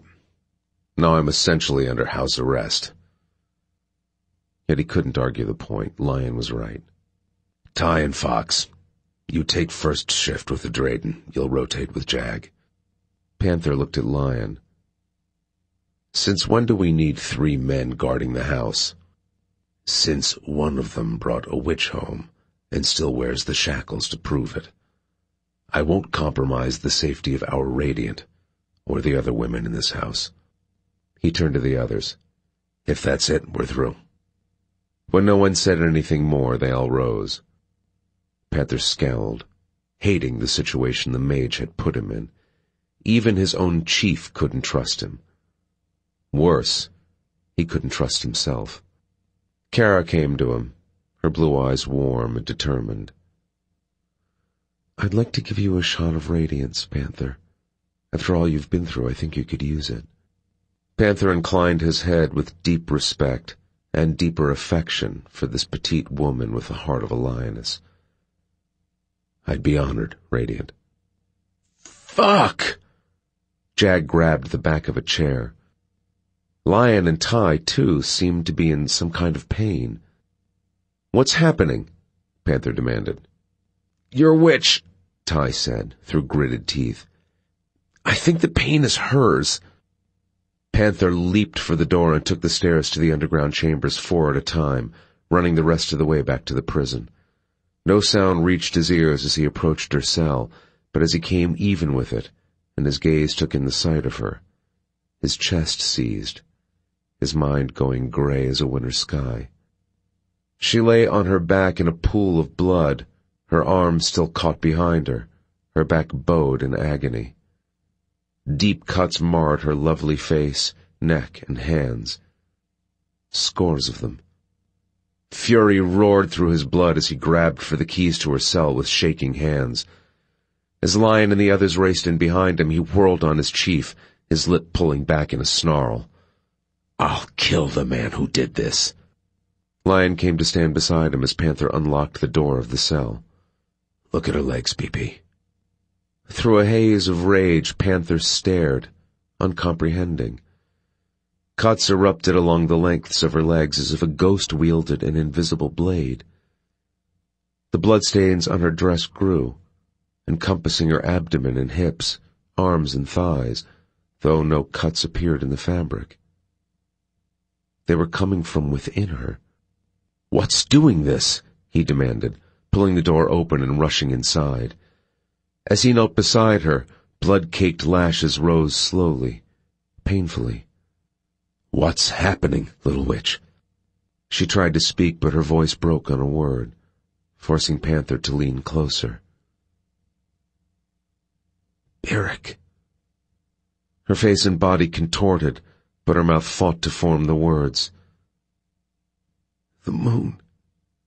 Ritual. The slaughter. Yes, she gasped. My punishment. For not... Her mouth went still as a wicked cut slashed across it. Panther stared at her, at the slashes wreaking havoc on her flesh with quicker and quicker frequency. Her meaning slowly penetrated the furious fog encasing his brain. Beric was punishing her for not performing the ritual. As if she had any choice when she'd been stolen away. That bastard. The slashes were coming so fast that it was as if five men attacked her at once. The pool of her blood spread. Her suffering tore at him. It shouldn't matter to him. She shouldn't matter to him. But she did. How do we stop it, Skye? Can't. It will... Stop. Her words told him clearly she'd been through this before. How many times? Her eyes rolled back, her body bowing against the agony. Yet she made no sound, suffering in silence, until finally she collapsed into unconsciousness. In his mind's eye he saw her again as she'd lain in a heap on the floor of the cavern, bloodied and broken from Beric's attack. He'd kill him. If it was the last thing he did, he'd kill that son of a bitch. Fury roared through his body. A fury born from the depths of his abhorrence for the abuse of innocence. He stared down at her, at the beauty nearly obscured beneath the bloody cuts that crisscrossed her face. And he finally accepted what his gut had been telling him from the beginning. This witch was different. She was innocent of the cruelty and treachery he'd suffered from Ancreta. Innocent. We may finally know the purpose of that cantric of hers, the shaman said behind him. Panther glanced at him over his shoulder, taking in the small audience that had followed him down. What do you mean? I've been wondering why anyone would embed a cantric in a heart, and I've come up with one reason. So the one in whom it was embedded cannot ever be free of it. What are you saying? I think it's there to control her. Punishment, she called it. That mage loaded spells into her cantric to punish her for doing the forbidden, or for failing to do the things he wanted her to do. Like perform the moon ritual. Then he put the cantric where she could never remove it. Seems like a drastic measure, Ty said. I agree. The shaman shook out the lace cuffs of his sleeves. It makes you wonder just how hard she fought him for him to resort to such a measure. Was she a slave then? Ty asked. To her own people? Panther's hands fisted at his sides. To one person, I think. Beric. Goddess, he didn't know what she was. He didn't know anything anymore. She'd shown all the signs of a woman abused. But then during that nightmare of a ritual, she'd seemed completely involved in the slaughter and the sex, taking him inside her against his will and he'd believed what Viper had told him, that it was all a ploy to gain his cooperation. But when he thought back on that night, he remembered how tight she'd been, even after Beric had attempted to ready her. He'd assumed that proved her interest in him had been faked. Now he was beginning to realize their mating had been as against her will as it had been his own. Panther looked down at the ravaged, delicate beauty as if seeing her clearly for the very first time. Eight years old. She'd fought Beric like a panther cub. Why? But he knew. She'd fought him over the animals. He looked up at Lion. She's an enchantress. What's an enchantress? Kara asked. The shaman answered. The enchantress is one of the truest of the nature spirits the mage evolved from. There are few left. I've seen them attract birds or butterflies, occasionally bees. For this one to affect your animals is extraordinary. What function did she perform for the mage, BP? Lion asked. I'm not sure. She called animals from the forest, five or six at a time, Beric sacrificed them, drenching her in their blood while she performed a ritual. It was through the power of that ritual that Beric was able to free three wraith demons from the blade. The shaman frowned. Sacrifices are used to call forth dark power. Killings like that would go against the very nature of a true enchantress. Panther nodded. Hence the punishments loaded into her cantric. It was suddenly so clear. And yet not clear at all. Just because she hadn't wanted to kill the animals she took from the forest didn't mean she held any love for the Ferals and Therians, the natural enemies of her people. Why are our animals reacting to her like they are if she supposedly attracts creatures? Ty asked. The shaman turned to him thoughtfully. I'm not sure. They may simply be reacting to your own rampant distrust of what she is, or they may sense something in her they don't like. Be very careful. There's no telling what else has been loaded into that cantric. She could be a danger to you without ever meaning to be. Lion grunted. You think he could try to use her as a weapon? I'm saying anything is possible. Just be very careful. Panther looked up at the smaller man. Is there a way to clear the cantric of its magic? Not as long as the one who wove the spells still lives. He lives. For now. When he was sure the cutting was done, Panther pulled out a knife and cut the ropes off her wrists. Then he scooped her into his arms and stood. Putting her in a different cell? Lion asked. No, She's staying with me. Lion's mouth tightened. You heard what the shaman said. Just because she's fought Beric in the past doesn't mean she's not dangerous now. I heard, but I owe her this. How can you owe her anything? She's a witch, BP. He met his chief's gaze. I haven't forgotten, but she's earned an open mind, and I intend to give it to her. You can do it down here. Panther shook his head, turned, and walked away. Logically, he knew Lion was right. She was still potentially dangerous, whether or not she meant to be. But the protectiveness he'd been struggling with since the first time he saw her had gone into hyperdrive. BP. See you in the morning, Roar. As Panther carried her into the showers off the gym, he accepted the probability of what his gut had been telling him for some time now that she wasn't his enemy, that she had never been his enemy, that she had, in fact, been every bit as much a captive of Beric as he'd been. For so much longer. Stepping into the open showers, he turned on one of the faucets.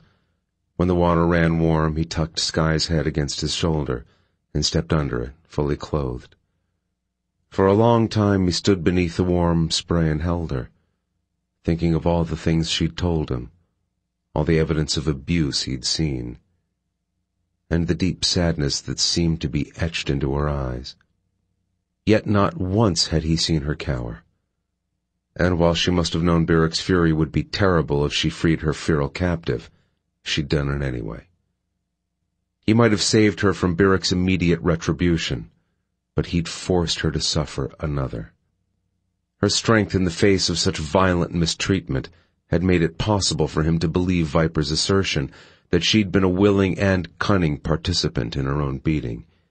Yet deep down, even then, his instincts had balked at the claim. There had always been something innocent about her, something achingly vulnerable.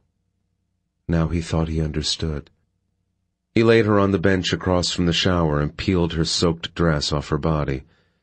His shocked gaze took in the sight of hundreds of fading cuts, across her breasts and nipples, through her pubic hair and tracing like latticework across her stomach and thighs. How she'd taken such pain without screaming, he didn't know. Had that been another of Beric's many lessons? She'd been eight when that bastard implanted the cantric in her heart. Eight! He stripped off his own torn clothes and scooped her back into his arms. Grabbing a bar of soap, he sat on the tile beneath the spray, his legs crossed in the style of his tribal ancestors, and gathered Skye onto his lap. Carefully and thoroughly, he washed the last traces of blood from her skin as the cuts slowly disappeared. Once she was clean, he wrapped her in a thick, fluffy towel and wrapped a second around his waist, then carried her up to his bedroom. He pulled on a pair of sweatpants and dressed her in one of his silk shirts, then tucked her into bed. As he climbed in the other side, she stirred, her dark lashes fluttering up weakly. As he met that copper-ringed gaze, a sharp memory of other, malicious copper-ringed eyes rose in his mind, and the old hatred flared. Her lashes swept down. Skye. He reached for her hand, curling his fingers gently around it. Don't fear me, little one. You're safe tonight. In answer, she rolled onto her side toward him and reached for him, her palm resting on his chest. The simple expression of need, of comfort, even from the man who'd treated her as his enemy, moved him greatly. As sleep reclaimed her, her hand slipped away, so he gathered her up and pulled her into his arms. Just as she'd done in the cavern, she curled around his body, her head on his chest. Panther held her against him, his arm tight around her, as pressure welled in his chest. A terrible tenderness that eased the rage that lived in his soul. What exactly was he going to do with her? Even if she was, as he was beginning to suspect, nothing like Ancreta, she was still a powerful mage. A witch controlled by a man without a soul. If the shaman was right about her cantric, she could turn on them without meaning to. Could he really risk the Ferals and their mission for her? No. And yet, he knew deep down he would never allow anyone to hurt her again. Chapter 11 For a few delicious moments Skye thought she was dreaming, her body warm and comfortable, a hand rubbing her back with long, gentle strokes. A dream from another time, another place. But the hand at her back wasn't her mother's. The sound beneath her ear was that of a strong, masculine heartbeat. And the scent that filled her nostrils was lush and male. Panthers. She tensed, her mind scrambling to make sense of her situation. Beneath her cheek she felt warm flesh, damp from long contact with her own. Clearly she'd been sleeping on his chest just as she'd done in the caverns, except this time he was holding her. How could this not be a dream? How was it possible that the dangerous Feral who'd come close to raping her was now rubbing her back with a gentle touch? Even as the notion seemed ridiculous, the feeling of being cared for, even for a moment, was so sweet that it welled up until tears burned in her eyes. She didn't want it to end. Trying not to move, she fought back the tears, not wanting to weep on his chest and give herself away. The memory of how she got there came back to her slowly. How she'd sat in that prison cell knowing midnight would come, then felt the first invisible blade tear across her cheek. She shivered at the memory of what had come next. The hand left her back to cup her head gently. I know you're awake. With a sigh, she lifted onto her elbow, swiping away the errant tears, feeling both awkward and wary. Why was he being nice to her now, when he'd come so close to hurting her before? Pushing herself up until she was sitting beside him, she avoided his gaze, instead taking in his long legs encased in soft gray pants, and the hard, muscular planes of his bare chest. She studied the golden armband curling around his arm before finally lifting her gaze to his face. The moment she did, their gazes locked. Panther's body tensed, something harsh and ugly flaring in his eyes. Skye flinched and turned her head against the blow, an instinctive move. Her heart began to thud. Skye. His voice was low and pained. I'm not going to hurt you. But when she felt him move, her heart raced faster. She squeezed her eyes closed, fighting against the instinct Beric had beaten into her, and forced herself to turn back to him. He was sitting up now, too close. But there was no violence in his expression. Of course, there was rarely any in Beric's either before he struck her. With a low sound of self-disgust, Panther turned away and climbed from the bed, padding to the window with the quick, sinuous grace of a jungle cat. He stared out the glass, his hands fisted on the window frame. I saw the copper in your eyes, and for one moment it took me by surprise, Skye. I've had some bad experiences with mage eyes, but I'm not going to hurt you. Unless you decide I'm your enemy. Panther didn't reply to that. He didn't have to. They both knew it was true. Panther turned and met Skye's gaze, but remained by the window, giving her space. Inside him, the old rage started to rush back in, a rage he'd thought had been permanently carved into his soul, until a delicate mage witch made it disappear every time she slept curled around his body. It had happened in the cavern, and again last night.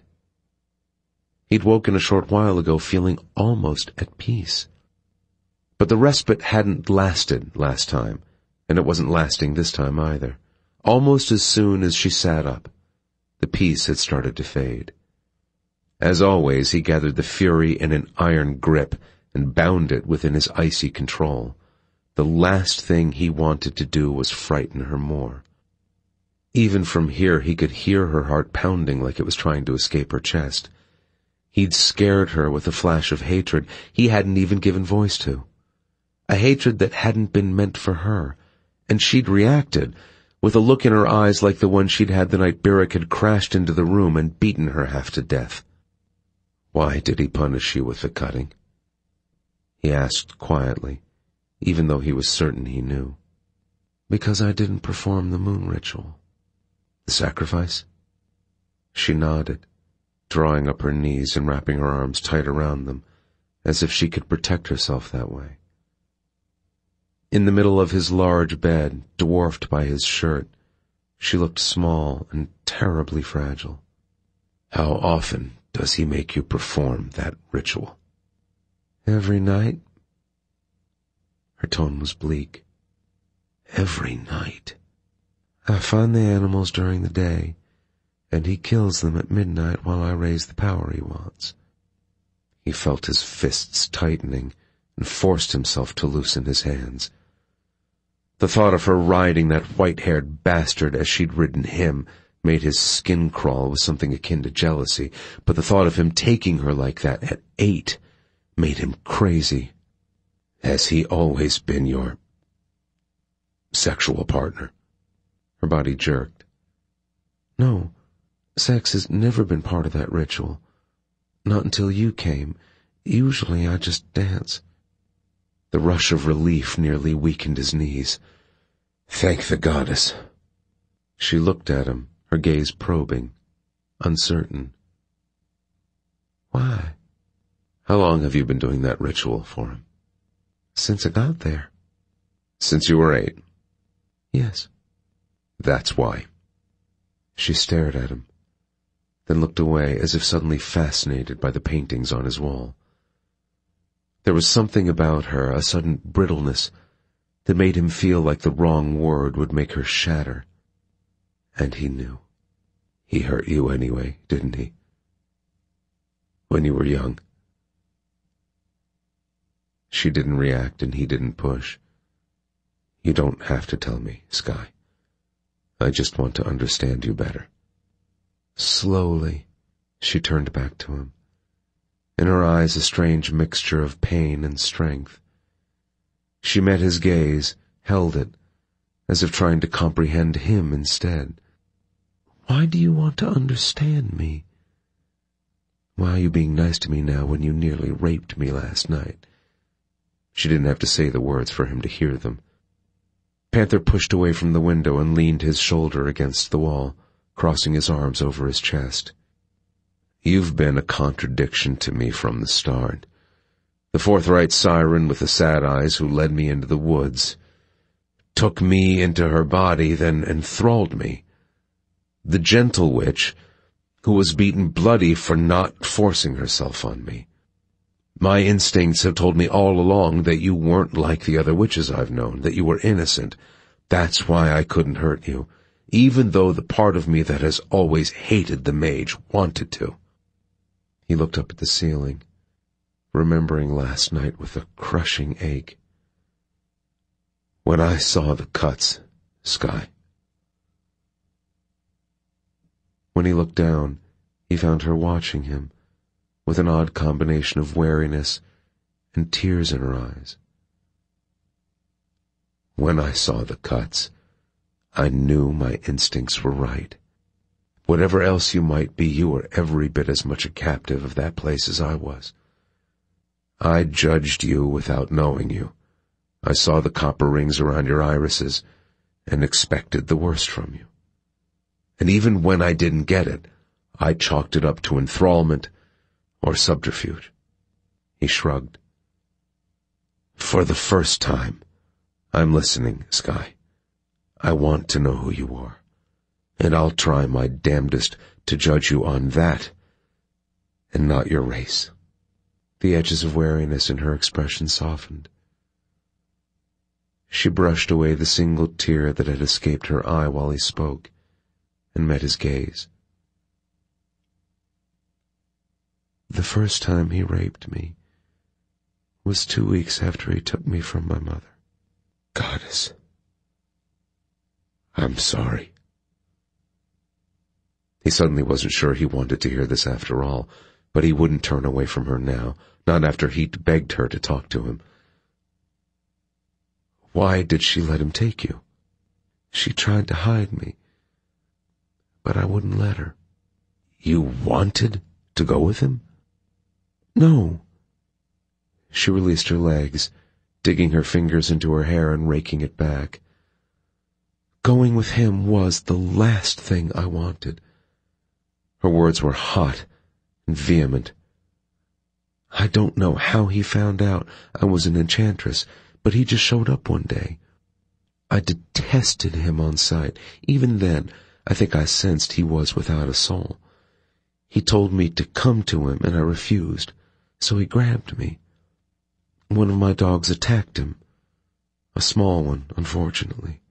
The big dogs were all outside. She wrapped her arms tight around her legs again, pulling into herself. He killed her with his magic. Again, I'm sorry. She shrugged one slender shoulder. It was probably a good thing. It told me all I needed to know about him. That night, the leader of our clan, the arch sorcerer, told my mother I had to go with him. Beric was too powerful, too dangerous to attempt to cross. But after I went to bed, my mother came to me and told me to run. I'd befriended a human girl a couple of years before in the neighborhood on the other side of the woods and had played with her a couple of times. She wanted me to go there, thinking the humans might hide me. Skye shook her head, meeting his gaze with remembered fear in her eyes. But I was afraid Beric would destroy my friend and her family as he'd destroyed my dog. And he would have. I know that now, so I hid in the woods by the house that night so my mother wouldn't try to take me away and endanger herself. When morning came, I went to Beric and told him I was ready to go. She turned her head, pressing her cheek to her knees.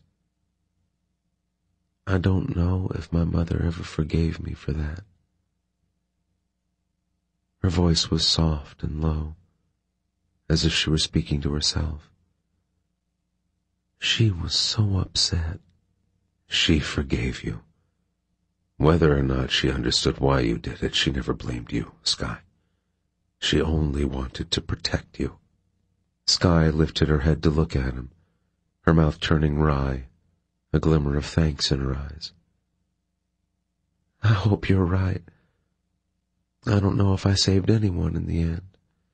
My entire clan may be soulless by now. You never saw your mother again? No. I never heard from any of them. They disappeared from my life.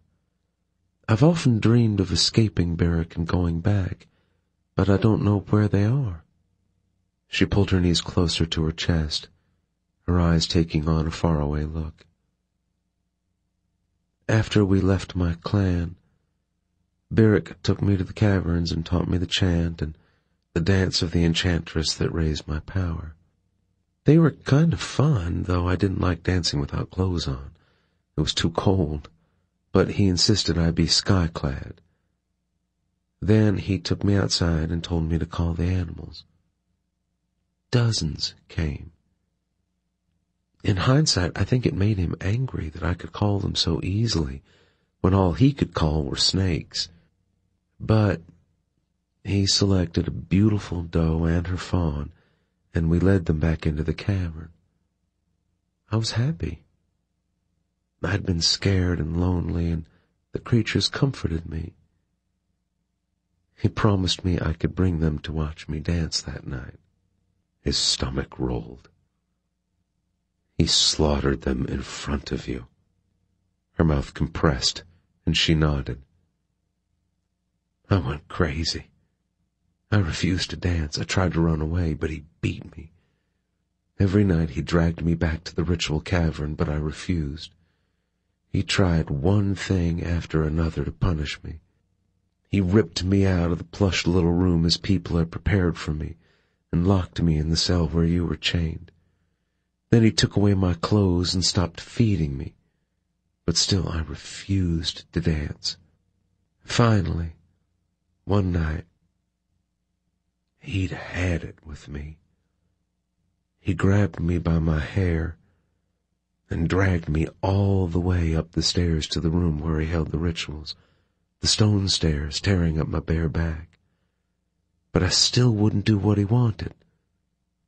So he threw me to the floor, followed me down, and raped me. Then he ordered the sorcerers to do the same, one after another, and they did. For hours. Panther's scalp crawled with horror at what she'd endured. Fury pounded in his ears. His teeth bared as he imagined ripping every one of those bastards apart with his panther's fangs. After each rape, he told me to dance, and I refused. My creatures were standing there, watching me. For them, I never gave in.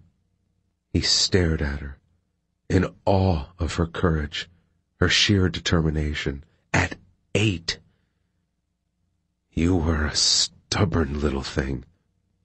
To his amazement, she smiled. It was a small smile, a lopsided one that didn't reach those sad eyes, but it was a smile all the same. That night I chopped off my hair so he could never again drag me up the stairs.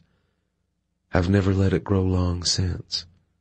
For all his power, he couldn't make me dance, and it infuriated him. He chained me in that cell, like he chained you, and used me for weeks, promising it would stop when I danced. Finally, one of his sorcerers came up with the idea of the cantric. Putting it in your heart like that could have killed you. I was of no use to him the way things were. With the cantric in my heart, the battle was no longer between him and me. It was mine alone.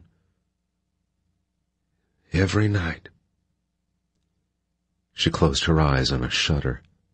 He tried to imagine that child, that stubborn, determined little girl, suffering that cutting, and it almost brought him to his knees. Is that the only punishment? No, though I don't know what all he loaded into it. I shouldn't have been able to leave the mountain. Every time I've tried in the past, I've hit a wall at the outer warding, then been consumed by so much pain I couldn't move. I don't know how you got me out of there. You were unconscious. If you suffered, I didn't know it. His brows drew down as another thought occurred to him. How did you get down to the market? Did the warding extend that far?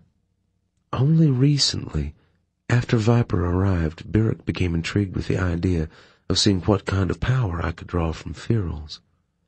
Viper and I created sparks between us, but they weren't the right kind. Something coiled in his chest. Did Viper hurt you? No, not really. He kissed me, and I hated it. I've never had an affinity for snakes, nor for the soulless. He's not soulless. The words came out hot and fast, but as he watched Skye visibly tense, he forced himself to calm his voice. His soul is still there, and I'm going to find a way to free him. She met his gaze. I hope you do. Panther nodded once. He would. Anyway, he prompted. Anyway, Viper assured Beric other Ferals would come. He knew you'd come looking for him, so Beric extended the warding to include the market. A fleeting smile flickered across her face. It was the first time since I was a child that I'd been able to touch the outside world. I spent two days in that place, watching the television, looking at the magazines, and drooling over the junk food before the day you finally arrived. Drooling? You didn't buy any? I didn't have any money. That simple statement told so much, confirming that she didn't have the power of a witch to control the mind of a human and take what she wanted. Then again, he suspected she wouldn't have taken even if she'd been able to. Stealing wasn't in her nature, any more than the slaughtering of innocent creatures.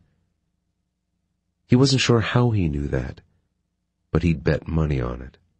How did Viper know I'd wind up at the market? It's the only public building on the mountain. Panther considered that. I won't send you back there. I don't want you to. The strength in her eyes hardened. I meant what I said to Lion. I won't be used to free more demons. Fire leaped in her blue and copper eyes as she released her legs and rose to her knees. I'm not your enemy, Panther. I'm not the enemy of any of your people. I hate Beric. I hate what he's doing, and I'll do anything to help you stop him. Anything. I know you can never completely trust me, but trust me in this. Please. He pushed away from the wall and went to her as drawn to the fire of her conviction as to the woman herself. She didn't back away when he sat on the edge of the bed in front of her, mere inches from her knees. I do trust you. He reached for her hand and took it in his. But I want you to trust me too. Trust me when I tell you I don't hurt women. Not without certain cause. His thumb brushed the back of her hand, his fingers, caressing the soft flesh of her palm, sending tendrils of excitement snaking along the edge of his flesh. It may take me a while to get past the copper in your eyes. It's been a symbol of all I've distrusted for too long to forget easily. With his free hand he reached for her face, glad she didn't turn away. As he slid his fingers along the silken line of her jaw, awareness rippled through the air between them. But I won't hurt you, Skye.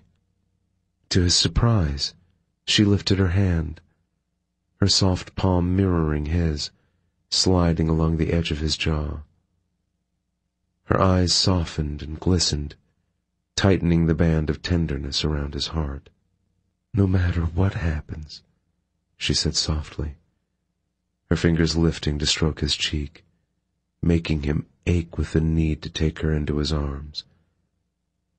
No matter what you ultimately have to do with me, I want you to know you're the finest man I've ever met. He wanted to object. The only thing he intended to ultimately do with her was protect her. But he couldn't make that promise. Not when there were still so many unknowns about her role in all this. Besides, her words made his conscience rebel. How can you think that when I've hurt you? Not only had he torn a chunk from her arm, but he'd scared them both by what he'd almost done to her in the prison. You never hurt me without reason. Never for the fun of it.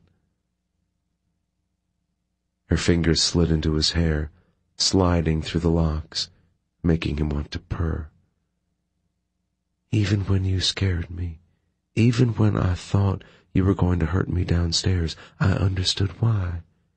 What I did to you, capturing you, was reprehensible. You didn't have a choice.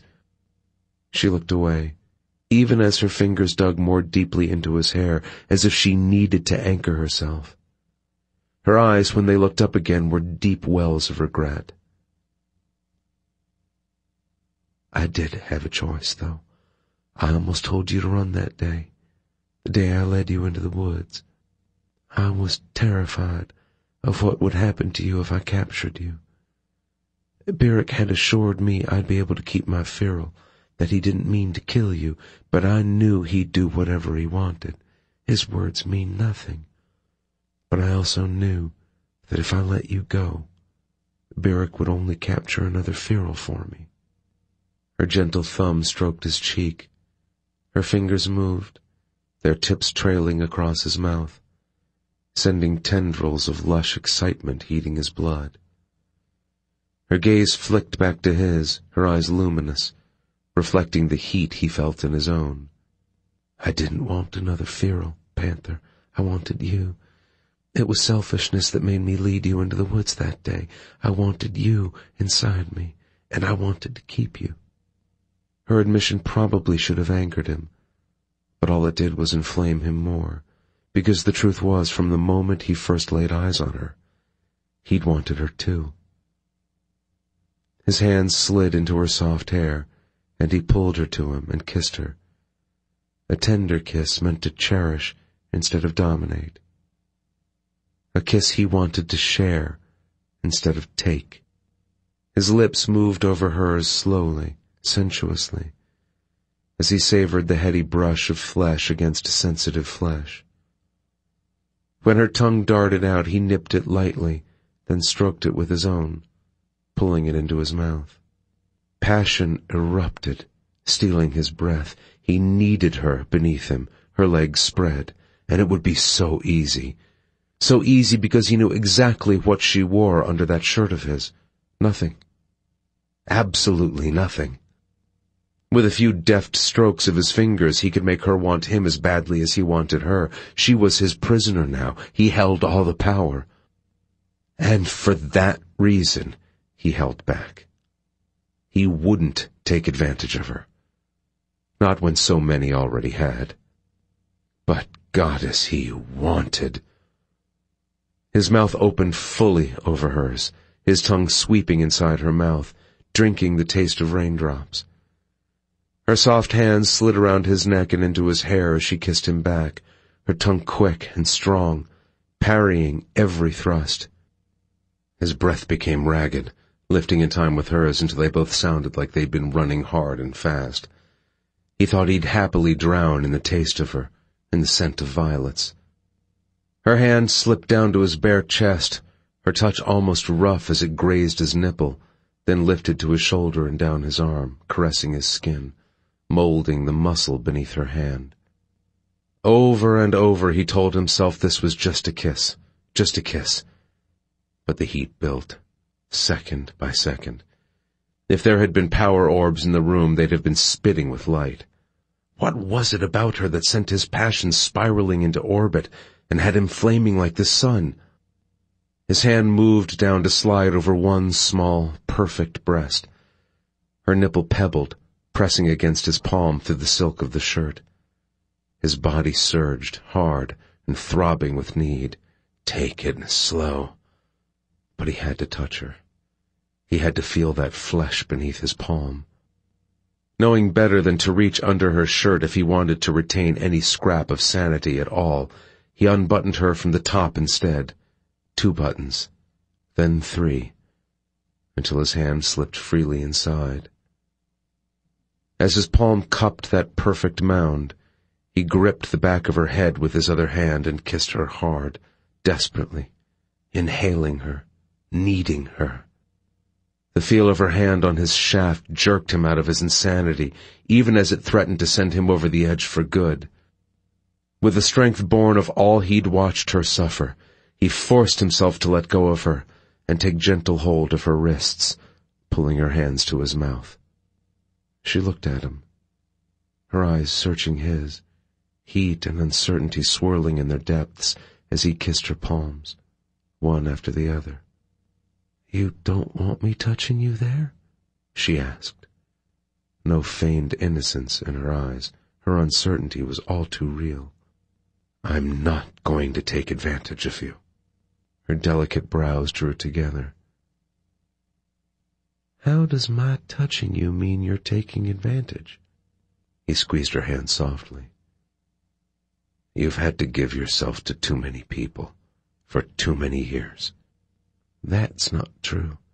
I've never given myself to anyone. Others have taken. But you're the only one I've ever wanted, Panther. The only one I've ever touched like that.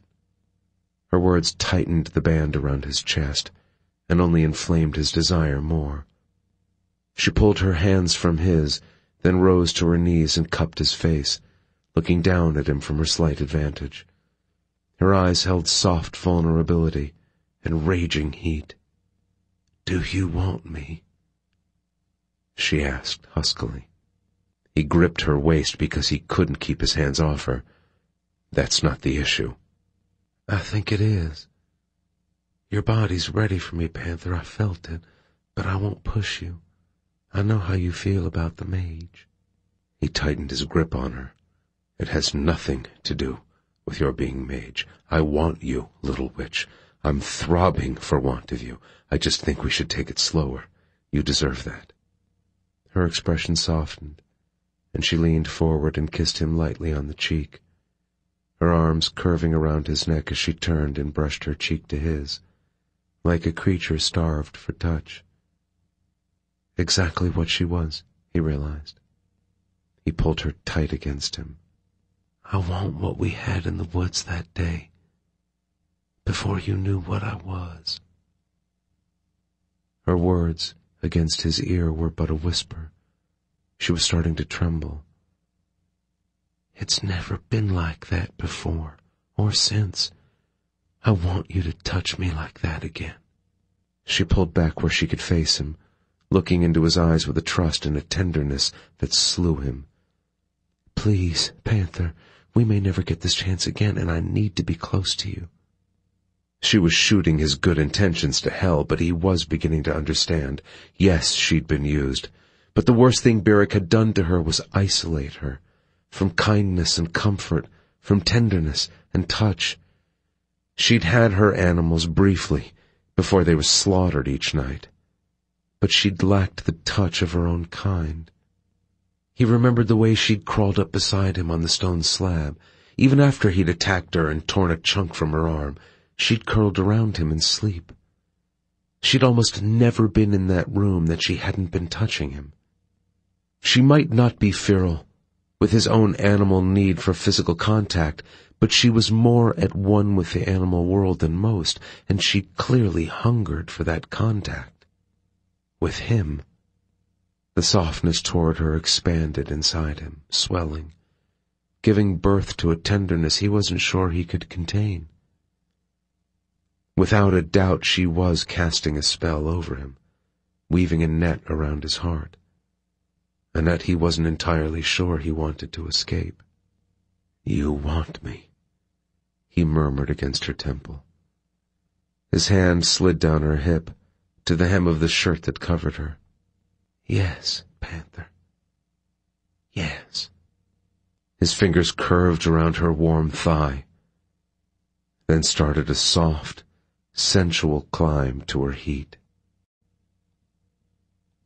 Chapter 12 Skye curled her hands behind Panther's neck as his warm fingers slid up her bare thigh and curved around her hip. She'd begged him to touch her again, to take her in the most basic way. Her body quaked with anticipation even as her heart swelled with a raw affection for this man who had so many reasons to hate her, yet treated her with more caring, more gentleness, than anyone since her mother. She pulled back, her gaze caressing the strong lines of his face, those high cheekbones and the feral slashes across his eye, then dipped to his mouth. Her own lips parted, longing to feel his again. As if reading her mind, he leaned forward. She met him halfway, melding her mouth with his shoving her tongue into his mouth even as he shoved his into hers. She craved his kiss and his touch. Three times he'd come inside her, but only one of those times had he been free to touch her. Only that time in the woods when she'd captured him. And it had all happened too fast. Lift up, he murmured against her mouth, as his hands gripped her hips on either side and lifted her off her heels. Skye pulled back from his kiss, watching his dark, passion-filled eyes. Spread your knees for me, beauty. Let me touch you. Thick, damp heat gathered low inside her as she did what he asked. Her gaze locked on his as she curved her hands over the thick muscles of his bare shoulders to steady herself. She held on to him as his hand traveled from her hip to her stomach, then slowly down. As her breath caught with frantic anticipation, his other hand slid inside her shirt and covered her breast, setting fire to the sparks already consuming her. She gasped, her fingers digging into his shoulders as his own finger and thumb plucked at her nipple, drawing hot gasps of pleasure from her throat until she was leaning into his touch, silently begging for more. The hand on her stomach slid down into her curls before sliding lower, straight to the source of her heat. As a single finger teased the hot core of her pleasure, her hand slid into his hair, and she grabbed his head, holding on against the torrent of sensation. His finger stroked between her legs, flicking the center of her heat over and over until she was moaning and rocking against his hand. Then his finger slid deep inside her, curling against her inner walls, circling the edges of her sheath, around and around, harder, faster, until she felt she was spinning in the eye of a storm. Panther! A second finger dove inside her, both shoving deeper still as she pressed her hips down, groaning with pleasure. Panther's head dipped, his mouth on her breast. No one had ever touched her like this. No one had ever tried to give her pleasure at all. No one but Panther. As he sucked on her breast, one hand pressed against her back, holding her close as the fingers of the other pressed deep into her body until she was moaning, lost in the whirlwind of sensation. Panther's warm mouth released her breast, moving slowly to her chest and her shoulder. He pulled her closer as his mouth went to her neck. His hand slid into her hair, and he cradled her head, tilting it away to give him full access to her throat. A thrill of danger danced down her spine at the thought of how vulnerable she was. If he changed into the half-animal who'd ripped open her arm, he could kill her. Then again, with his vastly superior strength, he could have killed her at any time. She trusted him, for now, in this moment, she trusted him. As he kissed her neck, she rode his fingers, gasping, straining toward release, certain the pleasure couldn't get any sharper. His hand slid around the back of her neck as his kisses moved to her ear, and she shuddered with delight. He pulled his fingers out of her suddenly, and she groaned. Panther! Shh, beauty. Patience. He grabbed the hem of her shirt and pulled it off over her head in one impatient tug, then moved away to remove his pants with a sensuous feline grace. His body was a study in male perfection. She'd seen him aroused before, but the sight of him now, thick and long and wholly erect, took her breath away. He was twice the size of any mage, and she was more than ready for him. With a low animal growl, he swept her into his arms, deposited her in the middle of the bed, and followed her down. She looked up into his face, waiting for him to come to her, but he didn't move. For long moments he looked into her eyes. Their gazes twined. She felt herself falling into the black depths of his eyes, spinning head over feet. The sweet pressure in her chest grew until her chest hurt. She had adored him. If only he could be hers. Paenther's knuckles brushed her cheek as he stared down at her. Then he dipped his head and claimed her mouth, and the passion exploded all over again. His soft hair caressed her cheeks as his hand slid down her hip to her thigh and back up again with barely controlled passion.